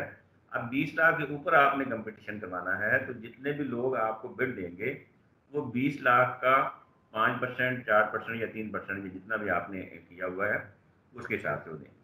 बिड सिक्योरिटी होगी, अब आगे है बिड वैलिडिटी बिड जो आपने मांगी है, आपने देखा होगा कि जब आप मल्टीनेशनल फर्म से किसी से कोटेशन मंगवाते हैं, उसमें नीचे लिखा होता है कि हमारी ये ऑफ़र इतने दिन के लिए मौसर है, यानी वैलिड है फॉर फिफ्टीन डेज़ तो ये वैलिड फॉर फिफ्टीन डेज़ देखते हैं, वो उनकी वैलिडिटी पीरियड होता है कि हम जो रेट जो ऑफ़र कर रहे हैं, इस दौरान अगर आप हमसे रब्ता कर लेंगे तो हम ये आपको चीज़ देंगे, वरना हम आपको नहीं देंगे। इसको कहते हैं बिड वैलिडिटी पेपरा रूल्स के तहत जो ओरिजिनल बिड वैलिडिटी है, वो आपने मुकर करनी है, जितनी आप मुकर कर लें। लेकिन नॉर्मली कितनी होती है? साठ दिन होती है, काम की नोयत से। साठ दिन से कम भी हो सकती है, आप उसमें तीस दिन भी कर सकते हैं, चालीस दिन भी कर सकते हैं। लेकिन समझने वाली बात जो इसमें है, वो ये है कि जो बिड वैलिडिटी है, ये बहुत इंपॉर्टेंट रोल प्ले करती है। आपने बिड वैलिडिटी का जो पीरियड है, उसको मुकर करते हुए अपनी प्रोसीडिंग्स अपना प्रोसीजर और अपनी मंजूरी का जो सिस्टम है, उसको देखना है कि कहीं ऐसे ना हो कि आप पास करवा लें और पता चले जनाब बिड वैलिड ही नहीं रही। अब उसकी मर्ज़ी है, वो आपको दे या ना दे क्योंकि उसके पास इख्तियार है। पाबंद आपके पास है सिर्फ़ उस दिन तक, जब तक आप विद इन वैलिडिटी पीरियड अगर उससे पहले वो कोई गड़बड़ करेगा तो आप उसकी बिड सिक्योरिटी फोर फीट कर लेंगे। लेकिन अगर वो टाइम गुजर गया और आपने फिर उसे कहा तो फिर उसकी मर्ज़ी है कि वो काम करेगा। तो बिड वैलिडिटी के बारे में ये समझें कि ये वन ट्वेंटी सिक्सटी डेज़ होती है आमतौर पर इसमें एक्सटेंशन भी हो सकती है। इसमें एक्सटेंशन कितनी हो सकती है? Equal to original bid validity time यानी अगर आपने तीस दिन रखी है तो फर्दर तीस दिन के लिए एक्सटेंड हो जाएगी। आपने साठ दिन रखी है तो फर्दर साठ दिन के लिए एक्सटेंड हो जाएगी। तो ये इसका है नॉर्मल है प्रोसीजर लेकिन अभी गवर्नमेंट ने बाई अमेंडमेंट ये किया है रेट का जो वैलिड पीरियड है, उसको 180 दिन तक एक्सटेंड किया जा सकता है। अब यहाँ पे समझने वाली बात यह है कि एक्सटेंड किसने करना है? इस बंदे ने इश्तहार दिया है। इस बंदे ने वो करनी है प्रोक्योरमेंट करनी है। अगर तो विद इन वैलिड टाइम वो कर सकता है तो कर ले, लेकिन अगर बिड को एक्सटेंड करना पड़ा तो फिर वो कंपिटेंट अथॉरिटी कौन हो जाएगी? उसकी नेक्स्ट हायर अथॉरिटी यानी अगर प्रिंसिपल ने किया है और प्रिंसिपल उस अरसे के दौरान उसको कंप्लीट नहीं कर सका तो प्रिंसिपल से जो ऊपर वाली अथॉरिटी है, जो आपका डायरेक्टर होगा, फिर उसके पास ये इख्तियार चला जाएगा कि उसको वो एक्सटेंड करे। लेकिन एक्सटेंशन में जो शर्त लग जाएगी, वो फिर दोनों पार्टियों की लग जाएगी। यानी दोनों पार्टियाँ रजामंद हों। जिसने कोटेशन डाली हुई है बिड डाली हुई है, वो भी रजामंद हो कि मैं इन्हीं रेटों पर एक्सटेंडेड टाइम में काम करने के लिए तैयार हो। अगर वो राज़ी नहीं होगा तो फिर आपका वो स्क्रैच हो जाएगा, फिर आपको नए सिरे से वो सारा कुछ करना पड़ेगा। और अगर वो मान जाता है तो वो आगे चल पड़ेगा। फ़र्ज़ करें वो नहीं मानता तो अब आप उसको पेनलाइज नहीं कर सकते। आप उसकी बेड सिक्योरिटी वापस कर देंगे इसी तरह जो वैल्यूशन क्राइटेरिया है, इसको बड़ा क्लियर होना चाहिए। बिल्डिंग डॉक्यूमेंट्स आपके क्लियर होंगे तो वैल्यूशन क्राइटेरिया भी आपका बड़ा क्लियर होगा बिल्कुल दो जमा दो बराबर चार के हिसाब से हो। कि जब आप एवेल्यूशन कर लें और लोएस्ट डिक्लेयर करें तो ग्रीनेस वाले जो लोग हैं, जो दूसरे लोग हैं, वो आप पे उंगली ना उठा सकें कि आपने तो जनाब फलाम बंदे के हक में ये किया है और आपने जानबूझ के हमें इस इस कंपटीशन से बाहर किया है। और ये ग्रीवेंस होती ही उसी वक्त है जब आपका वैल्यूशन क्राइटेरिया जो है वो क्लियर नहीं होता। जब ये क्लियर होगा तो उसमें इशू नहीं होगा। इस तरह क्लैरिफिकेशन ऑफ़ बिड है। क्लैरिफिकेशन का लफ्ज़ से ज़ाहिर है कि एक बंदे ने अपना रेट डाला है बिड डाली है प्रोक्योरिंग एजेंसी को उसके किसी कागज़ की समझ नहीं आती। वो समझती नहीं है कि इस कागज़ का या जो हमने डॉक्यूमेंट मांगा था सपोर्टिंग डॉक्यूमेंट ये सही है या नहीं है। आप उसको पूछ सकते हैं कि जनाब, इसकी आप वजाहत फरमा दें। लेकिन ये हक जो है, ये प्रोक्योरिंग एजेंसी का है। या अगर बिडर भी चाहे तो शर्त इसके लिए ये है कि अगर उसने कीमत बताई हुई है कि ये एक लाख में मैं काम करूँगा तो वो एक लाख ही रहेगा। उसकी, उस वजाहत के नतीजे में रेट पे कोई फ़र्क नहीं पड़ेगा। इसको कहते हैं क्लैरिफिकेशन ऑफ़ बिड्स एक और जो टर्म बड़ी, जो रूल बड़ा इसमें सोचने वाला है, जिस पर गौर करने वाला है, ये मैंने वो चीज़ें ली हैं जो प्रैक्टिकली आपके काम आनी है। उसमें वह है डिस्क्रिमिनेटरी और डिफ़िकल्ट कंडीशंस डिस्क्रिमिनेशन कब होती है? जब आप बिल्डिंग क्राइटेरिया बनाते हुए एवेल्यूशन क्राइटेरिया बनाते हुए, किसी खास फर्म को, किसी खास बंदे को सामने रख लें। और कहें कि यार इसके हिसाब से बनाते हैं, पैरामीटर ताकि ये काम ले ले। या इस तरह का बनाते हैं कि एक ज़्यादा लोग जो हैं, वो उसमें से निकल ही जाएँ, जिसमें जो कंपटीशन में है। तो डिस्क्रिमिनेशन नहीं होनी चाहिए डिफ़िकल्ट कंडीशंस नहीं होनी चाहिए। रूल 34 है पेपरा का, वो ये कहता है कि अगर डिस्क्रिमिनेटरी है या डिफ़िकल्ट कंडीशंस हैं तो उसको स्क्रैच करके ईजी जो है लोगों के लिए, आम फैम जो हैं, आम लोगों के बेनिफिट के लिए हैं, उस कैटेगरी के तमाम लोगों की पार्टिसिपेशन के लिए ज़रूरी है। आपको उसी तरह की कैटेगरीज अपनी कंडीशन बनानी चाहिए। आपके पास इख्तियार है कि आपने जो बिट दी है, उसको आप रिजेक्ट कर सकते हैं। रिजेक्शन जो है, ये रूल थर्टी फाइव के तहत होती है। पहले ये होता था कि कोई एक या तमाम बिड्स रिजेक्ट की जा सकती हैं। अब ये नहीं है। अगर आपने रिजेक्ट करनी है तो सारी ही करनी है। और अगर एक्सेप्ट करना है तो फिर लोएस्ट वैल्यूएटेड बिडर को एक्सेप्ट करना है। रिजेक्ट करना है तो आप बिफोर अवार्ड तमाम पोजीशन जो है इसकी उसको कैंसिल कर सकते हैं। आपने जब रिजेक्ट करना है तो फिर आपने रीजन देनी है कि आपने क्यों रिजेक्ट किया है। लेकिन उन लोगों को नहीं रीज़न देनी जिनका आपने कैंसिल किया। सिंपल उनको कन्वे कर दें कि हमने ये प्रोसीजर रिजेक्ट कर दिया, वो कुछ भी नहीं कर सकते। लेकिन अब आपने रूल थर्टी सिक्स के तहत रीबिडिंग में जाना है। तो रीबिडिंग में जाने के लिए ये ज़रूरी है कि आप अपने नोट में लिखें कि ये बिड जो हम रिजेक्ट कर रहे हैं, उसकी वजूहत ये हैं। इस वजह से ये रिजेक्ट हो रही है। और जो रीबिडिंग के लिए आपने बिडिंग एवेल्यूशन क्राइटेरिया बनाना है, जो बिडिंग डॉक्यूमेंट बनाना है, उसमें से वो डिफ़िकल्ट सिचुएशन जो हैं, जो डिस्क्रिमिनेटरी हैं, जिनकी वजह से आपको रिजेक्ट करना पड़ा है, आप उसको दूर कर दें। इसकी मिसाल मैं आपको देता हूँ कि आपने कैंटीन एक दफ़ा अखबार में इश्तहार दे दिया, वो तो नहीं अपना, आप उसको लीज आउट नहीं कर सके। अब लीज आउट ना करने की वजूहत दो तीन हो सकती हैं। या तो ये है कि आपने उसका स्ट्रिक्ट क्राइटेरिया रखा है, या फिर आपने उसके लिए जो उसके उसके अपना किराया वगैरह है, जो बिजली का बिल है, या सुई गैस का बिल है, उसमें उसको मार्जिन बहुत कम दिया है, ज़्यादा उस पर डाल दिया है। या ये है कि आपने रेट बहुत ज़्यादा रखे हैं और आपके कॉलेज में स्टूडेंट्स की तादाद इतनी नहीं है जैसे वो बुरी हो तो जब आपने रीबिल्डिंग करनी है तो आपने इन तमाम बातों पर गौर फ़िक्र करना है, आपने देखना है कि कौन सी चीज़ें जो हैं उनको आपने नहीं करना। एक और चीज़ जो ध्यान में रखने वाली है वो वन पर्सन, वन बेड है, एक बंदा एक वक्त में सिर्फ़ एक बेड डाल सकता है। ये नहीं है कि ऊपर नाम, पहले मदीना बेकरी है और फिर नीचे आ गई किसी और नाम से आ गया, प्रोपराइटर नीचे अब्दुल अमीर है सारा। अब्दुल हमीद एक दफ़ा में एक ही बेड डाल सकता है, दो दफ़ा नहीं डाल सकता। अगर वो करेगा तो उसकी दोनों कैंसिल हो जाएँगी। अब आते हैं हम वहाँ पे जो हमने इसका, जो शुरू में हमने पढ़ा था कि रूल थर्टी एट जो है, यानी अगर हमने प्री क्वालिफिकेशन नहीं की तो अब हमने सिलेक्ट कैसे करना है कॉन्ट्रैक्टर को? उसमें मैंने आपको कहा था कि उसमें रूल थर्टी एट है, उसमें मुख्तलिफ़ तरीके दिए गए हैं, उसमें स्टेजेस हैं मुख्तलिफ़ थर्टी एट में। पहली स्टेज आती है सिंगल स्टेज सिंगल एनवलप ये उस वक्त होती है जब स्टैंडर्ड गुड्स हों, आम आम, काम भी आम सा हो बर्फ़ हो उसमें क्या होता है कि आप अखबार में इश्तहार देते हैं, अखबार में इश्तहार के नतीजे में आपके पास रेट आ जाता है, आप उस रेट को एवेल्यूएट करके उसको दे देते हैं। सिंपल काम है। दूसरा है सिंगल स्टेज टू एनवलप इसमें आप उस, इसमें जो मसला होता है, इसमें थोड़ी सी टेक्निकलिटीज इन्वॉल्व हो जाती हैं। यानी जो चीज़ आप ले रहे हैं, वो टेक्निकल नेचर की होती है स्टैंडर्ड नहीं होती। फ़र्क ये समझे स्टैंडर्ड गुड्स वो होती हैं जो आम अवेलेबल है। हर दुकान से आपको मिल जाएगी। जो टेक्निकल इन्वॉल्वमेंट जिसमें होगी स्टैंडर्ड गुड्स नहीं होगी, जिसमें टेक्निकलिटीज होंगी तो हो सकता है एक से ज़्यादा जगहों पे मुख्तलिफ़ टेक्निकल जो स्पेसिफिकेशन हैं, उनके साथ चीज़ हो। तो यहाँ पे हम टू एनवलप कर लेते हैं।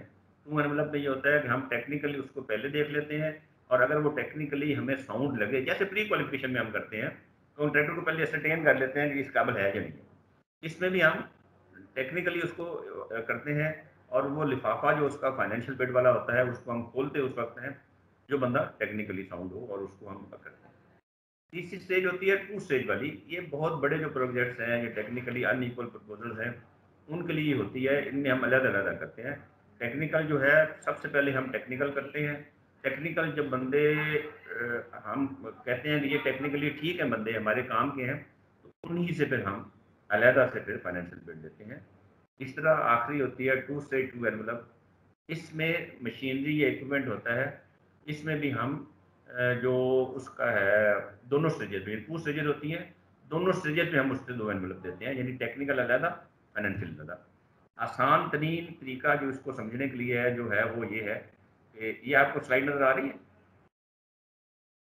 ये देखें, ये स्लाइड है, ये जो पहली बात मैंने की थी सिंगल स्टेज वन एनवल वाली, इस पर अगर आप गौर करें तो आपको इसका वो जो, ये वैल्यूएशन वाला है, तरीका वो बताया हुआ है जब सिंगल स्टेज वन एनवलप होगा तो वो बंदा अपनी टेक्निकल और फाइनेंशियल यानी इसका सिंगल स्टेज वन एनवलप का मतलब ये नहीं होता कि टेक्निकल आपने उसको असरटेन नहीं करना।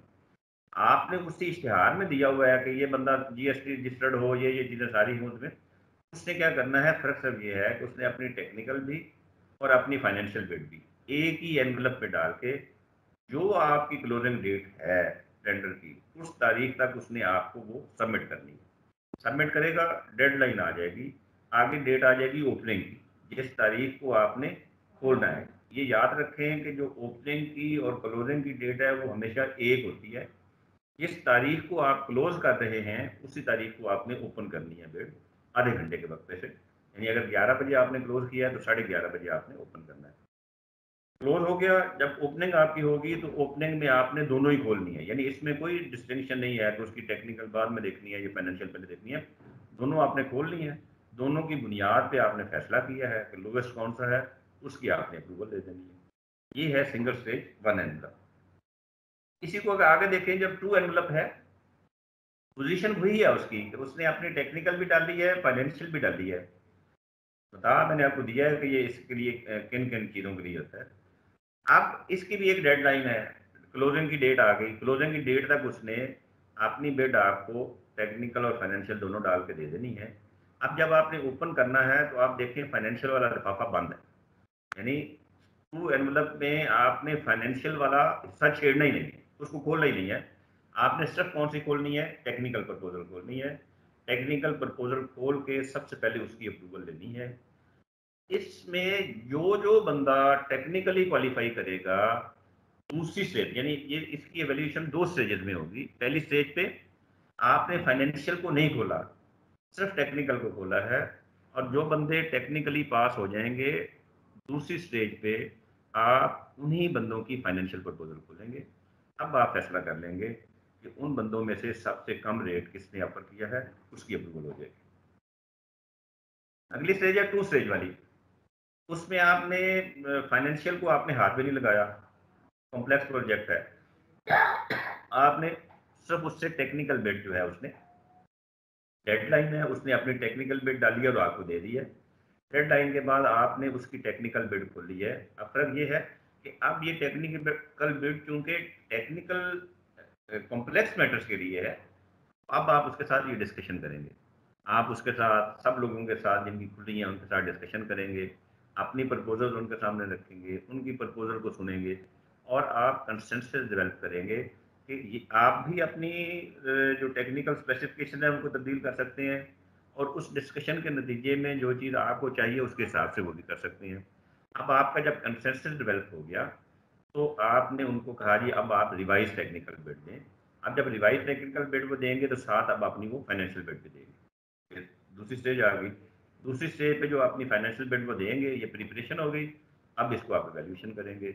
टेक्निकल रिवाइज बिड के साथ उनकी फाइनेंशियल बिड को जो बंदे रिवाइज टेक्निकल प्रपोजल नहीं देंगे, वो निकल जाएँगे, उनकी सीडीआर वापस कर लेंगे। उनका पैसे नहीं रखने आपने, लेकिन ये प्रोसीजर है। यहाँ पे जो फाइनेंशियल प्रपोजल है, उसको आप खोलेंगे और इन दोनों को मिला के आप देखेंगे आखिरी स्टेज जो है, वो टू स्टेज टू एनवलप वाली है। इसमें दोनों स्टेजेस पे फाइनेंशियल बिड होती है। फ़र्क सिर्फ़ ये है कि उसमें हमने फाइनेंशियल बिड पहले नहीं ली थी, आखिर में ली। यहाँ पे आप उससे ये ये बहुत बड़े जो मेगा प्रोजेक्ट्स हैं, ये उनके लिए है। मेरे ख्याल में आपको तो शायद पूरी उसमें सर्विस में ज़रूरत नहीं पड़ेगी इसकी। लेकिन चूँकि एक कंपोनेंट है, इसको डिस्कस करना चाहिए। ये इसमें तस्वीरों की सूरत में इसलिए है कि ये थोड़ा सा कॉम्प्लेक्स है। शायद मैं, मैंने समझा है कि शायद आपको बेहतर इसकी समझ आए। तो टू स्टेज टू एनवलप में आप दोनों ही उसको कहते हैं कि दो टेक्निकल भी देता है फाइनेंशियल भी देता है। पहली स्टेज पे सिर्फ़ टेक्निकल खुलती है। अब यहाँ पे भी टेक्निकल डिस्कस हो के रिवाइज जो टेक्निकल स्पेसिफिकेशन है, वो बन जाती है। जब रिवाइज टेक्निकल बन जाती है तो अब देखें इसमें जो उसने फाइनेंशियल बिट आपको दी हुई है, उसने अपनी टेक्निकल स्पेसिफिकेशन से साथ दी है। फ़र्ज़ करें आप उसको आसान कर देते हैं। दो तीन चीज़ें ऐसी हैं जिनके उसने खर्चे डाले हुए थे, आपको वो चाहिए नहीं, वो उसको निकालता है। अब आप उसे कहते हैं कि अब आपने जो रिवाइज टेक्निकल प्रपोजल है, उसके साथ अपनी सप्लीमेंट्री फाइनेंशियल बेट भी डालो। अब आप जब उसको आखिरी स्टेज पे खोलते हैं तो ये तीनों पे मिल जाती हैं, यानी उसकी financial bid supplementary financial bid उसमें पैसे कम भी हो सकते हैं, ज़्यादा भी हो सकते हैं। इन सबको मिला के हम जब एवेल्यूएट करेंगे, इसमें जो लोएस्ट आएगा, हम उसको उसकी अप्रूवल देंगे। कंसल्टेंट वाला हिस्सा बड़ा इंपॉर्टेंट है इसमें। आगे ये हमारा एक जो सिलेक्शन ऑफ़ कॉन्ट्रैक्टर है, वो मुकम्मल हो गई। आइदर उसको हम प्री क्वालिफाई कर रहे हैं या हम उसको 38 के तहत कर रहे हैं। कॉन्ट्रैक्टर की सिलेक्शन हमारा हमारा हो गया। कि कॉन्ट्रैक्टर को हमने कैसे करना है? जो कंसल्टेंट हैं, उनके लिए जो पैरामीटर्स हैं कंसल्टेंट दो तरह का होता है। एक इंडिविजुअल कंसल्टेंट है और एक कंसल्टेंट वो है जो मेजर कंसल्टेंसी में आता है लार्ज कंसल्टेंसी में आता है। जो इंडिविजुअल कंसल्टेंट है, उसमें तो आपने आइडेंटिफाई करना है एरिया और या तो पीएनडी की वेबसाइट से आपने तीन बंदे उठा लेने हैं। कि इन तीनों में से जिसको आपने करना है। या आपने एप्लीकेशन मांग लेनी है और उनमें से कम अज़ कम तीन एप्लीकेशन हैं, आपका अपना इख्तियार है। उसमें से जिसको आप मुनासब समझेंगे, तजर्बे के बुनियाद पर उसको आप दे देंगे ये छः महीने इसका मैक्सिमम पीरियड होता है और इसकी बीस लाख तक इसकी लिमिट है। बीस लाख से ये ज़्यादा नहीं हो सकता। लेकिन अगर इंडिविजुअल कंसल्टेंट है और वो अपना फर्म है तो वो तीस लाख तक चली जाएगी। ऊपर वाला जो सिलसिला है, ये है उनको सिलेक्ट करने का जो तरीके हैं, वो हैं एक तो है लीज कास्ट यानी काम इस तरह का है कि आप समझते हैं कि ये जैसे ड्राइंग बनानी है थर्ड पार्टी वैलिडेशन है तो जिसमें कास्ट जो है, उसकी इम्पोर्टेंस है, वो है लीज कास्ट लीज कास्ट से बुला दिया कि आप लम सम उसको करते हैं, पैसे आप मुकर कर देते हैं कि बस भाई इतने पैसे आप देंगे, आप ये काम करो, जहाँ पे बराबरी हो जाए। दूसरा है क्वालिटी एंड कास्ट बेस यानी जिसमें आपने कोई ऐसी टेक्निकल बात है जिसमें क्वालिटी को भी आपने नंबर देने हैं और कास्ट को भी देने हैं। इसमें आप फिर नंबर को मिलाते हैं, यानी जो मिनिमम टेक्निकल कास्ट है वो पैंतीस और पैंसठ पे चलती है मैक्सिमम अस्सी और बीस पे चलती है। इससे कम नहीं आनी चाहिए। जो आइडियल इसकी नंबरिंग है, जो इसकी कैलकुलेशन है, वो सेवेंटी थर्टी पे होती है। सिक्सटी फाइव थर्टी फाइव कोई एक हो उस पर करते हैं। सेवेंटी टेक्निकल का देते हैं। यानी जब लीज कास्ट है तो फिर ये क्वेश्चन नहीं है। लेकिन जब आपने क्वालिटी को एसरटेन करना है तो उसके लिए ज़रूरी है फिर आप उसकी नंबरिंग करें। सेवेंटी परसेंट आप नंबर देते हैं टेक्निकल को और थर्टी परसेंट आप देते हैं फाइनेंशियल को। एक आखिरी इसकी तीसरी होती है सिलेक्शन ऑफ़ कंसल्टेंट की, वो होती है क्वालिटी बेस्ड क्वालिटी बेस्ड का मतलब ये है कि पैसा आपका, आपके लिए मैटर ही नहीं करता। आप कहते हैं कि ये काम है, इस तरह का काम है कि जितने में भी हो, लेकिन इसको सोफिस्टिकेटेड तरीके से, अच्छे तरीके से होना चाहिए। ये कोई भी तरीका जो है यानी इसमें क्वालिटी बेस्ड में है। जितने भी पैसे वो मांगे, इसमें आप पैसे बाई निगोसिएशन पर तय करते हैं। यानी जितने पैसे वो मांगे, आप उसके साथ निगोसिएशन करते हैं। इसमें नंबरिंग नहीं होती कि इतना नंबर हो गए मतलब इसमें पैसों की अहमियत नहीं होती। पैसों की अहमियत सिर्फ़ निगोसिएशन में होती है थोड़े पैसे पैसे कम करा गवर्नमेंट जो है, वो अप्रूवल ऑफ़ गवर्नमेंट जो है कम्प्लेक्सिटी जो है, इसकी कोई भी तरीका गवर्नमेंट फ़ीस कास्ट के अलावा इख्तियार कर सकती है इसको मंजूर करने के लिए। इंडिविजुअल कंसल्टेंट मैंने आपको बता दिया है। अब देखें ये लीज कास्ट का जो कॉन्सेप्ट है, ये आपको समझने के लिए आसान होगा यहाँ पे। कास्ट क्या है? आपने पब्लिकेशन की है क्राइटेरिया डेवलप्ड है क्वालिटी का कोई नंबर नहीं है, आपने सिर्फ़ कीमत के हिसाब से एसरटेन करना है। अब इसमें जो सी है, उसकी लोएस्ट कास्ट है। सेवेंटी परसेंट उसने मार्क्स लिए हैं, हम इसको अब क्राइटेरिया टेबल क्या है? सेवेंटी परसेंट आपने दिए हुए हैं टेक्निकल को और थर्टी परसेंट दिए हुए हैं कास्ट को। तो सेवेंटी परसेंट में और थर्टी परसेंट में इन दोनों को मिलाएँगे। अब देखें जो ए पे है, उसने सिक्सटी फाइव लिए हुए हैं नंबर क्राइटेरिया आपने मेंटेन करना है। और बी और सी के नंबर हैं। इसी तरह आगे उनके फाइनेंशियल भी हैं कास्ट के भी हैं। इनको आप जमा कर लें। जमा करके जो टोटल में इस बंदे के हाईएस्ट कंबाइंड मार्क्स होंगे, वो आपका सिलेक्टेड कॉन्ट्रैक्टर होगा। सेवेंटी फाइव वाला जो है, वो आपका क्वालिटी और कास्ट बेस में सिलेक्टेड कॉन्ट्रैक्टर होगा। इस तरह क्वालिटी बेस्ड है, उसमें पैसों का, यानी जैसे शुरू में क्वालिटी के नंबर कोई नहीं थे, यहाँ कास्ट का नंबर कोई क्वालिटी के नंबर नहीं थे, यहाँ पे कास्ट का नंबर नहीं तो इसमें आपने वो देखना है कि इसमें सबसे ज़्यादा नंबर किसके हैं? वो बी के हैं, उसने 90 नंबर लिए हैं तो ये लोएस्ट कास्ट है इसकी। ये सिलेक्टेड कॉन्ट्रैक्टर है, लेकिन यहाँ पे आपने ये जहन में रखना है कि हमने इसके साथ निगोसिएशन करनी है निगोसिएशन करके इसका रेट तय करना है। हर दफ़ा इक्वल लेवल के थोड़े से फ़र्क से दो बंदे आ जाते हैं जो हाइएस्ट लेवल के कंसल्टेंट होते हैं। अगर आपकी निगोसिएशन एक साथ कामयाब ना हो तो आप उसके रेट को होल्ड करके दूसरे के साथ कर सकते हैं। दो ही जगहों पे निगोसिएशन की इजाज़त है। एक यहाँ कंसल्टेंसी में और एक निगोसिएटेड टेंडरिंग में जब आपके पास वक्त कम होता है और आपने काम करना अदरवाइज़ निगोसिएशन की इजाज़त नहीं है। एक आर एफ़ पी है। आर एफ़ पी कहते हैं रिक्वेस्ट फॉर प्रपोजल आपने शॉर्ट लिस्ट कर ली है कॉन्ट्रेक्टर अब जो शॉर्ट लिस्टेड लोग हैं, जो प्री क्वालिफाइड लोग हैं, आप उनको लेटर ऑफ़ इन्विटेशन भेजते हैं, उनको आप इंस्ट्रक्शन देते हैं टर्म ऑफ़ रेफरेंस तय करते हैं, उनका एवेल्यूशन क्राइटेरिया है और टाइप ऑफ़ कॉन्ट्रैक्ट जो है वो लमसम भी हो सकती है टाइम ये ये कंसल्टेंट्स के लिए है। टाइम बेस भी हो सकती है, घंटों के हिसाब से हो सकती है, रोज़ाना के हिसाब से हो सकती है। यानी जैसी आपकी रिक्वायरमेंट है, आप उन शॉर्ट लिस्टेड या प्री क्वालिफाइड कंसल्टेंट को बुला के आप उनको सटेन करके उनके साथ ये आप एग्रीमेंट कर सकते हैं अपने काम की नोयत आगे एक्सेप्टेंस है अवार्ड ऑफ़ कॉन्ट्रैक्ट है, जो एक्सेप्टेंस है, वो हमेशा लोएस्ट वैल्यूटेड बिडर होगा। इसके अलावा कोई बंदा आप उसको नहीं कर सकते। परफॉर्मेंस गारंटी है परफॉर्मेंस गारंटी का मतलब ये होता है कि बंदा आपके पास पहली दफ़ा आया है अब आपको ये नहीं पता, यदि उसके कागजात वगैरह ठीक हैं तो आपकी मर्ज़ी है कि आप उसको कहेंगे टेन परसेंट बतौर जर जमानत सक्सेसफुल जो बिडर है, आपने उसको अवार्ड करना है, आप उसे कह सकते हैं कि टेन परसेंट जमा करवाओ। जमा करवाओगे तो फिर हम तुम्हें अवार्ड करेंगे, वरना नहीं करेंगे। इस तरह लिमिटेशन है निगोसिएशन पे। बताया है कि निगोसिएशन सिर्फ़ दो जगहों पे हो सकती है, या जो पहले कंसल्टेंट है, या वो अर्जेंसी वाली क्लास है, जब आपके पास वक्त कम है और आपने काम करना है, इसके अलावा निगोसिएशन नहीं हो सकती। कॉन्ट्रैक्ट कमेंट्स कब होना है कॉन्ट्रैक्ट जिस दिन जिस दिन आपने उसको साइन करना है कॉन्ट्रैक्ट को, उस दिन से उसकी कमेंसमेंट उसका पीरियड शुरू हो जाएगा। अगर वो कंटीजेंट नेचर है तो जिस दिन आपने उसको कहना है कि ये काम शुरू करो, उस दिन उसको इस तरह क्लोजिंग है कॉन्ट्रैक्ट की। जब वो काम मुकम्मल करेगा, उसका वो क्लोज हो जाएगा। उसका सर्टिफिकेट आपने उसको विद इन थर्टी डेज़ जारी करना है। अगर कोई डिफेक्टिव लाइबिलिटीज है तो आप उनने उसको क्लोजिंग तो कर देनी है कॉन्ट्रैक्ट की, लेकिन कंप्लीशन सर्टिफिकेट नहीं देना। और उसे कहना है कि भाई, पहले आपने ये डिफेक्ट दूर कर मशीनरी आ गई है, या कोई और स्टेशनरी आ गई है, वो ठीक नहीं है। तो आपने उसको वो नहीं देना जब तक कि उसका क्लेम पूरा सेटल ना हो जाए। ग्रीवेंस की रिडेसल है। जैसे शुरू में मैंने आपको बताया है कि रिडेसल जो ग्रीवेंस की है, वो बड़ी ज़रूरी है।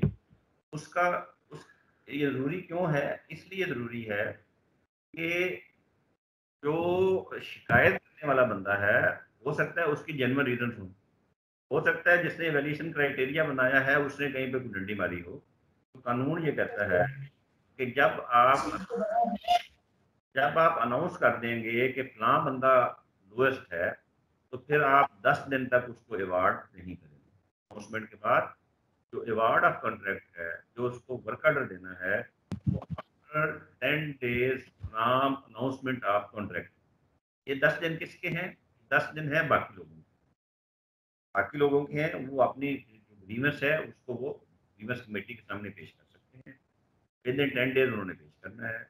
अगर किसी की ग्रीवेंस आ गई कमेटी उसको इन्वेस्टिगेट करेगी और पंद्रह दिन के अंदर अंदर फैसला करेगी कि उसकी ग्रीवेंस सही है या नहीं। अगर सही है उसके मुताबिक आगे फिर उसको जो आपने अनाउंस किया हुआ है उसको कैंसिल करके दोबारा से उसको देखेंगे। और अगर उसकी ग्रीवेंस सेटिस्फाइड हो जाती है तो फिर हम उसको पार्ट ऑफ़ कॉन्ट्रैक्ट इसी तरह अगर सक्सेसफुल बिल्डर है, वो काम कर रहा है, वो झगड़ा पैदा हो जाता है तो सबसे पहली बात जो है, वो आर्बिट्रेशन में मेडिएशन की है। कोई मेडिएटर मुकर कर दे, समझाने बुझाने वाला बंदा मुकर अगर उसमें समझाने बुझाने से काम ना हो डिस्प्यूट सेटल ना हो, फिर आर्बिट्रेशन की क्लास है आर्बिट्रेशन एक्ट के तहत उसमें आप आर्बिट्रेशन मुकर करते हैं और उसका फैसला ज़रूरी होता है। मेडिएशन हो या आर्बिट्रेशन हो आर्बिट्रेशन हो, ये ज़रूरी है उसमें पब्लिक एक्सेस आ जाती है। जब तक आपका प्रोसीजर चल रहा है, तब तक वो पब्लिक एक्सेस जब आप मुकम्मल कर लेते हैं तो फिर डॉक्यूमेंट्स ओपन फॉर ऑल हैं। ट्रांसपेरेंसी के लिए पब्लिक एक्सेस जो है, वो डॉक्यूमेंट्स जो रिकॉर्ड है, जो प्रोक्योरमेंट का, ये हमने कब तक संभाल के रखना होता है? आफ्टर कम्पलीशन पाँच साल तक हमने इसको संभाल फिर आफ्टर फाइव ईयर्स आपने इसको डिस्पोज ऑफ़ करना होता है, लेकिन इसकी शर्त है कि आपका ऑर्डर क्या हुआ हो। अगर ऑडिट नहीं हुआ हुआ तो टिल दैट टाइम कि आपके अकाउंट्स का ऑडिट हो जाए, आपने इसको पाँच साल तक उसका संभाल। इस पर अगर आप गौर कर लें, जो टेंथ स्टेप समरी है प्रोक्योरमेंट प्रोसेस की, इसमें आपको जितना भी हमने पढ़ा है, वो संभव हो जाएगा। सबसे पहले नंबर पे आइडेंटिफाई करना है आपने नीड्स को और उसमें प्रायोरिटी दूसरे नंबर पे आपने एसरटेन करना है बजट को रिसोर्सेज के, आपके पास क्या है। जो आपकी प्रायोरिटी है, वो अकॉर्डिंग तीसरे नंबर पे आपने स्पेसिफिकेशन जो है नीड के मुताबिक उनको आपने डिटरमिन करना है, बड़े अच्छे तरह से। चौथे नंबर पे आपने मार्केट का एनालिसिस लाजमी करना है बिफोर गोइंग इनटू एडवर्टाइजमेंट ताकि आपको फ़र्स्ट हैंड नॉलेज हो कि इन स्पेसिफिकेशन के मुताबिक कौन सी चीज़ कितने की अवेलेबल है। पाँचवें नंबर पे आपने प्रोसेस सेलेक्ट करना है। सेलेक्ट कैसे प्रोसेस हमने पढ़े हैं पचहत्तर हज़ार वाला है, दो लाख वाला है, दो लाख से ऊपर तीस लाख वाला है, तीस लाख से ऊपर बाहर का इख्तियार है प्री क्वालिफिकेशन है सिलेक्शन ऑफ़ कॉन्ट्रैक्टर है, जो हमने पढ़ा है सिंगल स्टेज टू स्टेज वाला, ये सारा यहाँ पे आपने करना है। और उसके बाद आपने शेयर करनी है डॉक्यूमेंट्स कॉन्ट्रैक्ट डॉक्यूमेंट्स इनकी पब्लिश है कम्युनिकेशन है, इनकी वैल्यूएशन है इंटरनेशनल कमेटी बनानी है, सारे काम करके फिर आपने साइन जब आप साइन कर देंगे कॉन्ट्रैक्ट तो फिर कॉन्ट्रैक्टर पे नहीं छोड़ देना, आपने पूरी फार्मर्स को करना है रिव्यू भी करना है और सबसे अहम बात ये है, ये सारा कुछ जो है, ये बाई डूइंग अगर आप करेंगे तो आप सीखेंगे, अगर आप नहीं करेंगे तो फिर आप इसको सीख नहीं कोई भी क्वेश्चन आपका पब्लिक फाइनेंशियल आपके मैटर्स हैं, उनके बारे में है फाइनेंशियल मैनेजमेंट के बारे में है पेपरा के बारे में है, जो उससे पहले हमने जो प्रेजेंटेशन मारी थी ऑडिट की, उसके बारे में है आपके पास पंद्रह मिनट है, तकरीबन। आप इसमें से ये टाइम मैंने पाँच मिनट ज़्यादा स्पेयर किया है ताकि आपके साथ क्वेश्चन आंसर वाला अगर सेशन सर, अगर हम बिलफर्स एक प्रिंटर परचेज कर रहे हैं तो जब हम, या कंप्यूटर्स हैं तो सर, उसमें जो स्पेसिफिकेशन दी जाती है, उसके बाद जब रेट्स आते हैं तो रेट्स में मैंने ये देखा है कि बहुत ज़्यादा फ़र्क होता है तो ऐसा कैसे हो सकता है? मसलन अगर एक कोई भी इक्विपमेंट है तो उसका रेट अगर एक कंपनी ने एक लाख और कुछ दिया हुआ है तो दूसरी उसको दस या बीस हज़ार दे रही है? असल में तो इतना ज़्यादा फ़र्क कैसे हो सकता है? असल में हम जो है ना हम जम कर जाते हैं कीमत पे। हम उसमें लाइन नहीं खींचते अपने स्पेसिफिकेशन पे लाइन नहीं खींचते। देखें एक बेस लाइन है उसके ऊपर आपकी स्पेसिफिकेशन है। जो आपकी स्पेसिफिकेशन हैं, वो हैं आपकी बेस लाइन इसने उन स्पेसिफिकेशन को पूरा करना है, सिर्फ़ उसी को हक हासिल है जो बिलो स्पेसिफिकेशन है, यानी एक जो आपकी स्पेसिफिकेशन है, वो एक मैंने कहा कि बेस लाइन है। उसके ऊपर जितने लोगों ने होना है, उनको हक है कि वो अपना रेट पुट करें। जो स्पेसिफिकेशन आपकी जो बेस लाइन है, उससे नीचे है, वो आपको मुफ़्त की रेट वो आपने नहीं लेनी हम कंफ्यूज इसलिए हो जाते हैं कि हमारी स्पेसिफिकेशन जो है वो स्ट्रेंथन नहीं होती। हमने उनको सही तरीके से तैयार नहीं किया होता और हमने वो पैरामीटर से दिए हुए होते जिनकी बुनियाद पे हमने असेस करना है कि कौन सी चीज़ हमने लेनी है, कौन सी चीज़ नहीं लेनी कंप्यूटर जो है, अब देखेंगे दस हज़ार का भी अवेलेबल है और एक लाख का भी है और दो लाख का भी है। डिसाइड कैसे होगा कि आपने कौन सा कंप्यूटर लेना है? वो आपके स्पेसिफिकेशन पे होगा। स्पेसिफिकेशन क्या है, उसमें हम सर्टन आर्टिकल हम सर्टन इक्विपमेंट्स हैं जो उसमें शामिल हैं उसकी क्वालिटी को मेंटेन करते हैं। अब एक उसमें कार्ड है, वही पचास हज़ार का कार्ड है जो आपको सिस्टम चाहिए। और वो कार्ड आपको भी पता है कि मार्केट में पचास हज़ार का है। और एक बंदा आपसे कहता है कि मैं यही कार्ड लगा के आपको दस हज़ार में दूँगा। इसका मतलब ये हुआ कि जो आपको कार्ड चाहिए, जो आपको चीज़ें चाहिए, वो उसके पास नहीं है, वो झूठ बोल रहा है। उसका तरीका यही होता है कि आप उसे कहते हैं सैंपल आके दिखा दो। हम उसको पहले चेक कर लेते हैं। अगर अप टू दी मार्क हुआ तो ले लेंगे। लेकिन हमेशा याद रखिए कि जो स्पेसिफिकेशन है, वो आपकी बेस लाइन है। उस बेस लाइन से ऊपर जो कंपनी आएगी बेस लाइन से ऊपर होगी। यानी बेस लाइन से एक स्टेप भी ऊपर हो सकती है, दो स्टेप भी ऊपर हो सकती है और बेस लाइन के ऊपर भी हो सकती है। उस बेस लाइन के मुताबिक जो कंपनी क्वालिफाई करेगी, सिर्फ़ उन्हीं को हक हासिल है, वो अपना रेट दें अगर कोई कंपनी क्वालिफाई नहीं करती और वो रेट देती है तो रेट कंसिडर नहीं होगा। पेपरा के बारे में कोई और सवाल? मेरे ख्याल में था कि पेपरा पे क्वेश्चन आएँगे, लेकिन एक्सप्लोनिशिंगली मतलब पेपरा पे कोई क्वेश्चंस नहीं है। इसका मतलब ये है कि आप वेल वर्स्ड हैं पेपरा से, और आपकी जो प्रोक्योरमेंट्स हैं, वो आप एफिशिएंटली करते हैं। या फिर ये है कि अभी आपको मौका नहीं मिला PPRA sir PPRA website develop करने का तरीकाकार क्या है? आपने उसके लिए बकायदा अप्लाई कर आप आप पेपरा की वेबसाइट को एक्सेस करें। आप पेपरा का जब आप आप खोलते हैं तो उस पर एक उसका वेबसाइट खुलेगी। उसमें आपके पास ऑप्शन दी होती हैं कि आपने अपनी जो कोटेशन है जो अपनी बिड है आपने लोड करनी है उसके लिए दो हज़ार रुपये फ़ीस है। आप दो हज़ार रुपये फ़ीस जमा करवाते हैं और अपनी वो जो अपनी आपका जो इश्तहार है वो आप पेपरा की अथॉरिटी को भेजते हैं, पेपरा की अथॉरिटी उसको अपलोड कर देती है। यानी पेपरा की वेबसाइट मौजूद है। आपके लिए मैंडेटरी है कि आपने कोई भी चीज़ जो दो लाख से ऊपर हो और तीस लाख तक हो, उसको लाजमी पेपरा पे भेजना है। और जो दो लाख से ऊपर हो और तीस लाख से ऊपर हो, उसको पेपरा की वेबसाइट पे भी एडवर्टाइज करना है और उसके साथ दो इश्तहारों में भी करना है। तो पेपरा की वेबसाइट ऑलरेडी मौजूद है। जब आप पेपरा को एक्सेस करते हैं अथॉरिटी की वेबसाइट को तो वहाँ पे वो पोर्टल मौजूद है, जिस पोर्टल में आपने वो अपना इश्तहार आपका डिस्प्ले होना है। उसके लिए दो हज़ार की फ़ीस लेते कोई कोई पार्टिसिपेंट मुझे बता सकता है कि मैंने इसमें एक तशरी की है, एक एमरजेंसी की और एक अर्जेंसी की? कोई पार्टिसिपेंट मुझे इसमें फ़र्क बता सकता है कि एमरजेंसी और अर्जेंसी में क्या फ़र्क है? दोनों चीज़ें मैंने बयान की हैं। एमरजेंसी भी बयान की है अर्जेंसी भी बयान की है। इमरजेंसी में ये होता है कि फ़र्ज़ करें कोई कैलेमिटी आ जाती है आपकी उसके फ्लड वगैरह आ जाता है इस तरह की कोई चीज़ आ जाती है तो फिर इमरजेंसी में जो आप प्रिक्योरमेंट करेंगे वो इमरजेंसी के उसमें आएगी।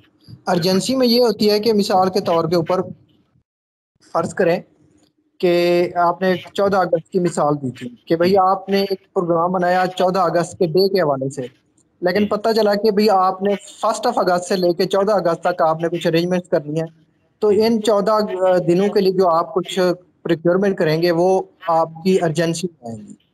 बिल्कुल ठीक है, बिल्कुल ठीक है, माशाल्लाह। आपने बिल्कुल गौर से सुना है। बस इसमें एक चीज़ ऐड कर दीजिए कि जो इमरजेंसी में आप परचेज करेंगे प्रोक्योरमेंट करेंगे, वो डायरेक्ट कॉन्ट्रैक्टिंग में आएँगी। और जो अर्जेंसी में करेंगे, वो निगोसिएटेड टेंडरिंग में आएँगी। यानी उसमें आपने निगोसिएशंस करनी है अर्जेंसी में। और जो डायरेक्ट कॉन्ट्रैक्टिंग है उसमें आपने रेट लेके कंपैरिजन करके उनको दे देना है। वक्त निकल जाता है बीच में से। यानी जो पंद्रह दिन का रिस्पांस टाइम है उसकी पाबंदी खत्म हो जाएगी। वेरी गुड आपने बिल्कुल सही तरह से समझाया। कोई फ्रेमवर्क कॉन्ट्रैक्ट के बारे में बताना पसंद करेगा कि फ्रेमवर्क कॉन्ट्रैक्ट क्या होता है? ये बड़ा इंपॉर्टेंट है बड़ा प्रैक्टिकल है इसकी ज़रूरत पड़ती है आपको। फ्रेमवर्क कॉन्ट्रैक्ट का मतलब ये है कि आपकी रिकरिंग नेचर की चीज़ें जिनकी आपको पूरे साल में बार बार ज़रूरत पड़नी है, बजाय इसके कि आप हर दफ़ा अखबार में इश्तहार दे के वो चीज़ परचेज करें, आप साल के शुरू में एक ही दफ़ा इश्तहार दे के तमाम जो चीज़ें आपकी हैं, उनके रेट आप तय कर लें और सारा साल उससे परचेज करते रहें, उसको पेमेंट करते रहें। ये फ्रेमवर्क कॉन्ट्रैक्ट होता है और ये बड़ा ज़रूरी है। आपको इसको मेरे ख्याल में समझना चाहिए। क्योंकि आप बहुत सी कबाह से बच जाते हैं।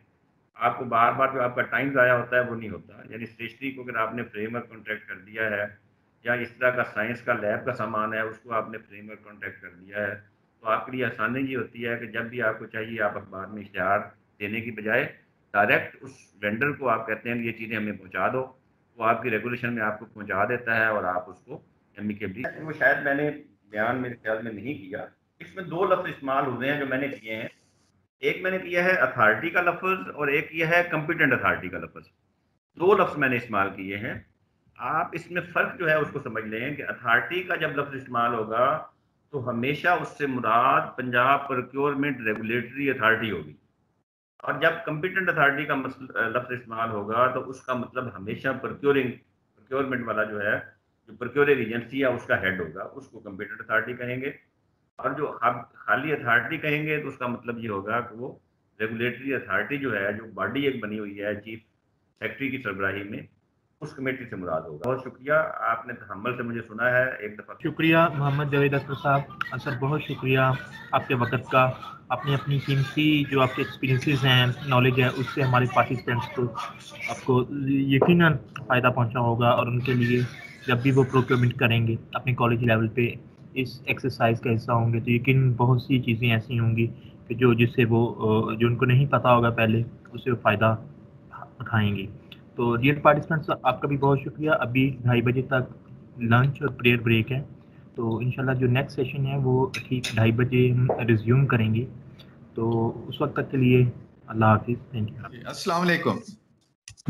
जी वालेकुम सलाम सर आवाज़ आ रही है? जी बिल्कुल सर आवाज़ आ रही है। मेरी आवाज़ सही आ रही है सर? जी सर आपकी आवाज़ लाउड एंड क्लियर है। Sir sir shall we start the session sir बड़ी मेहरबानी।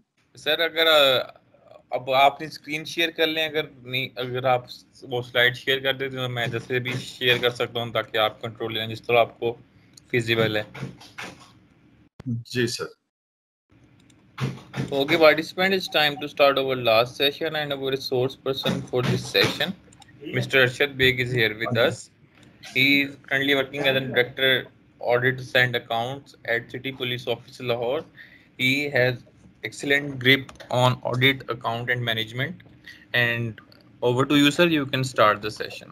जी अस्सलाम एवरीबॉडी ये एक अहम सेशन है जिसमें जो वाइट कॉलर क्राइम और ब्लू कॉलर क्राइम और आजकल के जो फोरेंसिक ऑडिट के हवाले से बातें सुनी जाती हैं particularly with reference to NAB and other तो उसमें घूस पेमेंट का सबसे बड़ा है।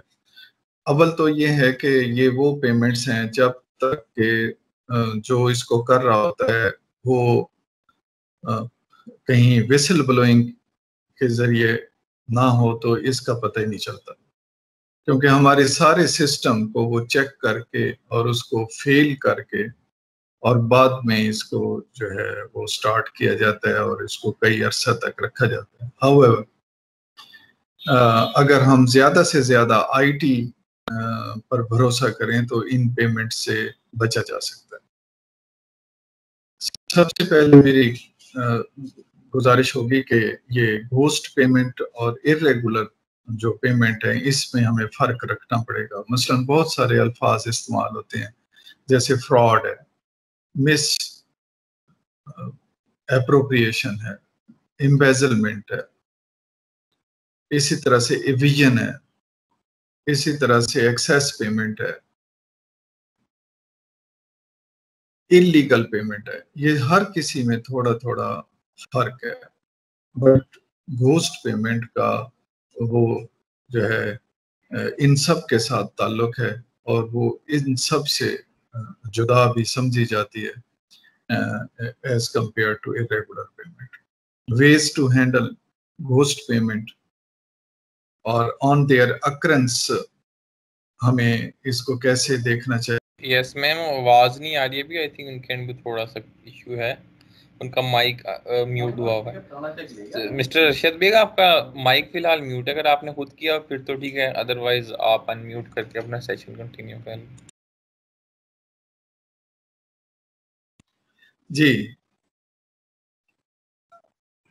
अब आवाज़ the difference between ghost payment and irregular payment आप इसको कैसे देखते हैं? As a layman as a non-technical and non-professional. Ghost payment ji ghost payment और इरेगुलर पेमेंट यही फ़र्क हम करने में कामयाब हो गए तो ये बात समझ आ जाएगी। घोस्ट पेमेंट वो है जिसका कोई वजूद ही नहीं है। जबकि वो हो तो रही है। हो रही है मतलब आ, हाँ इसलिए हाँ जी इसलिए हम ये नहीं कह सकते कि ये कोई इनटेंजिबल मामला है जो नज़र नहीं आता। ये वाकई घूस्ट नहीं है जैसे कि घूस्ट होते हैं। ये हम कौकाफ में नहीं रह रहे हाँ। हम लाइव ज़िंदगी में रह रहे हैं और सारी ट्रांजैक्शन हमारे हाथों से हो रही हैं। बजट हमारे हाथों से आ रहा है, हाथों से जा रहा है और उसी के अंदर से घोस्ट पेमेंट हो रही है। जी वो हम शो नहीं कर रहे शो कर रहे हैं कि हमारा खर्च हो रहा है एक्सपेंसेस शो कर रहे हैं लेकिन एक्चुअली वो हो नहीं रहे हैं।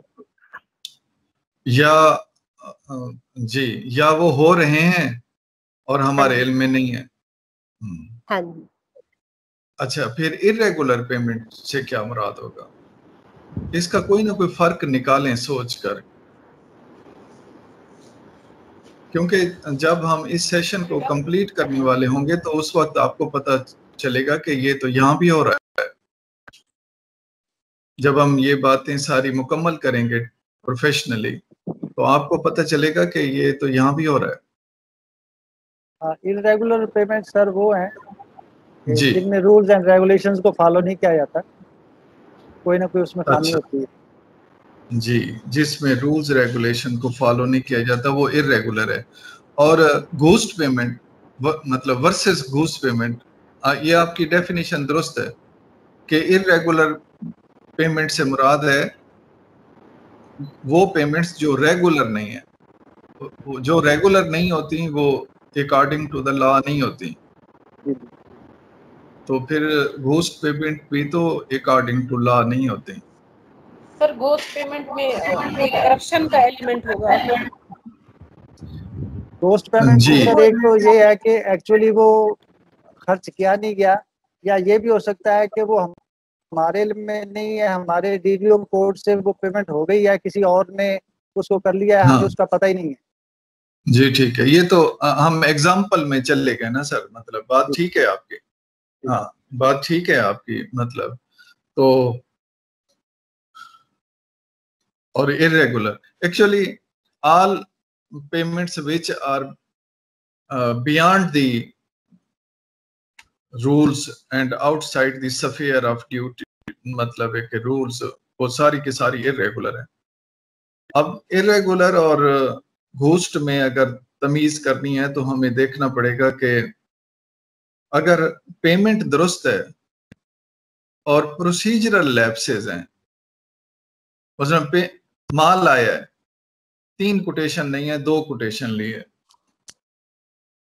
या तीन कोटेशन ली है, माल भी आया है। बट एक था नसरुल्ला, एक था कुदरतुल्ला और एक अब्दुल्ला। वो जो अब्दुल्ला था ना जी, वो दुरुस्त था। और कुदरतुल्ला और Nasrullah do not exist on the earth तो हम ये कह सकते हैं कि कंपटीशन हमारा फेक था, चाहे वो हमारे इल्म में हो या ना हो। और बाज ये भी होता है कि हमारे दफ्तर के बंदे जो है ना, खुद ही सप्लाई कर रहे होते हैं और खुद ही पेमेंट ले रहे होते हैं। कभी कैश में और कभी चेक की सूरत एक डमी सा चाचा, एक डमी सा बाबा अपने पास रख नहीं आ रही फिर। जब होती है ना तो वो ऑटोमेटिकली उसको वो कर लेते हैं म्यूट कर देते जी। तो अगर फ़र्ज़ करें कि माल ही नहीं आया और कागज़ भी जाली हैं तो ये इरेगुलर पेमेंट नहीं है। ये घोस्ट पेमेंट ये इम्बेजलमेंट है। अच्छा इम्बेजलमेंट है, लेकिन फिर भी घोस्ट नहीं है। घोस्ट पेमेंट ये है कि ना तो किसी ने सेंक्शन दी है, ना किसी, कोई वोचर सबमिट हुआ है, ना किसी के इल्म में है, और बजट भी यूटिलाइज हो गया है, और पेमेंट भी ड्रा हो गई है, और हमारे दफ्तर में कोई रिकॉर्ड भी नहीं है। जी। जी, रुबीना सर, सवाल, जी। जैसे हमने फ़ीस के हवाले से होगी ये क्या हो? टाइटल हाँ हाँ जी आवाज़ आपकी कट कट के आ रही थी जरा दोबारा काइंडली ये आवाज़ आ रही है मेरी? जी सर आपकी आवाज़ आ रही है पार्टिसिपेंट की साइड पे कोई इशू है उनका सवाल से रिपीट नहीं हो सका। चलो अब हाँ। जी। मैम आप इसी तरह क्वेश्चन रिपीट कर जी आप बोले। जी रुबीना साहब बोले। सर मैं पूछना चाह रही हूँ कि हमने सिक्योरिटी गार्ड की जी सिक्योरिटी गार्ड्स की जी। वो हमारे पास जो फंड्स थे कॉलेज के हमने वहाँ से उनको भेज दिया था। ऐसी पेमेंट को हम क्या टाइटल देंगे? इरेगुलर ये इरेगुलर पेमेंट है क्योंकि आपने क्लासिफिकेशन दुरुस्त नहीं की। आपकी क्लासिफिकेशन दुरुस्त नहीं है। थैंक यू सर जी। जब क्लासिफिकेशन दुरुस्त ना हो अच्छा अब सफ़ाई भी नहीं होती, अमला भी रखा हुआ है, स्कूल भी मौजूद है, और स्टूडेंट भी कोई नहीं आ रहा, सफ़ाई भी नहीं हो रही, ये घूस पेमेंट है। और तनख्वाहें बन रही हैं, तनख्वाहें जा रही हैं। बंदा टर्मिनेट हो गया है, तनख्वाह चल रही है। बंदा रिटायरमेंट पे था फौत हो गया और उसकी पेंशन चल रही है। और पेंशन निकलवाई भी जा रही है क्योंकि वो, उसने वो कार्ड बनवाया हुआ था और वो वहाँ से निकलवा रहा है और वो निकल रही है और वो जा रही है। और किसी के पास भी सबूत नहीं है। वो हर छह महीने बाद हाजिरी होनी थी वो भी किसी को दुपट्टा करा के तो मतलब दिखा दिया कि जी, ये है, ये अम्मा है। उन्हें कह डिस्ट्रिक्ट अकाउंट ऑफ़िस ठीक है। बैंक ने कहा, ठीक है, बस। अब इतना ज़यीफ भी किसी को ले गए। उनको कहा, अम्मा, यहाँ बैठना, मैं पानी पी लूँ। और उधर जाके कहना, ए, अम्मा, आई बैठी है। उन्हें कहा, जी, ठीक है। तो वो अम्मा तो फौत हो गई ना, जो पेंशनर थी। ये घोस्ट पेमेंट है। इसको देखते हैं आगे जाके कि इसका हम किस तरह से और तजिया कर सकते हैं कि ये बात हमें अच्छी तरह समझ आ जाए। तो इसमें सबसे पहली बात है कि मैं आप सबसे ये अर्ज़ करना चाहता हूँ कि आप एक फिक्रा लिख लें जिससे हम इस फिनोमिना को लेके आगे चलेंगे और वो ये है we should not be the member of unlawful assembly तो ये काइंडली लिख लें। We should not be the member of unlawful assembly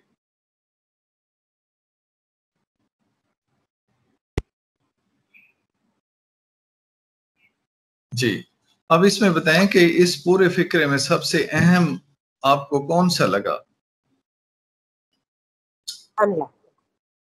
ji unlawful ji unlawful को जरा काइंडली आप इसके नीचे तीर का निशान साइड पे या नीचे की तरफ़ तीर का निशान देकर लिखें which is not according to law which is not according to law yes. Which is not according to law okay अब लॉ पे दायरा लगाएँ।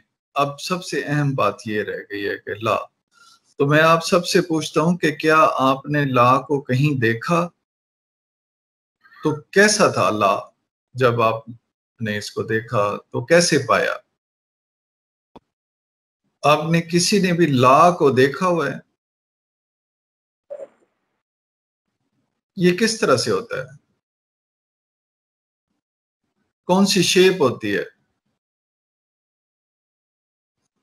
ये कोई मेरे मुराद है ये कोई खाने वाली चीज़ है ये कोई पीने वाली चीज़ है ये आपके सामने जब ये हाँ जी। ये क्या होती है?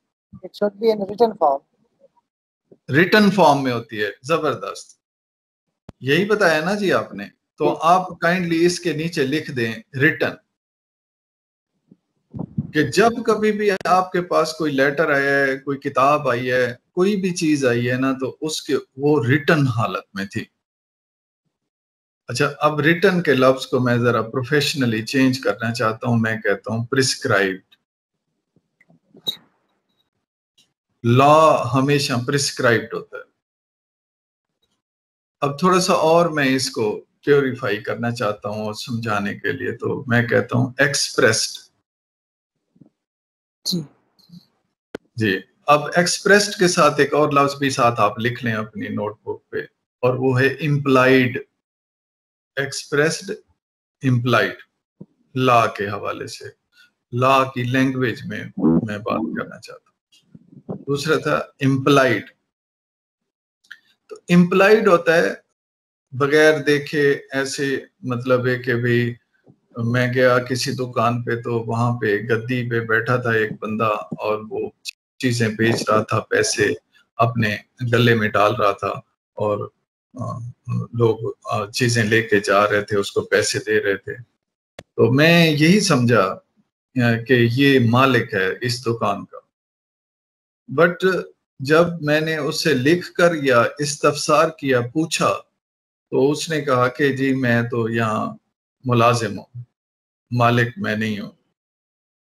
तो ये जो हम तस्वर कर लेते हैं अपने जहन में कि ये होगा, मैं इस वक्त आपसे बात कर रहा हूँ और अगर आप जो है ना, वो सुन रहे हैं तो माइट भी के स्टूडेंट हो, लेकिन जब तक पता नहीं चलेगा कि तो प्रिंसिपल साहबान हैं, इनके तो ये डीडीओ हैं, ये तो दरोगा बैतुल माल हैं इनके पास तो पब्लिक मनी दी गई है, और वो तो इसलिए दी गई है कि गवर्नमेंट का जो मंशूर है, और उसका जो विजन है, उसके मुताबिक इनको पैसे मिले हैं, जिसको इन्होंने कन्वर्ट करना है into goods services and works ताकि पैसों से इनको काइंड्स में कन्वर्ट कर दिया जाए ताकि कन्वर्ट कर दिया जाए, ताकि उसका बेनिफिट ट्रिकल डाउन हो के जिन लोगों के लिए स्टूडेंट्स हैं, वो कोई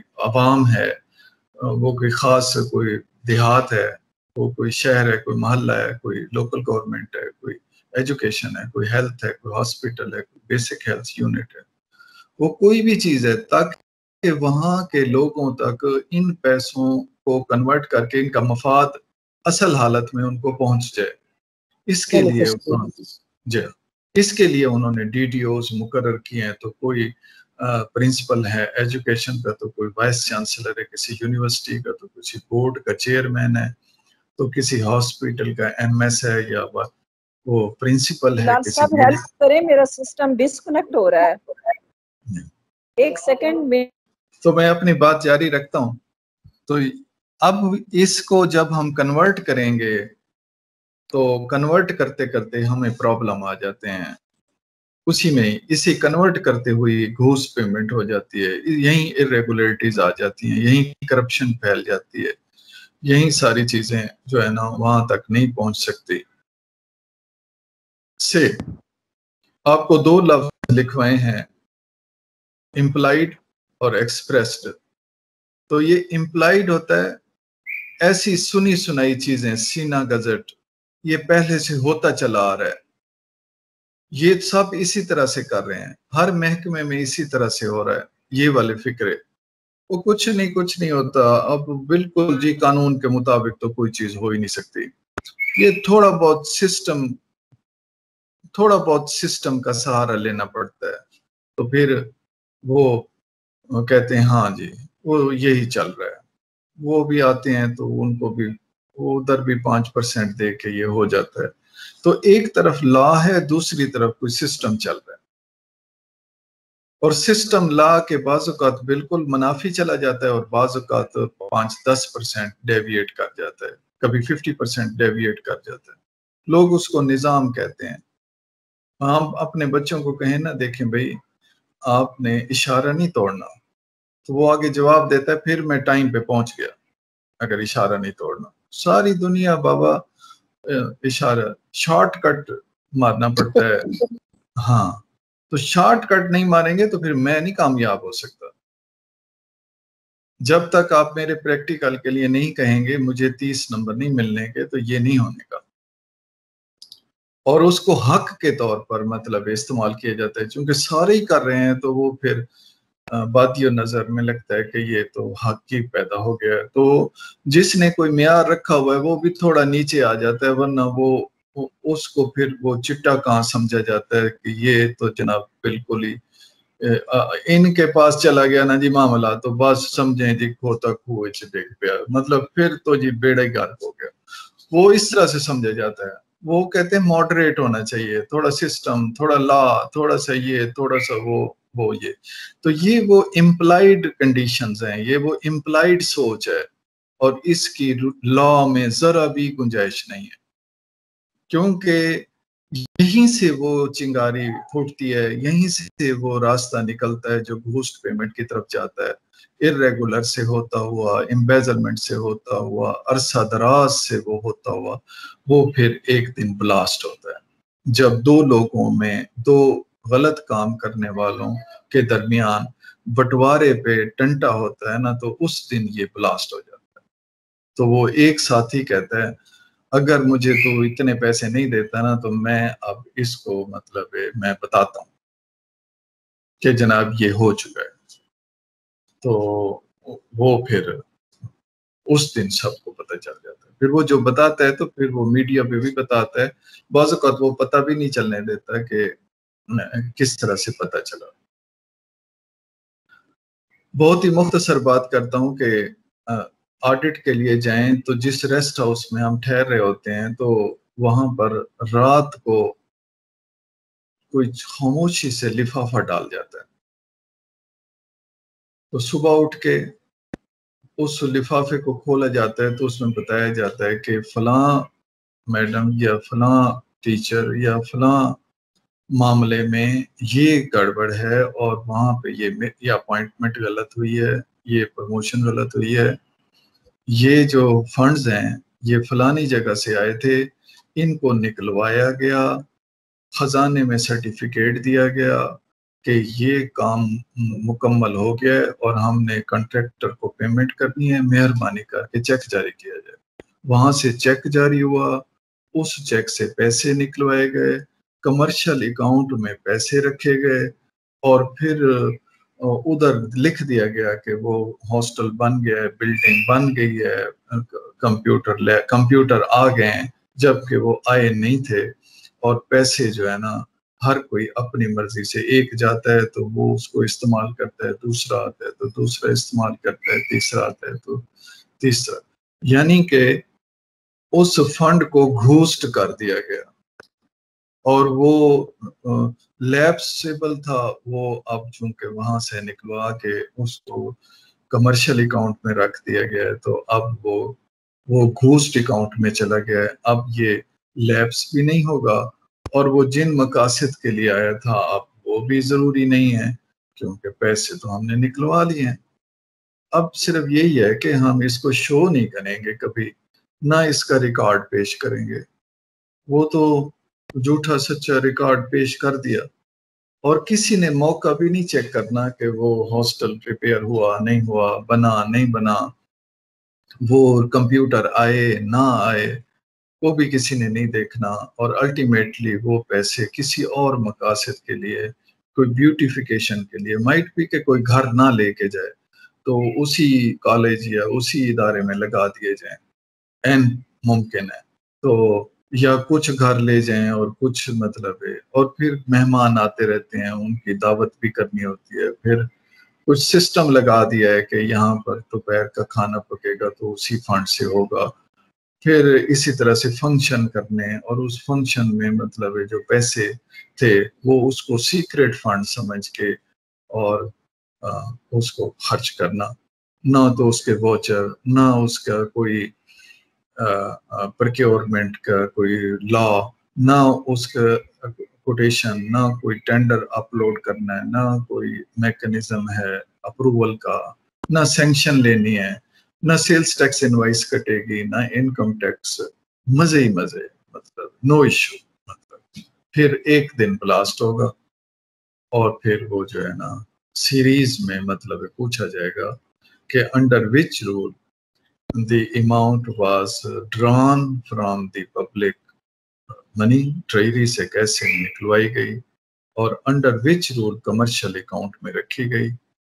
कमर्शियल अकाउंट तो बगैर फाइनेंस डिपार्टमेंट की अप्रूवल के खुलना नहीं था। अच्छा जी, ये कोई पुराना चला आ रहा था डीटीओ अकाउंट नहीं, ये कोई कॉलेज के फंड्स का अकाउंट था, उसमें रख दिए गए। भाई, वो तो फंड और था। ये तो कंसोलिडेटेड फंड से पैसे निकलवाए गए थे। ये तो उधर मिंगल अप नहीं करने थे। ये कैसे हो गए तो ना इसकी कैश बुक बनाई जा रही है, ना इसके अखराज लिखे जा रहे हैं, ना ही उसमें जो कोई इंटरेस्ट ऐड हो रहा है, ना उसको आमदनी ज़ाहिर किया जा रहा है। गवर्नमेंट से छुपा लिया गया। ये है boost placement of the funds payment तो एक और चीज़ है, उसकी तरफ़ भी चलते हैं। और इरेगुलरिटी ये है कि आपने प्रोसीजरल लैप्सेस में कोई डॉक्यूमेंट नहीं ले सके कोई कमेटी नहीं बना सके, कोई और छोटी मोटी आपसे गलती हो गई है, लेकिन फ्रॉड नहीं हुआ। जिस मकसद के लिए पैसे खर्च किए थे, वो मकसद पूरा हुआ। कागज़ी कार्रवाई में मार खा गया।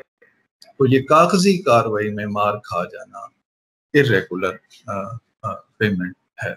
मसलन, आपने जो है, जब माल आया तो आपने ये नहीं चेक किया कि ये मैन्युफैक्चरिंग पैकिंग में है और वो जो सील उसके ऊपर लगी हुई है, वो इंस्पेक्शन कमेटी ने खुद खोली है।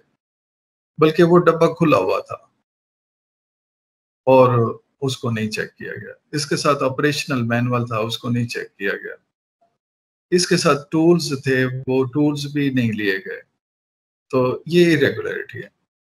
लेकिन अगर उसके अंदर मशीन जो है, वो चाइना की है और जर्मनी के वाले के पैसे थे, यानी कि माल ही बदल लिया गया है, ये इसमें जो पेमेंट होगी that will be ghost payment हाँ छोटी मोटी कोई मटेरियली कोई क्वालिटी में फ़र्क पड़ गया दैट इज़ इरेगुलरिटी लेकिन चीज़ ही दो नंबर दी गई है, सिरे से, वो वो घोस्ट पेमेंट है, वो गलत पेमेंट इसकी और भी बहुत सारी मिसालें देखेंगे।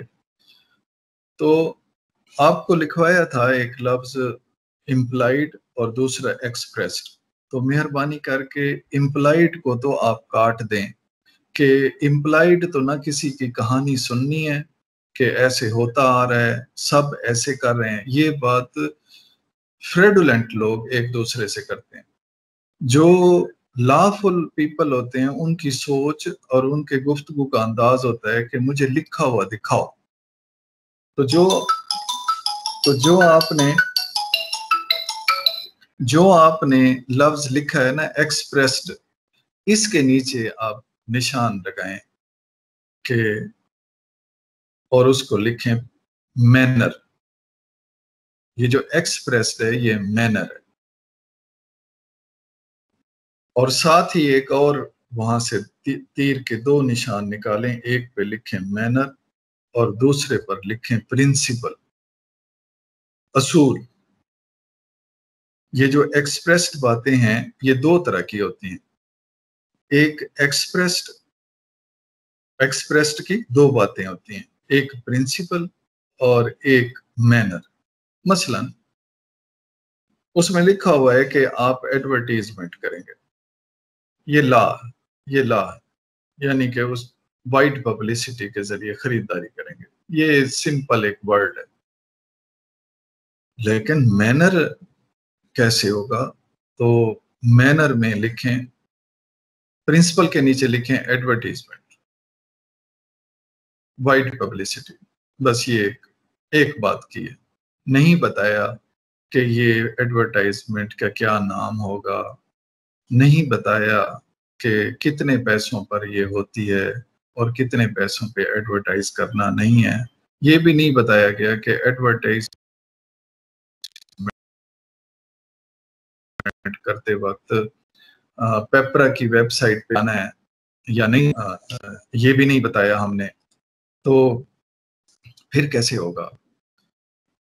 सिर्फ़ वाइट पब्लिसिटी का लफ्ज इस्तेमाल करने से तो कुछ नहीं होता। हमें तो बाकायदा ये चाहिए कि कि कोई बताए कि जब हम अखबार इश्तिहार देंगे तो खरीदारी में उसका नाम होगा टेंडर नोटिस। और जब हम वर्क्स करेंगे तो उसका नाम होगा D N I T demand notice inviting tender. और जब हम किसी सर्विस को हायर करेंगे तो फिर इसका नाम होगा ई ओ आई यानी एक्सप्रेशन ऑफ़ इंटरेस्ट गुड्स में जो है वो गुड्स की तादाद और स्पेसिफिकेशन होगी। जबकि सर्विस हायर कर रहे हैं, किसी को कंसल्टेंट रख रहे हैं या कोई और सर्विस प्रोवाइडर रख रहे हैं तो उसके उसके अंदर गुड्स नहीं होंगे, वो टी ओ आर होंगे, कि उसने परफॉर्म कैसे करना है। इसी तरह से जब डीएनआईटी में जब वर्क एग्जीक्यूट करवाएँगे या रिपेयर करवाएँगे तो उसके अंदर बीओ क्यू होगा। गुड्स नहीं होंगे, ना टीओ आर्स होंगे। उसके अंदर होगा B O Q bill of quantity यानी कि इतने स्क्वेयर फुट इतने क्यूबिक फुट इतने रनिंग फिट इस किस्म के यूनिट के साथ क्वांटिटी होगी। उसको हम बीओ क्यू कहते हैं कि ये फर्शबंदी है, ये चुनाई है, ये छत है, ये प्लस्तर है, ये इस तरह से अल्फाज होंगे। गुड्स में होंगे तो जैसे स्टेशनरी है कि जी वो ये स्टेपलाइजर है, ये जी हाइलाइटर है, ये पेपर हैं फलानी अस्सी ग्राम के और ये उसकी स्पेसिफिकेशन है, ये चीज़ें होंगी। और जब हम टी में जाएँगे तो उसमें होगा कि जी वो वो जो है ना, उसका इतना एक्सपीरियंस हो और वो जो है एमएससी हो सिविल इंजीनियर में या पीएचडी हो तो इतने और फिर वो उसकी फाइनेंशियल वर्थ उसकी में और बातें करेंगे, उसको मैयर करने के लिए। तो आपने देखा कि किस तरह से मतलब है कि वो एक पब्लिसिटी वाला कि उसमें पंद्रह दिन रिस्पांस टाइम हो, अगर इंटरनेशनल हो तो वो तीस दिन एडवर्टाइजमेंट का रिस्पांस टाइम होना चाहिए क्लियर कट और फिर अगर एडवर्टीजमेंट देते हुए कोई पहले एडवर्टीज हो जाए, से पेपरा और जो प्रिंट मीडिया पे है, वो बाद में हो, या प्रिंट मीडिया पे दो अखबारें हों, और वो जो है ना, कोई पहले छाप दे और कोई चार दिन के बाद छापे तो वो ये हम पंद्रह दिन कैसे गिनेंगे? तो ये वो मिटिगेटिव हैं, ये वो मैनर्स हैं, जिनका पता होना बहुत ज़रूरी है। सिर्फ़ वाइड पब्लिसिटी या लव्स एडवर्टीजमेंट जो प्रिंसिपल के तौर पर कहा गया है कि procurement should be made in the most open manner तो बस ये इस लफ्ज से तो नहीं पता चलता। इसके आ, आगे तो बहुत सारी तमीज़ें हैं इसके आगे तो बहुत सारे मैनर्स हैं इसके आगे तो बहुत सारी तरतीब है। तो वो जब तक उस तरतीब का नहीं पता चलेगा तो हम एडवर्टीजमेंट का जो मैार है उसके ऊपर नहीं पहुँच सकते। इसी तरह से एक और आसान करके मैं एक मिसाल दे दूँ, ये ज़रा थोड़ी कॉम्प्लिकेटेड थी। देखें, कुरान पाक एक सोर्स ऑफ़ लॉ के तौर पर उसमें लिखा हुआ है कि नमाज़ कायम करें। बस ये लिखा हुआ है, नमाज़ कायम करें। और कहीं भी नहीं लिखा हुआ कि कितनी मरतबा पढ़ना है, और कहीं भी नहीं लिखा हुआ कि किस अंदाज से पढ़नी है, खड़े हो के फिर दो जानों, फिर बैठ के और फिर उसमें क्या पढ़ना है, क्या नहीं पढ़ना और किस तरह से उसको ये करना और फिर उसके दर्जात के वो खुशू खुशू के साथ हो या भला, सारे मतलब मामला। तो वो हमें बताया, हज़रत मोहम्मद सल्लल्लाहु अलैहि वसल्लम ने कि भाई इस तरह से नमाज़ अदा की जाएगी और ये वो औकात हैं जिसमें नमाज़ जैसा नेक अमल भी नहीं इजाज़त। तो ये वो बातें हैं जो तो ये हर जगह जो हम अल्फाज इस्तेमाल करते हैं, उसके पीछे एक पूरा फिनमिना होता है, उसके पीछे पूरी एक गेम होती है, उसके पीछे पूरा सिलसिला और पूरा काम करने का अंदाज और काम करने की तमीज होती है और वही सबसे ज़्यादा अहम होती है। फ़र्ज़ करें, इस मिसाल को मैं एक और अंदाज में अर्ज़ करता हूँ ताकि फिर हमें गोस्ट और ये सारी पेमेंटों का आज ही अंदाज़ा होना चाहिए। बल्कि आपको अल्फाज और ये दरो दीवार आपको बोल कर बताएँ कि समथिंग इज़ रॉन्ग नहीं बल्कि this thing has been done wrong ताकि आपका इदराक पैदा हो जाए, आपकी सोच पैदा हो जाए कि हमने इसमें फ़र्क कैसे रखना है और ऐसी चीज़ को नहीं होने देना। That depends upon your thinking अब क्या हुआ कि जब आपने इस बात को आगे लेकर गए कि जी ये तो सिर्फ़ एक लफ्ज और एक ला में की हुई एक बात काफ़ी नहीं है, उसके पीछे तो पूरा सिलसिला है। तो इसको एग्जामिन करें और इसका एग्ज़ाम्पल सुने।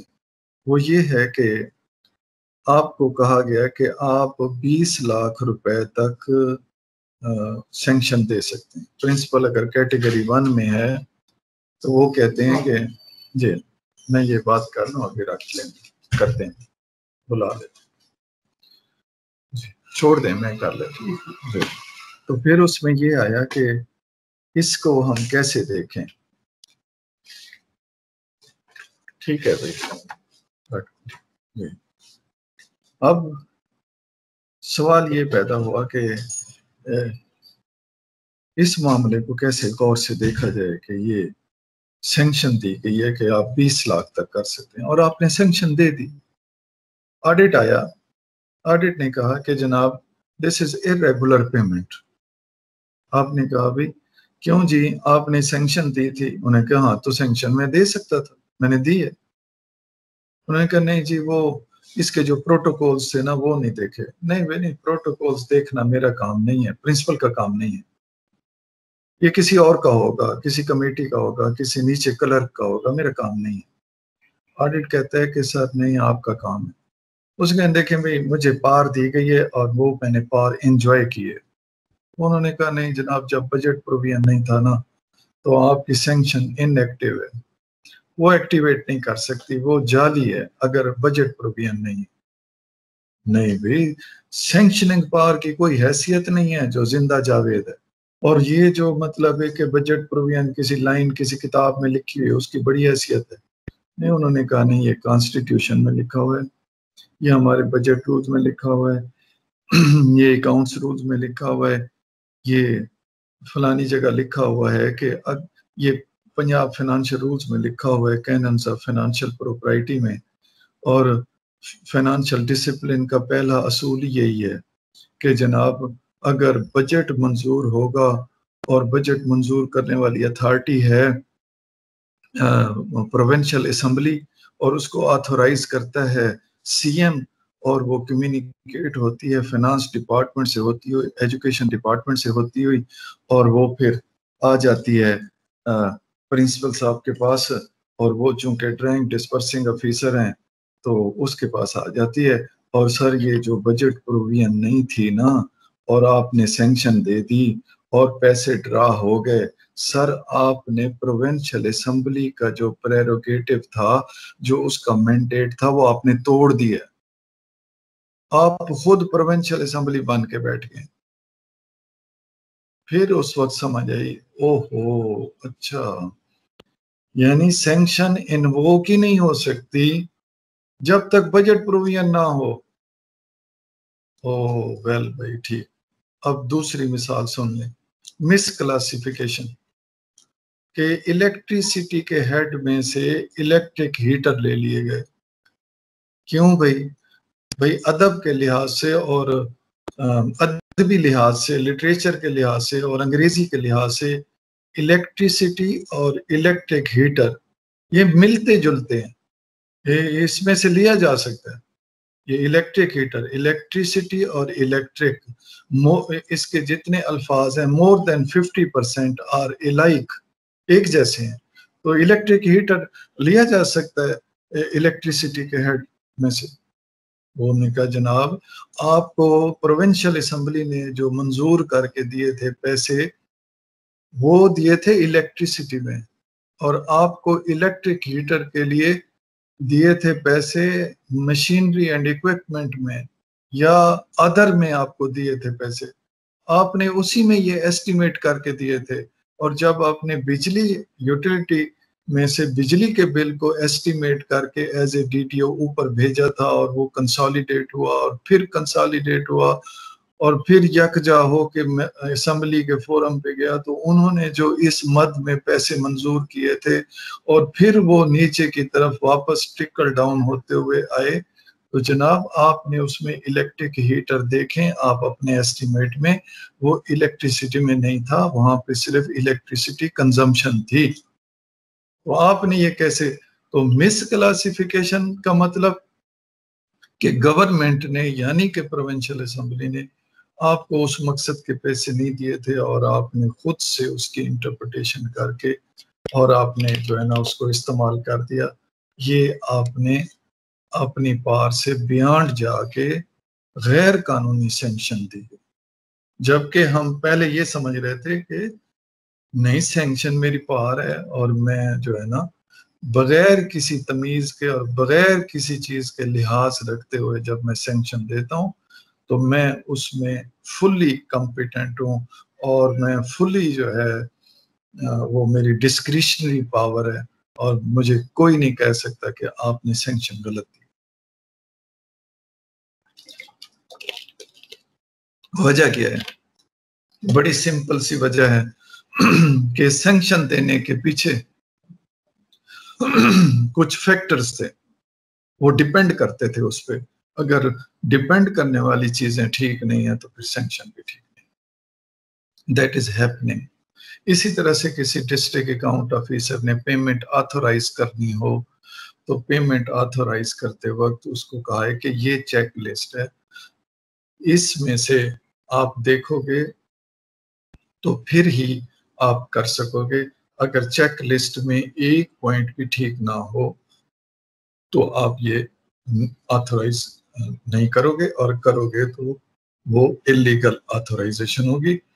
और उस सिलसिले में अगर पैसे ड्रा हो गए तो फिर पैसे ड्रा होने की सूरत में उसकी ज़िम्मेदारी आप पर होगी क्योंकि आपने वो पैसे निकलने में सहूलत पैदा की।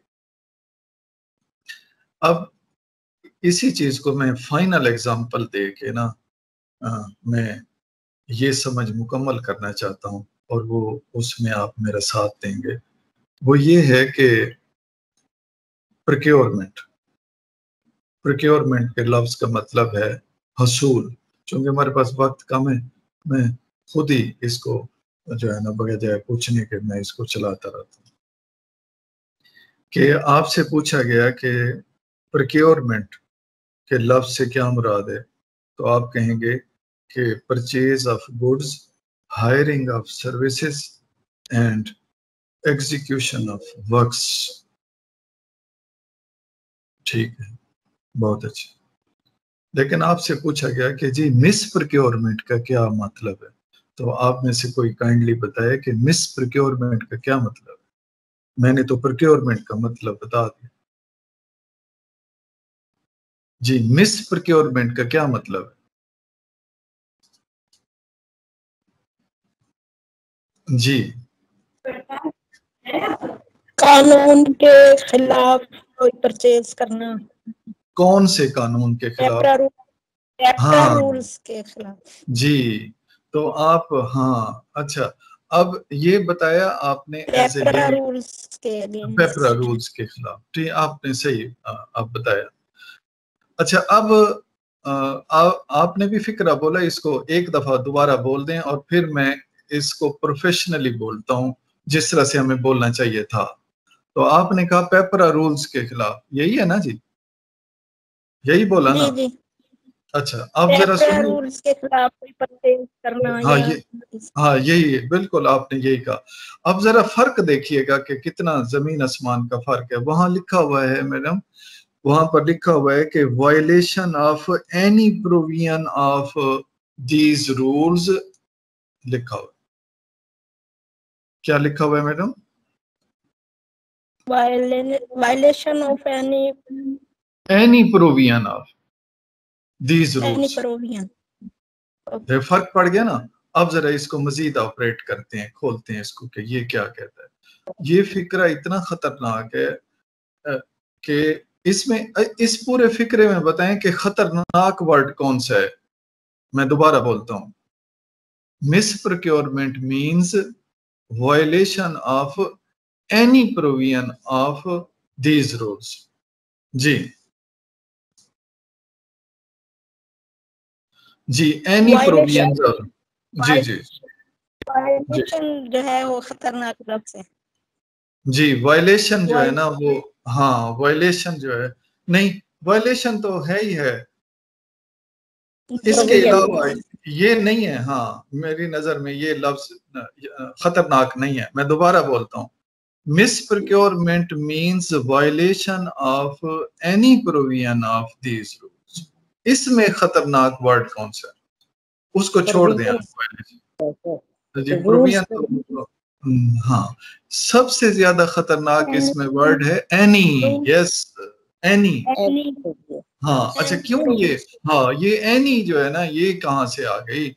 ये एनी को देखें कि ये क्या? अब आप बताएँ कि आपने प्रोक्योरमेंट रूल्स तो किताब देखी होगी ना? तो एनी से क्या मुराद है? एनी हाँ एनी से मुराद हाँ एनी से क्या मुराद है?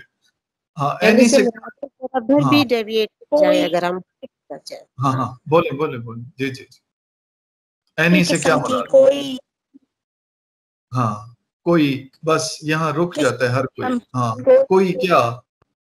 सब लोग यहाँ रुक जाते हैं कोई क्या?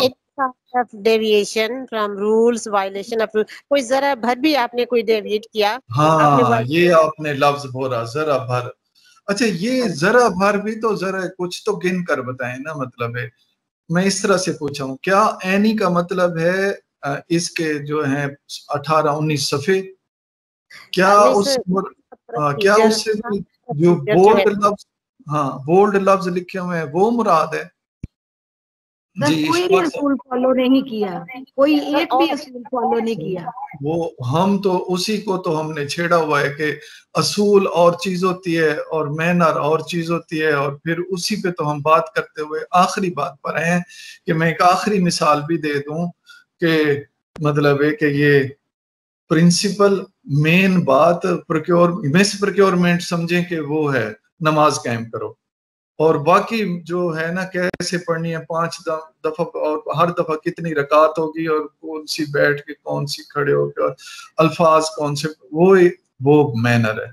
तो मिस प्रोक्योरमेंट का भी यही हाल है कि नमाज़ कायम करो मीन्स प्रोक्योरमेंट मिस प्रोक्योरमेंट को वहाँ रख दें, अब इसके मैनर में आ जाएँ। और वहाँ से लफ्ज निकाला है हमने एनी तो क्या एनी वर्ड क्या एनी सेंटेंस क्या any paragraph of these rules या एनी कॉन्सेप्ट हाँ और any idea of these rules क्या ये हाँ क्या ये वेरी नहीं करेगा मैन टू मैन क्या आप में से कोई कहेगा मैं आपसे पूछूँ कि हाउ मैनी एनी को एनी को हम ऑपरेट कर रहे हैं इसको इसका ऑपरेशन क्या any means any idea any compliance any compliance yani what did it means? Any कोई भी गलती।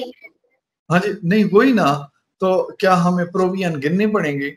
तो फिर आप में से आ, मतलब इशफाक साहब कहेंगे कि नहीं मेरे मुताबिक तो जो है ना इसमें सौ प्रोवियन है जिनका ध्यान रखना है। मैडम कहेंगे कि नहीं नहीं। ये तो दो सौ प्रोवियन है। और मैंने इसमें गिने हैं वो दो सौ पैंसठ है। आप कहेंगे कमाल है। ये दो सौ पैंसठ प्रोवियन कहाँ से आ गई? मतलब हाँ। वो आप कहेंगे ये दो सौ जी आप बोलें सर। जी बोले। जी तो वो होगा कि एनी मतलब बड़ा एक्सक्यूज मी सर आपकी आवाज़ कट कट कर आ रही है ना तो इसलिए बात समझ में नहीं आ रही। अच्छा मैं दोबारा समझा। एक्सक्यूज मी आपकी आवाज़ कट कट कर आ रही है तो इसलिए बात समझ में नहीं आ रही। अच्छा मैं सर हम जो चीज़ कर जी जी। जी जी बोले बोले बोले। जी सर मेरा ख्याल है कि एनी से मुराद है ईच एंड एवरी रूल जो भी वहाँ पे उन्होंने एक्सप्रेस किए हुए हैं जबरा रूल हाँ। जितने भी हैं वो उसमें से हर चीज़ उनके हर पॉइंट जो है वो इम्पोर्टेंट है। जी पैंसठ पैंसठ रूल्स हैं फिर पैंसठ बातें हो गई। पैंसठ रूल हैं करेंगे जो सी परचेज हम करेंगे तो उसके मुताबिक करेंगे ना। जी उसके मुताबिक। ज़बरदस्त बात की। तो इसका मतलब ये है कि जब तक हम कोई चेक लिस्ट नहीं बनाएँगे कि कंसल्टेंसी हायर करनी हो तो इस तरह से और गुड्स करने हो तो इस तरह से और फलानी चीज़ करनी हो तो जब तक हम उसके प्रॉपर मैनर्स जो हैं, उसकी एक एक छोटी छोटी बात की अपने सफ़ेद कागज़ पर डरार से निकाल के और खुद से बैठ के टेक्निकली इन तमाम एनीज को जमा करके वो किसी की नज़र में सौ हो, किसी की नज़र में डेढ़ सौ हो, जब तक हम वो तैयार नहीं करेंगे, हम वो काम सही तरीके से नहीं कर सकेंगे। अच्छा एक बात का जवाब दे दें। आपकी नज़र में वो सौ थे एनी सौ एनी थे एनी प्रोवियन और उसने कह दिया कि एनी प्रोवियन अब जरा एनी का एक और मतलब है, देखें, ये हमें घोस्ट पेमेंट रोकनी है तो हमें इतने हद तक अंदर जाना पड़ेगा, इस मामला को, इनको देखना पड़ेगा। तो आप जरा देखें कि आपने खुद से लिस्ट बनाई और वो सौ थी, किसी खास प्रक्योरमेंट के लिए। अच्छा जैसा कि आपने कहा अच्छा अब क्या हुआ कि आपने 99 जो है ना ऑब्ज़र्व किए, वो तमाम चेक लिस्ट में, वो तमाम प्रोवियंस आपने ऑब्ज़र्व किए। वेरी गुड एक जो इनसिग्निफिकेंट थी ना वो रह गई। बाई चांस बाई चांस रह गई। आप बताएँ कि whether this procurement shall be good procurement और मिस प्रोक्योरमेंट जी। सर वो भी मिस हो जाएगी। मिस वो भी मिस हो जाएगी। बस मैं यही बताना चाहता था कि ये एनी कितना खतरनाक है। ये ये नहीं कहता कि भी मतलब सौ में से फिफ्टी परसेंट आपने कर लिया तो वेल एंड गुड वो कहते हैं नहीं एक भी नहीं छोड़नी। कंडीशन ही ऐसी लगा दी है। हाँ। तो आ, क्या मैं आपको लफ्ज एनी समझाने में कामयाब हो गया हूँ with reference to misprocurement principle हाँ। Sir hundred percent hundred percent अब हम जाते हैं इरेगुलरिटीज पर और दूसरे चीज़ों पर और उनको इन इस सोच को सामने रखते हुए हम फिर एक थिन लाइन लगाएँगे कि वो घोस्ट पेमेंट कौन सी होती है और वो कौन सी होती है और फिर देखेंगे कि कहीं हमारे पास तो नहीं हो रही।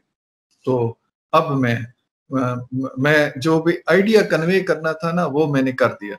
अब हम इसको इंटरेक्शन के साथ मुख्तलिफ़ मिसालें और कौन सी घूस पेमेंट है, कौन सी घूस पेमेंट नहीं है, इसके कॉन्सिक्वेंसेस क्या हैं, उसको हम बाद में देखते हैं। तो एक है diverse perspective of ghost payment in public sector के लोगों को ये समझ ही नहीं आती जब वो पब्लिक फाइनेंस को मैनेज कर रहे होते हैं कि हमने तो बजट ही गलत बनाया था। अगर फ़र्ज़ करें कि आप गलत बजट बना के भेज दें पे एंड अलाउंसेस का तो फिर क्या होगा? फिर क्या होगा? आपने गलत बजट बना के भेज दिया। गलत बजट बन गया तो कोई बात नहीं, हम वापस कर देंगे। लेकिन क्या हुआ कि आपका जो क्लरिकल स्टाफ था, वो जाके की पंच ऑपरेटर को मिला। ये गौर से सुनिएगा कोई लिखना चाहे तो हिंट लिख ले खाके के तौर पर। बजट गलती से हमने 150 लोगों को को जरब देनी थी 12 से और वो हमने ए, डबल कर दिया। ढाई सौ से हो गया एक की जगह दो लिखा गया सौ लोगों की तनख्वाह ज़्यादा आ गई। अब मैडम को पता चलेगा बहुत मारेगी। ये मैं रियल टाइम आपको सुना रहा हूँ। तो आपको नहीं पता फिगर लिखे हुए हैं बजट आ गया हाँ आपके पास आया, आपने साइड पे मार्क किया, वो जाके बजट रजिस्टर में चढ़ गया और क्लासिफाइड एब्स्ट्रैक्ट में लिखा गया। कभी किसी ने पे रोल जब आते हैं तो वो पे एंड अलाउंसेस को उस बजट रजिस्टर में डेबिट क्रेडिट ही नहीं करते कि पीछे कितने पैसे रह गए। रिवाज ही नहीं है, किसी को ज़रूरत ही नहीं है। आपको भी ज़रूरत नहीं है, मुझे भी ज़रूरत नहीं है, क्यों? सैप सिस्टम से पेमेंट आ रही है, डायरेक्ट अकाउंट में जा रही है, बस बात खत्म। इसमें सोचने वाली कौन सी बात है? बिजली के बिल आ रहे हैं, बिजली के बिल जा रहे हैं सुई गैस के बिल आ रहे हैं सुई गैस के महकमे को जा रहे हैं टेलीफोन के बिल आ रहे हैं, टेलीफोन के महकमे को। इसमें सोच विचार की क्या ज़रूरत है? बस वो जो खरीदारी है, बस थोड़ा सा उसमें गौर करके देख लो। बाकी तो किसी चीज़ में गौर करने की ज़रूरत नहीं है। अब क्या हुआ कि हमारा क्लर्क गया और वो तो खजाने जाता रहता है। वो की पंच ऑपरेटर को मिला और उसने कहा, यार, एक मसला हो गया। कि क्या मसला हो गया? यार, वो ना एक करोड़ रुपए ना बजट में ज़्यादा मांग बैठे हैं और वो आ भी गए हैं। ऊपर भी किसी ने कंसोलिडेट करते वक्त डीपीआई ने भी नहीं देखा हायर एजुकेशन डिपार्टमेंट ने भी नहीं देखा, आगे फाइनेंस वाले भी अन्य बैठे थे, उन्होंने भी नहीं देखा। और वो जो है ना, अब सैप में इधर मतलब है कि भाई आपके पास आ गए हैं पैसे। यार इसका क्या करें? तो उसने कहा तो कल आना, फिर हम बताएँगे। तो फिर कल गया, उसने कहा, यार, अब यही हाल है कि हम इसको निकलवा लें। उसने कहा, ये कैसे मुमकिन? है उसने कहा, नहीं, वो मुमकिन है। बस तू तकड़ा रहे। उसने कहा, किसी को पता तो नहीं चलेगा। ये घोष्ट बातें हैं। किसी को नहीं पता होता और ये वहाँ हो रही होती हैं। तो उसने कहा, यस मतलब है कि करेक्ट बिल्कुल ठीक है, ऐसे कर लेते हैं मतलब उसने कहा, फिर कैसे होगा? उसने कहा, बजरिया ट्रांसफ़र एंट्री उसने कहा, यार, मुझे तेरी बात समझ नहीं आई। उन्हें कहा तो आहिस्ता आहिस्ता समझ जाएगा। ये हमारे कॉलेज का कलर कह रहा है। और वो जो की पंच ऑपरेटर खजाने में बैठा है, वो कह रहा है कि, तुझे सारी बात समझा दूँगा। उसने कहा, जी, ठीक है। तो उसने कहा, जब पे रोल चलेगा ना तो जो पे रोल है ना तो आपने क्या करना है कि वो पे रोल किसी को दिखाना नहीं। वो वो पे रोल आपने किसी को दिखाना नहीं। उसने कहा, ठीक है, नहीं दिखाऊँगा। चलो भाई। तो वो आप हालाँकि होना चाहिए कि वो प्रोफरेटेड कागज़ पर, जिसके आखिर में सुराख होते हैं ना, थान की तरह होता है कागज़, उस पर प्रिंसिपल के पास आने चाहिए, ताकि वो फिजिकली रिकॉर्ड हो और वो उसको देखा जा सके कि ये यहाँ से शुरू होता है। जैसे आप इनकम टैक्स की रिटर्न भरते वक्त नेशनल बैंक से या आपने किसी हबीब बैंक से उन्हें कहते हैं ना कि मेरे बैंक अकाउंट का पूरे साल का नक्शा दे दो तो वो जो आपको नक्शा देते हैं तो वो नक्शा जो आप लेकर आते हैं, वो उसके मुताबिक होना चाहिए तो वो नहीं आ रहा, वो नहीं आ रहा। खत्म हो गई बात। वो क्या है? यूएसबी में ले जाते हैं और यूएसबी में वो जो है ना, वहाँ पर वो लगाया जाता है और वहाँ से उसको इंपोर्ट करके और उसको एक्सेल में कन्वर्ट करके ले आते हैं। तो ये डाटा तो रिलायबल नहीं है। ये तो घूस डाटा है। इसमें तो वो निकाले जा सकते हैं, बहुत सारे पेजेस मतलब काटे जा सकते हैं और जी शबाज साहब, आपकी बात। जी जी। जी, मैं सुन रहा हूँ। सवाल। जी, सवाल था कोई शबाज साहब? हेलो। अच्छा जी, चलो मैं अपनी बात जारी रखता हूँ। अब क्या हुआ कि उन्होंने कहा, जी, ठीक है, आप मतलब है कि भाई, ये सारे पैसे तेरे खत्म हो जाएँगे। और, तेरे ऊपर कोई बात ही नहीं आनी। लेकिन जब हम ये एक करोड़ रुपया निकलवाएँगे तो पिचहत्तर लाख मेरे होंगे, पच्चीस लाख तेरे होंगे। उसने कहा, ये तो बड़ा मज़ा हो गया, ये तो बड़ी अच्छी बात है। तो उन्होंने कहा, जी ठीक है। तो वो हर महीने वो जो है ना घूस्ट बंदे उस पेरोल में शामिल किए जाते थे। और जब, और उन वो जो हर महीने सौ बंदों की तनख्वाह जारी होती थी। वो सिर्फ़ एक अकाउंट में ट्रांसफ़र होती थी। अब प्रिंसिपल साहब, आप सारे बैठे हैं। आपको क्या पता कि डिस्ट्रिक्ट अकाउंट ऑफ़िस के जो कंप्यूटर में जो प्रिंटर वो बैठा हुआ है, जो वहाँ पर हमारी प्रोविज़न को पंच करता है, वहाँ क्या हो रहा है? यू डोंट नो और आपको एक्सेस भी नहीं है। और जिस तरह उनको सहूलत हासिल है, इसी तरह आपको as a D T O SAP पर कोई दस्तरस हासिल नहीं है कि क्या हो रहा है, किधर पैसे आ रहे हैं, किस डीडीओ के, किस डीडीओ को चार्ज हो रहे हैं, किस फ़ंक्शन के, किस फ़ंक्शन को चार्ज हो रहे हैं, कौन सी एंटिटी के, यानी एजुकेशन के पैसे हेल्थ को चार्ज हो रहे हैं, ये सारा हो क्या रहा है? यू डोंट नो आपके पास कोई भी सबूत नहीं है। आप अपने कमरे में ठंडे में बैठे हुए हैं और वो बिल ले आता है। वो वो बिल ले आता है और आप जो है ना वो, बिल पास हो जाता है। और आप उसको सेंक्शन दे देते हैं, वो वहाँ से चला जाता है। उसके बाद अल्लाह जाने वो किधर गया, उसके पैसे किधर गए। वो चेक आया था, कितने मतलब सीरीज़ में चेक जारी किए हैं, कितने सीरीज़ में बिल भेजी बैठे हैं, कोई पता ही नहीं, कहीं रिकॉर्ड ही नहीं हो रहा है, कोई कंटीजेंट रजिस्टर नहीं, कोई इंडेंट रजिस्टर नहीं, कोई मतलब है बैंकों में पैसे किस तरह से जा रहे हैं। कभी किसी बैंक से हमने ये तफसील ही नहीं ली कि हमारे जो कॉलेज में जितने प्रिंस साहिबान हैं टीचर हैं, या किसी भी, या पुलिस है या कोई एजुकेशन डिपार्टमेंट है, इनमें कितने लोग हैं और उनकी तनख्वाह डायरेक्ट सुना तो है जा रही है। तो ये तो देखें कि वो जाने के बाद किधर जा रही है, क्या कोई बैंक वापसी कोई ऐसी रिकन्सिलेशन दे रहा है कि आप फला डीडीओ के इतने पैसे ड्रा हुए हैं, कोई भी नहीं दे रहा। खत्म हो गई बात। सब चीज़ें घूस्ट में चली गई और ऊपर से नाम आया आईटी सिस्टम आईटी में कैसे गलती हो सकती है? तो ये हुआ। तो फिर क्या हुआ कि हर महीने सौ लोगों की तनख्वाह और अलाउंसेस जो कि इत्तेफाक से गलत बजट हासिल हो गया था, वो उधर मतलब निकलता रहा और किसी खास अकाउंट में या चंद खास अकाउंट में जाता रहा और वो फिर बैंकों के ज़रिए ड्रा होता रहा, क्योंकि हमारी बैंकों के साथ डीडीओ की कोई रिकन्सिलेशन नहीं है। हाँ अलबत् डिस्ट्रिक्ट अकाउंट ऑफ़िस के साथ हमारी रिकन्सिलेशन का सिस्टम मौजूद है। अब क्या हुआ कि ब्लास्ट हुआ। उन दोनों लोगों के दरमियान टंटा हुआ, पैसों की तकसीम पर। तो क्लर्क ने कहा, पहले तो मुझे 25 दे रहा था और सारा तेरा आइडिया था। यू आर दी कारपोरेट और उसने कहा कि उसने बता दिया। अब इस बात को भी तीन साल गुजर चुके थे और ये होता चला आ रहा था। तो ये क्या हुआ? प्रिंसिपल साहब को बुलाया गया, प्रिंसिपल साहब को बुलाया गया और पूछा गया कि भैया, आप बताओ उनके जी, मुझे तो कोई पता नहीं। ना मैंने सेंक्शन दी है। पहले होता था बिल हम बनाते थे, खजाने भेजते थे भाई।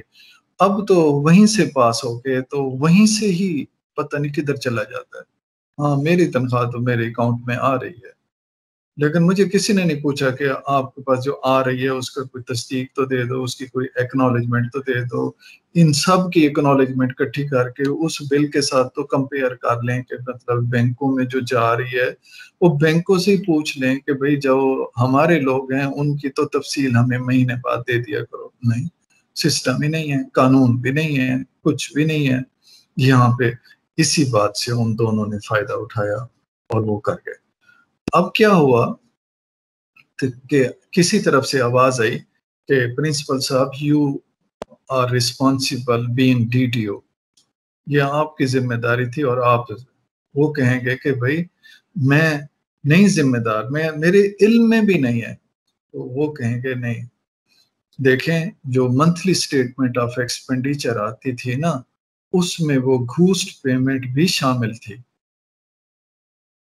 वो सौ लोगों के पैसे, जो छह लोगों के, जो प्राइवेट थे, उनके उधर जा रही थी। उधर जा रही थी।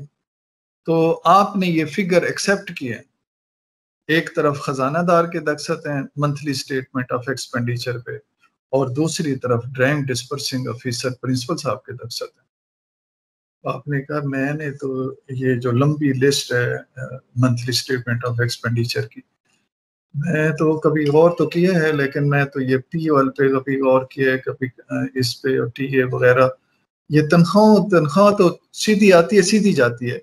ये जो यूटोपिया है ना, सीधी आती है, सीधी जाती है। ये सीधी आती, सीधी जाती नहीं है।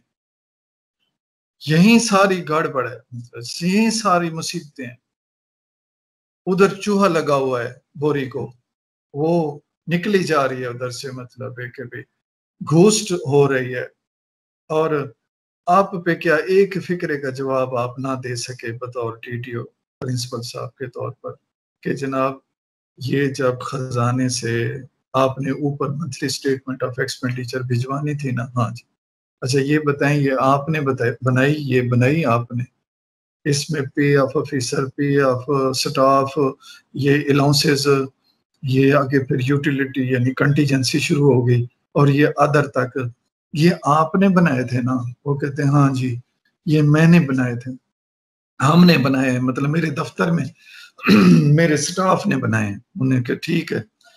तो फिर उन्होंने बनाए ना तो फिर इसमें तो वो फिगर भी शामिल थी ना, जो घोस्ट पेमेंट हुई है। उसने कहा ओ ये तो मैंने देखा ही नहीं। उन्होंने कहा, जनाब, आपने तो फिगर एक्सेप्ट किए अब खजानादार से पूछा गया। इंक्वायरी ऑफिसर उससे पूछ रहे हैं हाँ भी आप बताएँ। वो कहता है, सर पेमेंट तो गलत ड्रा हुई है। ठीक है। लेकिन, इनसे पूछें डीडीओ से पूछें कि इन्होंने ये गलत फिगर क्यों डाल के दिए? आप कहेंगे, वो तो यूएसपी में लेके आता है। आपको चाहिए था ना कि प्रोफरेटेड कागज़ पर, सबूत के तौर पर मतलब प्रिंट करके देते ना तो वो मैं उसका ज़िम्मेदारी भी लेता। उसमें मुझे जब पता चलता कि सौ लोग कोई और भी हैं सिमिलर बक्कल नंबर के और सिमिलर सी एन आई सी के और सिमिलर नेम्स के तो आप कहेंगे कि ये जो यूएसबी में लाता था, वो भी इसी के पास होती थी कंप्यूटर भी इसी के पास होता था, ये जो मंथली स्टेटमेंट प्रिंट करके ले आता था खूबसूरत किस्म की। ये भी इसी के पास। मुझे क्या पता कि पे एंड अलाउंसेस में सौ लोगों जायद हर महीने पेमेंट हो रही है और फिर बजट भी हर साल मंगवाया जा रहा है और ये कब से हो रहा है? और मैं तो अब भी पूछ रहा हूँ, भला ये कैसे हुआ है? तो ये मासूमियत जो है, ये क्रिमिनल मासूमियत है। ये नहीं चलने वाले। तो फिर क्या होगा कि उधर खजाने वाले को जब देखा जाएगा तो वो एक जो पंच की पंच ऑपरेटर है, वो हर दफ़ा जाता था खजानेदार को हर महीने। सर, ये गलती से पैसे जो है ना, वो क्रेडिट हो गए हैं, मेहरबानी करके ट्रांसफ़र एंट्री की इजाज़त दी जाए। तो वो उधर से अपना हिसाब भी पूरा करता था ताकि सीजीए इस्लामाबाद में बैठे हुए लोग भी इसको पकड़ ना सके। And it was happening and it was happening everywhere और फिर अरबों रुपए ड्रा हो गए। चीज़ों को देखा जा रहा है। एक एक बात को देखा जा रहा है। तो वो कैसे हो गया? ये इस तरह से हो गया। तो अब मैं इस पूरी कहानी को केस स्टडी के तौर पर सम अप करते हुए मैं आपको अर्ज़ करता हूँ कि ये ऐसा नहीं है कि आपकी तनख्वाह के में मतलब है कि इंक्रीमेंट आपको नहीं लगनी थी क्योंकि आखिरी छः महीने में आपकी प्रमोशन हुई थी और वो रिफिक्सेशन में भी फ़ायदा नहीं होना था लेकिन गलती से खजाने वालों ने आपकी भी एनुअल इंक्रीमेंट लगा दी। वो ठीक है वो एक्सेस पेमेंट है वो यहाँ है वो आ, वो रिकवर हो जाएगी और वो वो ये ये घूस पेमेंट नहीं है। गलती से हुआ है सेवन हुआ सौ लोगों की तनख्वाह तो गलती से नहीं हो सकती ना। ये। अच्छा ये है मैंने बताया कि इलेक्ट्रॉनिकली घोस्ट पेमेंट किस तरह से हो रही है और फिर वो होती चली जा रही है। तो जब केस स्टडी में हम आते हैं तो फिर वहाँ छोटे छोटे सवाल करके समझाया जाता है कि ये कैसे हुआ। तो मैं आपसे सवाल करता हूँ, वो ये कि जनाब, ये जब आपने बजट बना के फाइनेंस डिपार्टमेंट को या डीपीआई को भिजवाया था तो क्या आपने ये तसल्ली कर ली थी कि मेरे जितने सेंक्शन स्ट्रेंथ है, मैं सिर्फ़ उन्हीं के अगेंस्ट पैसे मांग रहा हूँ? ये तसल्ली की थी? जी, नहीं की थी। क्या आपने ये तसल्ली की थी कि जो मैं पैसे, जो हाजिर सर्विस हैं, उनकी तनख्वाह पे स्लिप और जो नीचे स्टाफ है, उनकी जो तनख्वाह फिक्स की हुई है सर्विस बुक में, उसके मुताबिक आपने उसको बारह से ज़रब दी थी। फिर इंक्रीमेंट भी आपने छह महीनों से ज़रब दे के उसमें जमा की थी। तो ये देख लिया था कि जिसकी इंक्रीमेंट लगती है उसी की ही लगानी थी। क्या जो बारह, बीस, पच्चीस पोस्टें खाली थी, उसका एस्टिमेट आपने एवरेज के मुताबिक लगाया था तो फिर वो तो इतने पैसे तो नहीं बनते जितने आपने बना के भेजे। इसका मतलब आपने नियतन पहले बजट जैद बना के भेजा है ताकि हम उसको खुर्द बुर्द कर सकें कभी कंटीजेंसी की तरफ़ थ्रू ट्रांसफ़र एंट्री और कभी नजायज बंदे डाल के और डायरेक्ट पेमेंट एंड अलाउंसेस में से सिमिलर नामों के। तो जब आपने उनसे आ, आ, कहा कि मुझे शेड्यूल ऑफ़ पेमेंट दिखाओ और मुझे वो प्रोफरेटेड कागज़ पर प्रिंट दो तो आपको पता चला कि भाई सेम नाम के कई कई लोग उसमें शामिल हैं और सेम मतलब है कि जो शनाख्ती कार्ड है और सेम पर्सनल नंबर पर वो डाले गए हैं क्योंकि जिसके हाथ में कंप्यूटर था उसके पास ये अपॉर्चुनिटी थी कि वो कट पेस्ट करके जितने बंदे बंदे डाल दे क्योंकि उधर बजट प्रोविज़न तो मौजूद है। अब जब ये मामला सैब तक गया और सीजीए तक जाएगा तो वो ये कहेंगे कि नहीं भाई हमने तो सुप्रीम कोर्ट के कहने पर पे एंड अलाउंसेस में तो हमने चेक ही नहीं लगाया। ये जो कंटीजेंसी है, उसमें तो जायद पंच कोई कर ही नहीं सकता। वो तो सिस्टम उसको उठाता ही नहीं उस पेमेंट को। लेकिन पे एंड अलाउंसेस को हमने ओपन रखा हुआ है। भाई, इसको क्यों ओपन रखा हुआ उस ओपन रखने की वजह से, चलो गलत पैसे आ ही गए थे तो ड्रा तो ना हो सकते। अच्छा चलो ड्रा हो सकते थे तो मंथली स्टेटमेंट ऑफ़ एक्सपेंडिचर की वेरिफिकेशन कैसे हो? गई बगैर मतलब है कि वहाँ से फिकर लिए, बगैर शेड्यूल ऑफ़ पेमेंट लिए, और बगैर कागज़ी सबूत लिए, जैसे कंपिटेंट एविडेंस कहते हैं। तो ये यूएसबी और ये सारी चीज़ें दीज आर स्कूल अब दूसरी मिसाल सुने स्कूल आ, क्या आप समझते हैं कि ये बात आपको समझ आ गई कि किस तरह से गोस्ट पेमेंट की जाती है? ये सर ये तो है लेकिन क्या क्वेश्चन रेज कर सकते हैं? जी बिल्कुल कर सकते हैं। सर ऐसा है कि हाँ बजट का पूरा एक डिपार्टमेंट है फाइनेंस डिपार्टमेंट है ठीक है सर जी एक प्रिंसिपल बनाती है तो वो कंसोलिडेट डायरेक्टरेट से भी जाता है। फिर वहाँ ऊपर भी जाके चेक होता है। तो वो भी तो कभी चेक कर लिया करें कि अगर इन्होंने एक बार इतनी सीटीआई दी थी तो अब इन्होंने भी ज़्यादा दे दी या कम दे दी तो कहाँ वेरी कहाँ ये वेरी कर रहा है? तो फिर वो कांटेक्ट कर लें। उनकी भी तो रिस्पॉन्सिबिलिटी है ना। जी जी बिल्कुल। लेकिन उनको रिस्पॉन्सिबल ठहराने से आपकी या मेरी रिस्पॉन्सिबिलिटी तो नहीं खत्म होने वाली ना? सर नहीं होते है लेकिन फिर भी सर हम टीम है ना। यहाँ से अच्छा, शुरू होते हैं अच्छा क्या मुझे क्या मुझे ये कहने दें कि क्या आप और मैं रिस्पॉन्सिबल होते तो ये होता ही ना? हाँ, हाँ अच्छा मुझे ये कहने दें कि क्या ये बात सुनने के बाद हम देख लें जरा जाके कि क्या हुआ पड़ा है? कहीं वो तो नहीं हुआ पड़ा जो हर जगह हो रहा है आजकल? वो हमारी रिस्पॉन्सिबिलिटी है लेकिन सारे अगर देखें तो लेकिन पता हाँ ये ट्रेनिंग होगी तो पता चलेगा ना कि भाई हमने तो एक एक चीज़ को दूसरे के साथ कंपेयर करना था। जी sir ji sir yes sir you are right.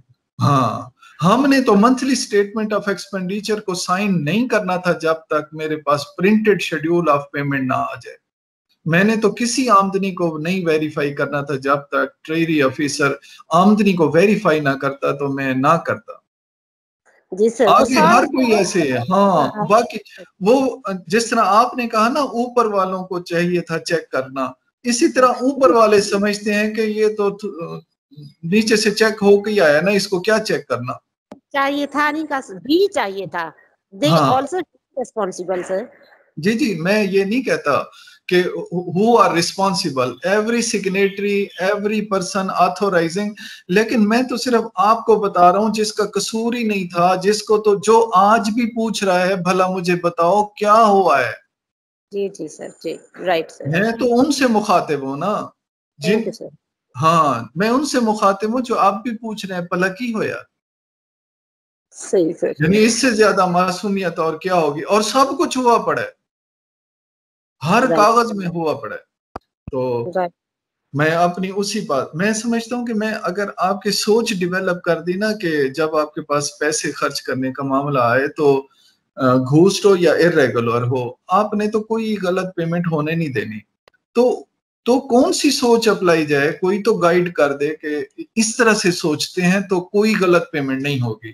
तो वो मैं आपको बताना चाहता हूँ। अब ये मेरे आखिरी अल्फाज जो है ना, ये बहुत कीमती होंगे नोट करने वाले, जिसमें इन तमाम जी, इन तमाम मिसालों ये अर्ज़ करने लगा था कि अब इसमें देखें कि आप इसको कैसे आगे जाके इसको कैसे कवर करेंगे।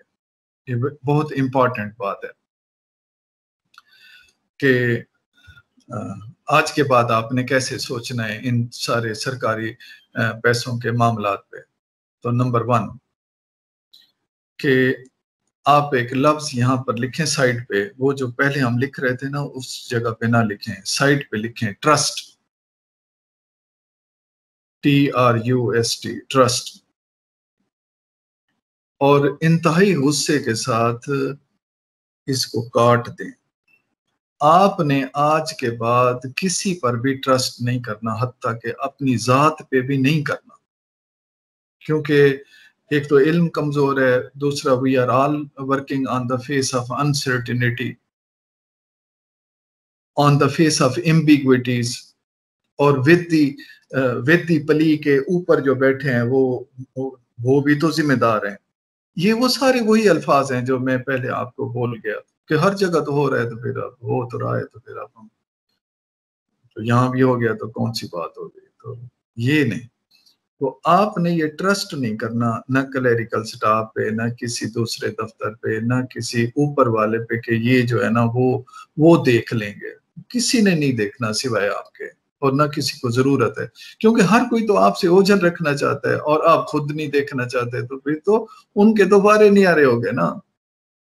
वो तो मज़े में आ गए ना कि वो देखते ही नहीं है। बस सिर्फ़ अंदर जाओ तो मतलब है कि वो पूछते हैं कि ये क्या है? वो फिर खड़े खड़े मतलब है कि साइन कर देते हैं और कहते हैं, और आपके दिल में रहम आ रहा होता है कि ये मेरी वजह से किसी की पेमेंट या मैं तो बड़ी मेहरबान हूँ, या मैं तो बड़ा मेहरबान हूँ। भाई, ये तो दरसत किए और मतलब उनका काम कर दिया और वो कभी, और कभी वो देखते हैं, देखें, मैडम सर जब जाने वाले हों तो बताना मतलब है कभी तो वो फिर उस वक्त साइन कराते हैं। हर वक्त इसी तरह नहीं होता। बाज़ात हर कोई मिल के भी सारा कुछ कर रहा होता है। लेकिन अगर फ़र्ज़ करें मिल के नहीं बन तो जब कभी कोई आपको खड़े पैरी और जाते हुए दक्षत कराना चाहे तो उसे कहें कि ये दिखा दो और आपके पास अभी पहुँच जाता है। मैं मतलब कि ये वापस आएगा तो ये आपको पहुँच जाता है। सुबह ले लेना, उससे ले लें। ले लें और उसको मत दें। क्यों? और बाद में जब आप शाम को खाना खा लें शाह के वक्त फिर आप उसके एक एक कागज़, पन्ना, वो खोल के देखें, मनहूस मुझसे क्या करवाना चाहता था? Then you will get the idea कभी भी हर किसी की डाक खड़े खड़े उन्हें कहीं साइड पे रख दें।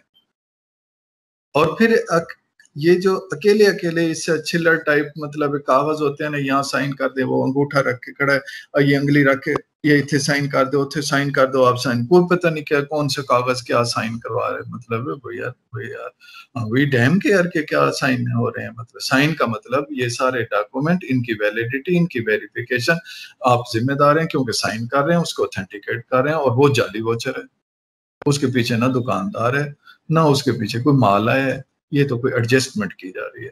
दैट्स रॉन्ग ये गलत है। अच्छा फिर होना आपकी जगह मैं हूँ तो क्या करूँगा? मैं हूँगा तो जब मेरे पास आएगा बिल तो मैं कहूँगा कि मुझे बजट प्रोविज़न दिखाओ। जब चेक आएगा तो मैं दिखाऊँगा, मुझे कैश बुक पे एंट्री दिखाओ। और मैं कहूँगा ये जो कागजात बना के मुठा ले आए और जिसे वोचर कहते हैं, इस इन वोचर्स को मेहरबानी करें। इनको मुतलका रजिस्टरों में जहाँ एंट्री की है ना बजट रजिस्टर में स्टॉक रजिस्टर में कब्जुल वसूल में, और जो कैश बुक हम तैयार कर रहे हैं, इसको वहाँ रख के ले आओ। मैं उस एंट्री पे भी साइन करूँगी और करूँगा, और मैं जो है ना, इस वोचर के भी एक एक पन्ने को फिर यहाँ रख के चले जाओ सुकून से। कोई पहाड़ नहीं दिखने लगा मतलब कुछ नहीं होने लगा। ये देख लेंगे, हो जाएगा। और फिर एक एक बात को देखें कि ये क्या जब बजट प्रोविज़न सामने आएगा तो पता चलेगा ये तो बजट ही पीछे जो है ना इतनी तनख्वाह तो आ ही नहीं रही जितनी ये लिख रहा है, ये ये ये क्या हो रहा है? तो वो आप, ये बिजली का बिल इतना क्यों आ गया? पहले तो ये बीस बीस हज़ार आ रहा है तो अब ये अस्सी हज़ार कैसे आ गया? वो आप किसी कट्ठी जगह पर एंट्री देखेंगे तो आपका विजन बनेगा ना। एक एक पन्ने को जब कोई साइन कराएगा तो पिछला पन्ना पिछले महीने साइन करवाया था तो क्या पता उधर क्या था? और वो तो पूरा मुठ्ठा साइन करवा के ले गया था। Not at all not at all ऐसे नहीं। रजिस्टर में रख के एंट्री कार के सामने रखे एंट्री पे वो तो दक्षत करना ही करना है, मैं भी टिक करूँगी। डिफरेंट कलर के साथ, कभी ग्रीन कभी, हम ऑडिट वाले जब ऑडिट करने के लिए जाते हैं, जब किसी सुपरवाइजर या डीडीओ ने ईच एंट्री को खुद कंपेयर किया होता है तो वो मैं, हम उस रिकॉर्ड को बंद करके वापस कर देते हैं, क्योंकि एक एक एंट्री तो चेक हुई पड़ी अब हम इसको क्या चेक करें? और कुछ जो है ना, ऐसे पड़े होते हैं मतलब ये वन सिटिंग में लिखे हुए, वो मैनुअर्ड होते हैं, उसमें प्रॉब्लम होता है।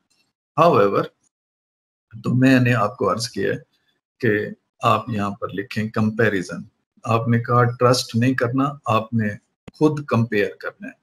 बनफ से नफीस, अपनी आँखों से, अपने हाथ से एक एक एंट्री को देखना है।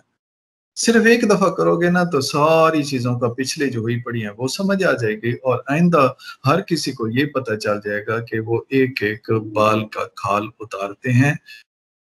लिहाजा अब कोई है कि बैंकी नहीं चलेगी। फिर वो जो है कि बैंकी करेंगे, आपके नोटिस में ला के करेंगे। तो अगर आपको कबूल होगा तो आप करेंगे, वरना on the face of this accountability regime you will never allow क्यों आपसे सवाल होगा कि ये कैसे है। और फिर उसके बाद सारे मसले हो। तो इन सारी चीज़ों से बचना है, वो चाहे घूस पेमेंट इरेगुलर पेमेंट हो तो वो। आखिरी एक कीमती बात तो ट्रस्ट नहीं करना कंपेयर करना है। आपने जो है ना बिलीव नहीं करना, आपने गौर करना है। अल्लाह ताला को भी हमसे यही गिला है कि आप गौर क्यों नहीं करते, गौर क्यों नहीं करते? और फिर इसी तरह से आप देखें, स्कूल चल रहा है, बंदे आ नहीं रहे और वो नहीं हो रहा। तो अब मैं आपको कुछ इंतहाई कीमती फ़िक्र लिखवाने लगा हूँ, जरा ये नोट कर लें। नंबर वन, घोस्ट पेमेंट की निशानियाँ। Payment made goods are not received अच्छा दूसरी तरफ़ इरेगुलरिटी के goods received payment made but the quality of good was not up to the mark डंडी मार ये इरेगुलर क्योंकि थोड़े से पैसे ज़्यादा ले गए सारे का सारा मुद्दा चट नहीं है अच्छा दूसरा repair has been made against the payment तो ठीक है, अगर आप लिखेंगे कि no work executed but payment made ये घोस्ट पेमेंट अच्छा नो सर्विसेज़ वर रेंडर्ड चाहे वो सरकारी मुलाजिम हो, चाहे वो किसी बाहर किसी वेंडर को आपने कुछ कहा हो।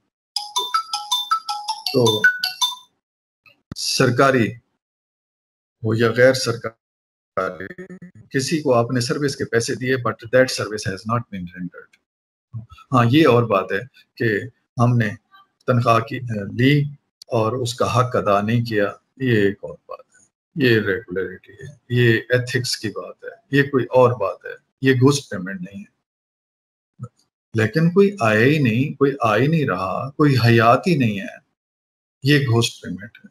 इसी तरह से एविजन बाहर बार मतलब एक्सपेंडिचर में होता है कि goods are not received services were not rendered works are repair were not executed means ghost payment अच्छा फिर घूस पेमेंट की एक और निशानी भी है, ये भी फिर कोई कह सकता है कि ये इम्बेजलमेंट है।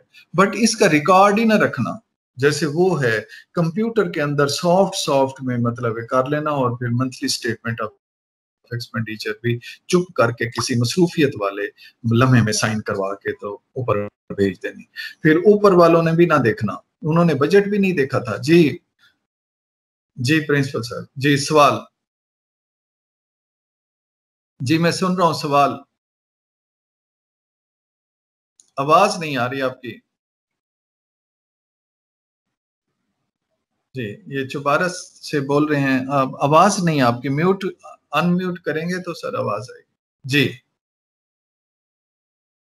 एक्सक्यूज मी सर एक सवाल करूँ? जी बिल्कुल करें जी। जी सर आप ऑडिट के लिए जाते हैं यहाँ आपको पता चले कि ये गलती हंड्रेड परसेंट प्रिंसिपल से हो गई है। जी। लेकिन लाइलमी में हो गई आते ही आते क्लरिकल क्लर्क ने उसे फंसा लिया या धोखा दिया तो वहाँ क्या सिचुएशन होती है आपकी? बिल्कुल ठीक आपने सही फरमाया। देखें ऑडिट इंक्वायरी नहीं होती कि वो जो है ना इतने हद तक जाके जिम्मेदारियाँ फिक्स करे। उसने तो ये कहना होता है कि आमदनी के लिहाज से उसने ये कहना होता है कि देखो तब लकी होया, भाई, इतने पैसे आने चाहिए थे, आमदनी के मुताबिक बजट में आमदनी के मुताबिक रिसीट होनी चाहिए थी, इतने कम आए हैं। जितने कम आए हैं तो उसकी वजह बताई जाए। वो ये नहीं बताया कि दाता के भाई इसमें कौन कौन शामिल है कौन लापरवाही में है कौन वो नहीं बताता। और अखराजात और घूस्ट पेमेंट में वो ये कहते हैं कि एक एक्चुअल डिमांड इनकी ये होनी चाहिए थी जबकि विदड्रॉल इतनी है। इसको देखा जाए और जस्टिफाई किया जाए बस। वो अगर ये देख हाँ वो अगर ये देखने बैठ जाए कि इसमें आ, कौन कौन लोग इन्वॉल्व हैं तो वो तो ऑडिट मुकम्मल नहीं हो सकता मतलब।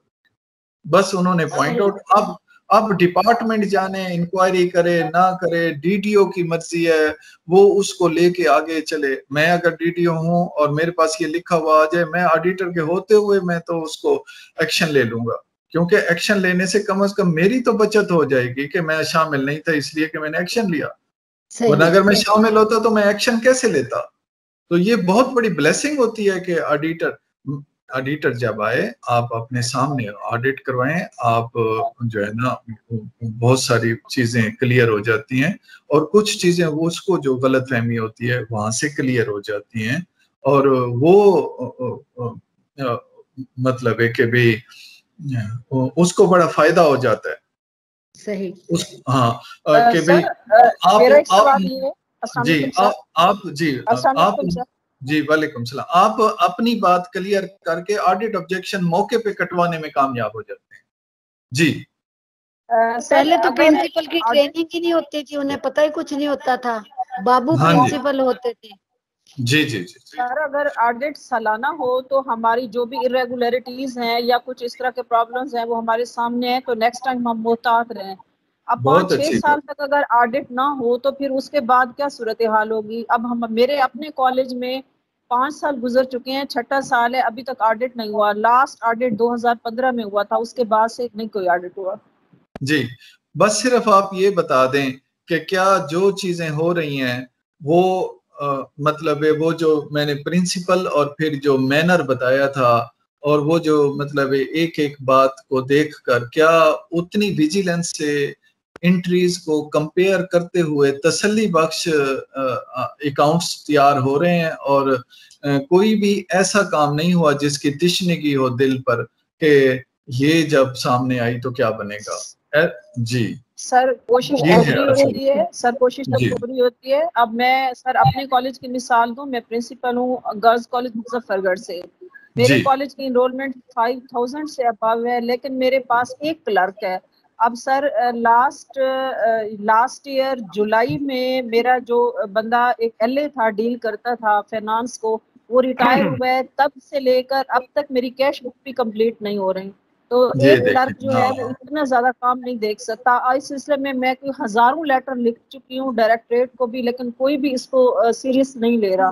अब ऐसी सूरत में मेरे लिए भी पॉसिबल है कि मैं इतने तमाम अमूर को देख सकूँ या खुद लिख सकूँ ये क्या है सूरत में हम क्या करें ये बेशक डायरेक्शन दी जाती हैं ट्रेनिंग में हमें मोटिवेट किया जा रहा है हमारे जहनों में ये तमाम चीज़ें अच्छी बात है क्लियर हो रही हैं। लेकिन इसके साथ साथ एच डिपार्टमेंट को भी चाहिए कि हमें वो फैसिलिटेट करे। बात छोटे छोटे कॉलेज हैं वहाँ चार चार क्लर्क बैठे हैं बड़े कॉलेज हैं वहाँ पे एक बंदा भी नहीं है। जी।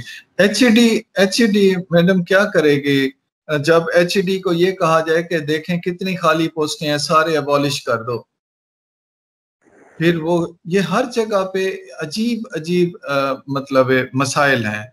तो हाँ बट हाँ हाँ लेकिन हाँ किसी लेकिन किसी के पास भी ए, कोई भी ये नहीं कह सकता कि चूँकि हमारे पास स्टाफ नहीं है चूँकि ये है तो लिहाजा इतनी गड़बड़ या ये तो देखिए इरेगुलरिटी है ठीक है वो रेगुलराइज हो जाएगी। सर जब एक साल के बाद आपकी कैश बुक्स लिखी जाएँगी तो क्या सारी चीज़ें आपके जहन में वैसे रह जाएँगी? क्योंकि जब हम साथ साथ चल रहे होते हैं तो बहुत सारी चीज़ें हमारे जहनों में क्लियर होती है हमें पता होता है। लेकिन जब ऐसे टाइम इतना काम बर्डन पड़े तो बहुत मुश्किल हो जाता है चलो आप ये मसाइल बताएँ मैं एक एक का हल बताता हूँ।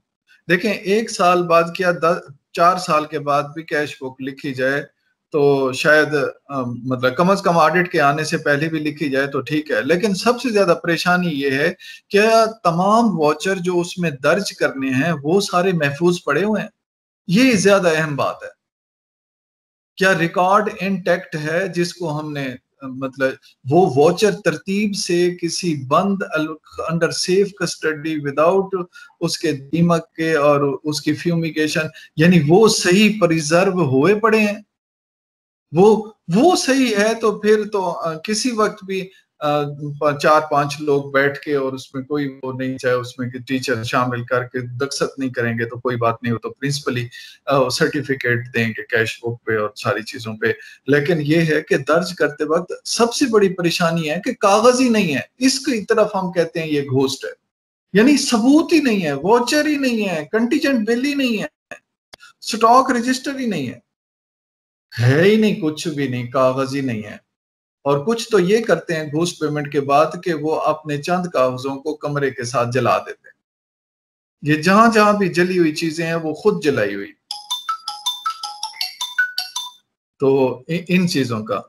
अच्छा मैं अब इस सारी चीज़ को सम अप करके आखिरी एक कीमती फ़िक्र आपको अर्ज़ करना चाहता हूँ। बाकी कुछ रह गया तो इनशाला हम उसको कल करेंगे। तो इस मौजू पे भी बात होगी, लेकिन आज की जो है इस सारी को मैं सम अप करता हूँ और वो भी एक आपके साथ सवाल करते हुए। काइंडली बताएँ कि ये जो कुछ भी मैंने आपको लिखवाया है उसको अगर एक दूसरे के साथ लिंक करें तो नतीजा निकलता है कि असूल से ज़्यादा जो उसको करने की तरतीब और तमीज है, वो ज़्यादा अहम। यानी सेंक्शन देने से ज़्यादा अहम सेंक्शन को देते वक्त कोई चेक लिस्ट है या कोई देखने वाली चीज़ें हैं तो वो ज़्यादा अहमियत रखती हैं। तो ये जब साबित हो गया तो फिर एक नया सवाल पैदा होता है। गौर से सुनिएगा, वो ये है कि अनलॉफुल क्या होगा? ये वो जो शुरू का लफ्ज आपको लिखवाया था, ये पूरा फिनामिना को मैं अब सम अप करने लगा हूँ एक फिक्रे में। तो पता चला कि, क्या पता चला कि हम सिर्फ़ वही कर सकते हैं जिसके करने का इख्तियार और करने की तमीज बयान कर दी गई है एक्सप्रेस कर दी गई है राइट कर दी गई है, लिख दी गई है, तरतीब के साथ सिर्फ़ वही कर सकते हैं। मसला इसका क्या मतलब? इसका मतलब ये है कि किसी भी कानून में हमें प्रिंसिपल वाले कानून में, यानी बड़े लॉ में, यानी एक्ट में हमें मना किया गया है कि ये नहीं करना। और अगर आप वो करते हैं तो आपका वो करना अनलाफुल है। अब दूसरी बात, इसकी मुखालिफ सुने कि आपको वो करने का इख्तियार ही नहीं था, तब भी गलत है। अच्छा आपको इख्तियार था, लेकिन मैनर आपने अडॉप्ट नहीं किया, तब भी वो अनलॉफुल है। अब एक सवाल का जवाब दीजिएगा, गौर से और बड़ी तवज्जो से सवाल जवाब दीजिएगा। फ़र्ज़ करें कि एक काम आपको कहा गया हाई अप्स की तरफ़ से कि ये करके लाओ, प्रिंसिपल को कहा गया या प्रिंसिपल ने नीचे कहा या किसी तरफ़ से ऊपर से हुक्म आया या प्रेशर आया कि ये करो। आपने गौर से देखा कि ये वाला काम इस रिटर्न लॉ में हो सकता है।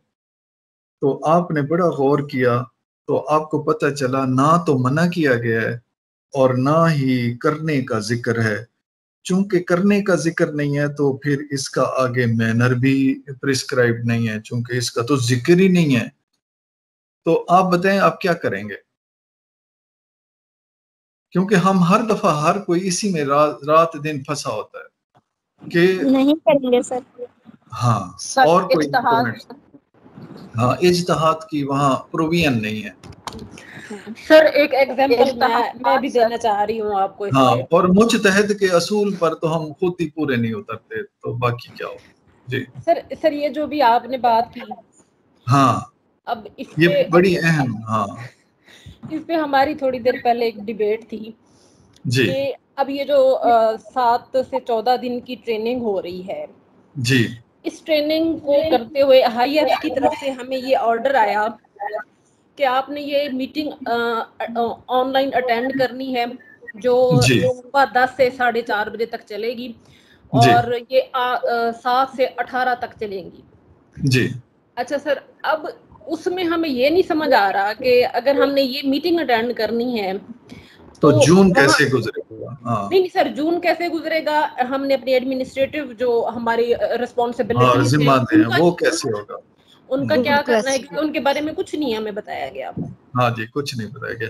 तो ये आप इसको मतलब क्या कहते हैं कि ये उधर से वो ले ऑफ़ हो रहा है यानी कि एक तरफ़ नुकसान हो रहा है और दूसरी तरफ़ हम फाइनेंशियल मैनेजमेंट को कुछ समझने में कामयाब हो रहे हैं और एडमिनिस्ट्रेशन का बेड़ा साइन भी हाँ, क्लर्क करवा रहे हैं मीटिंग के दौरान ऐसे साइन भी क्लर्क करवा रहे हैं। वो सर रूल्स नहीं है ना क्लियर इसमें हमें क्लियर इंस्ट्रक्शंस नहीं दी गई। अब इसमें क्या होना चाहिए? हाँ इसमें क्या? ये सवाल था आपका। जी बिल्कुल। हाँ ज़बरदस्त। देखें मैं आपको बताऊँ ये हर दफ़ा तो इस तरह की सिचुएशन नहीं रहती। लेकिन आजकल के ज़माने में तो कोई बच्चा हो या कोई बड़ा हो वो हर वक्त इस तरह से मुझे दो दफ़ा मेरा बॉस बुला चुके हैं कि और, कि, और किस चीज़ पे बुला चुके हैं कि क्या आपने पूरे पुलिस डिपार्टमेंट पंजाब के लिए परमानेंट एडवांस का मैकेनिज्म बनाने के लिए कहा था? वो आप इम्प्रेस्ड का मैकेनिज्म और जो रूल्स रेगुलेशन और जो बुक्स ऑफ़ अकाउंट्स होनी थी वो आपने कर ली। कि क्या वजह थी? वो ये वजह थी कि आईजी साहब ने कहा कि इस तरह से थानों को खर्चा नहीं मिल रहा तो थानों को पैसे भेजने के लिए मुझे एक पॉलिसी चाहिए और मैं वो भेजना चाहता हूँ। मैंने कहा, सर, आप कोई ऐसा काम नहीं कर सकते जो कानून में दर्ज नहीं है और उसको करने की तमीज नहीं है। तो उसने कहा कि वो मेहरबानी करो, वो कानून भी बनाओ मैं अप्रूवल लेता हूँ और उसकी तमीज भी बना के ले अब वो इस दौरान दो दफ़ा मुझे कॉल कर चुके हैं, लेकिन मैंने झूठ नहीं बोला। मैंने कहा, मैं वेबिनार में हूँ, मैं फाइनेंस मैनेजमेंट की ट्रेनिंग दे रहा हूँ। उसने कहा, ठीक है, आप फारिग होके आए, मैं आपका इंतज़ार कर रहा हूँ। क्योंकि उसकी अहमियत है। तो आप जब ये साढ़े चार बजे खत्म हो जाएगा चाहे आप रात को सो सकें या ना सो सकें या आप रात को 11 बजे दफ्तर से जाएँ बट आपको रोज का काम रोज करके जाना पड़ेगा इन दिनों में। और किसी पर भी आप बिलीव नहीं करेंगे और किसी पर भी यकीन नहीं करेंगे। जी। ट्रस्ट नहीं करें बिलीव नहीं करें। और सर हमारी तीन तीन ट्रेनिंग एट ए टाइम हो रही है और वो लेक्चरर को लगाया होता है वो आधा बताती हैं आधा भूल जाती हैं। अब इसका अच्छा। क्या हाल है? आ, उसका हल है। जी आप पूछते जाएँ। आप मेरी ये वाली बात भी रिकॉर्ड कर लें मैडम और वो जो है ना वो भी रिकॉर्ड कर लें। और फिर आप जो है ना देखें सोने से नमाज़ बेहतर है। सोने से नमाज़ बेहतर है। सही। तो आप कहीं तो रुक जाएँ हम। बहुत हो गया लापरवाही। बहुत सारी गफलतें हो गई। अब नहीं। अब शायद जाग के गुजारनी पड़ेंगी पिछली गफलतों को सामने रखते हुए। मैं शायद दो घंटे या कभी एक घंटा, कभी आधा घंटा सो सकता हूँ, वरना। लेकिन मैं ये समझता हूँ कि ये सारी चीज़ें मैं करके गया तो हो जाएँगी अगर ये मैंने ना की और ये सारे निज़ाम ना बना के इनको दिए और ये अप्रूव होके ना चले तो ये सारा कुछ तबाह हो जाएगा। तो आप देखें प्रिंसिपल हैं, आपके पास ज़िम्मेदारी है। ये ज़िम्मेदारी तो इतनी खास नहीं है। हमने तो अपनी औलादें आपके हवाले की हुई हैं, मैडम और प्रिंसिपल साहबान। हम तो उनकी तरबियत चाहते हैं। हम तो नहीं कर सके अपने घर में रहते हुए उनकी नहीं। हम तो जॉब पे जाते थे और जॉब पे हमारी औलाद को हम जब तक वो हमारे हाथ में थे, बाद में तो हमने आपको उनके हवाले कर दिया। फिर मुझे कहने दे कि हमने तो अपनी कौम को आपके पास संवरने के लिए और उनकी पर्सनल ग्रूमिंग के लिए भिजवा दिया। तो वो तो ये तो कुछ भी नहीं है public finance management ghost payment और ये डॉक्यूमेंट्री ये तो कुछ भी नहीं है। इसको वो बहुत बड़ी ज़िम्मेदारी दी हुई है। तो उसको देखना ज़्यादा ज़रूरी है। वो सोशल रिस्पॉन्सिबिलिटी है, ये फाइनेंशियल रिस्पॉन्सिबिलिटी है। तो ये तो आखिरी बात सुने और बाकी कल सुबह इंशाल्लाह करेंगे। और आप आ, आप ये कल आप सवाल कीजिए। आप सारे सवाल लिख लें और इंशाल्लाह जी जी जी। सर एक छोटा सा सवाल है कि ऑडिट के करवाने के लिए क्या खुद अप्लाई करना पड़ता है? जी अप्लाई करना पड़ता है। जी और मैं आपको कल ऑडिट के बारे में बताऊँगा। ऑडिट खुद करना पड़ता है। जब आपकी तसल्ली हो जाए और आपको ऑडिट का तरीका मैं बता दूँ तो इसके बाद आप समझ लेंगे सब इट्स ऑल ओके अच्छा अब आखिरी फिक्रा आखिरी फिक्रा। आपने हाँ। आपने आज इतनी मुश्किल बातें इतने आसान वे में समझाई है इतने इजी कि हम समझते हाँ। कि बहुत मुश्किल है। Thank you so much sir जी हाँ अच्छे सर बहुत अच्छे कमेंट्स हैं। जी जी। मेरी एक प्लीज़ छोटी सी एक रिक्वेस्ट है वो ये कि हमारे डिपार्टमेंट में यानी डिप्टी डायरेक्टर ऑफ़िस ने कुछ अर्सा पहले एक हमें लेटर वो भेजा कि आप एक सर्टिफिकेट दें कि 10 साल आपके कॉलेज में किसी किस्म की करप्शन नहीं हुई। अब मुझे नहीं हाँ। पता मैं तो यहाँ पे दो साल या तीन साल से बैठी हूँ। फिर उन्होंने नॉन कॉपरेटिव बिहेवियर है ये है वो है। इन दी एंड उन्होंने वो सर्टिफिकेट लिया।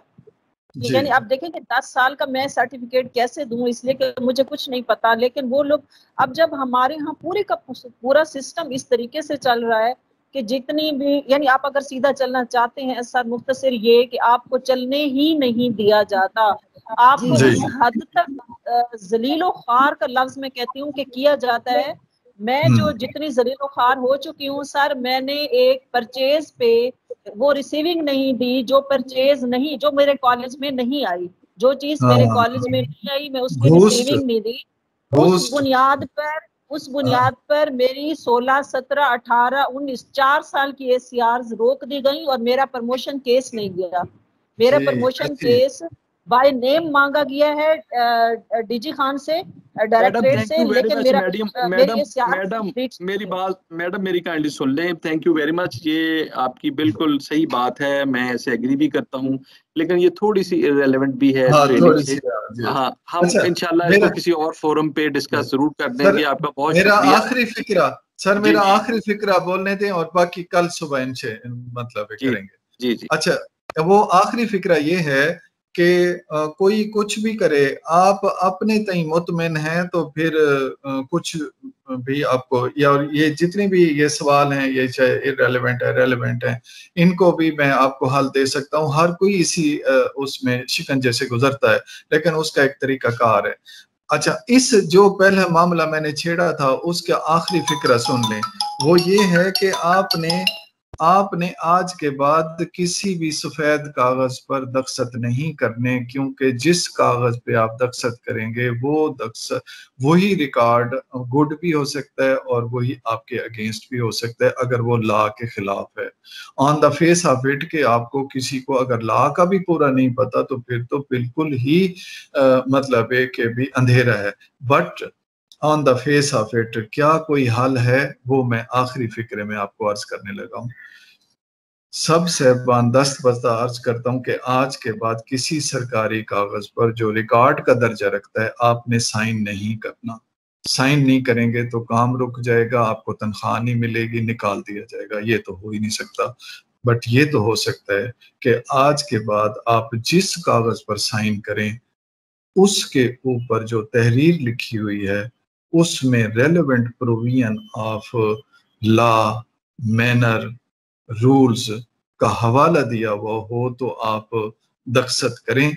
और अगर ऊपर भेजनी है गवर्नमेंट तक या डिप्टी तक या किसी जगह पर भेजनी है तो तसल्ली कर लें कि जो मामला भिजवा रहे हैं, इसमें जो रेलेवेंट प्रोविज़न ऑफ़ लॉ है, उसका हवाला दिया गया। नहीं दिया गया तो ना खुद एक्सेप्ट करें उस कागज़ को, ना ऊपर भेजें।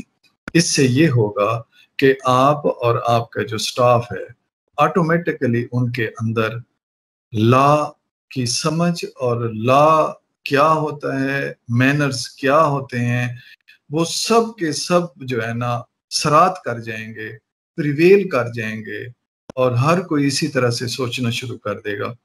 यही वाली ट्रेनिंग पता नहीं कितनी दफ़ा आपकी होनी चाहिए थी। ब्लेसिंग कि ये अब हो रही है। और चलो अब हो रही है तो ये कल और इसके बाद आपके मसाइल और फिर उसका रूल्स के मुताबिक जो उसका हल है, वो मैं देने के लिए तैयार हूँ। लेकिन अगर हम परेशानी को छोड़ के और हल की तरफ़, वे फॉरवर्ड की तरफ़ चले जाएँ तो चीज़ें ठीक हो सकती हैं। Thank you very much. बाकी बातें कल आपका बहुत शुक्रिया। अर्षद बेग साहब बहुत शुक्रिया sir. Thank you so very much आपने अपनी मसरूफियत अच्छा मसरूफियत की वजह से के साथ आपने हमें टाइम दिया। बहुत शुक्रिया सर आपका। Thank you very much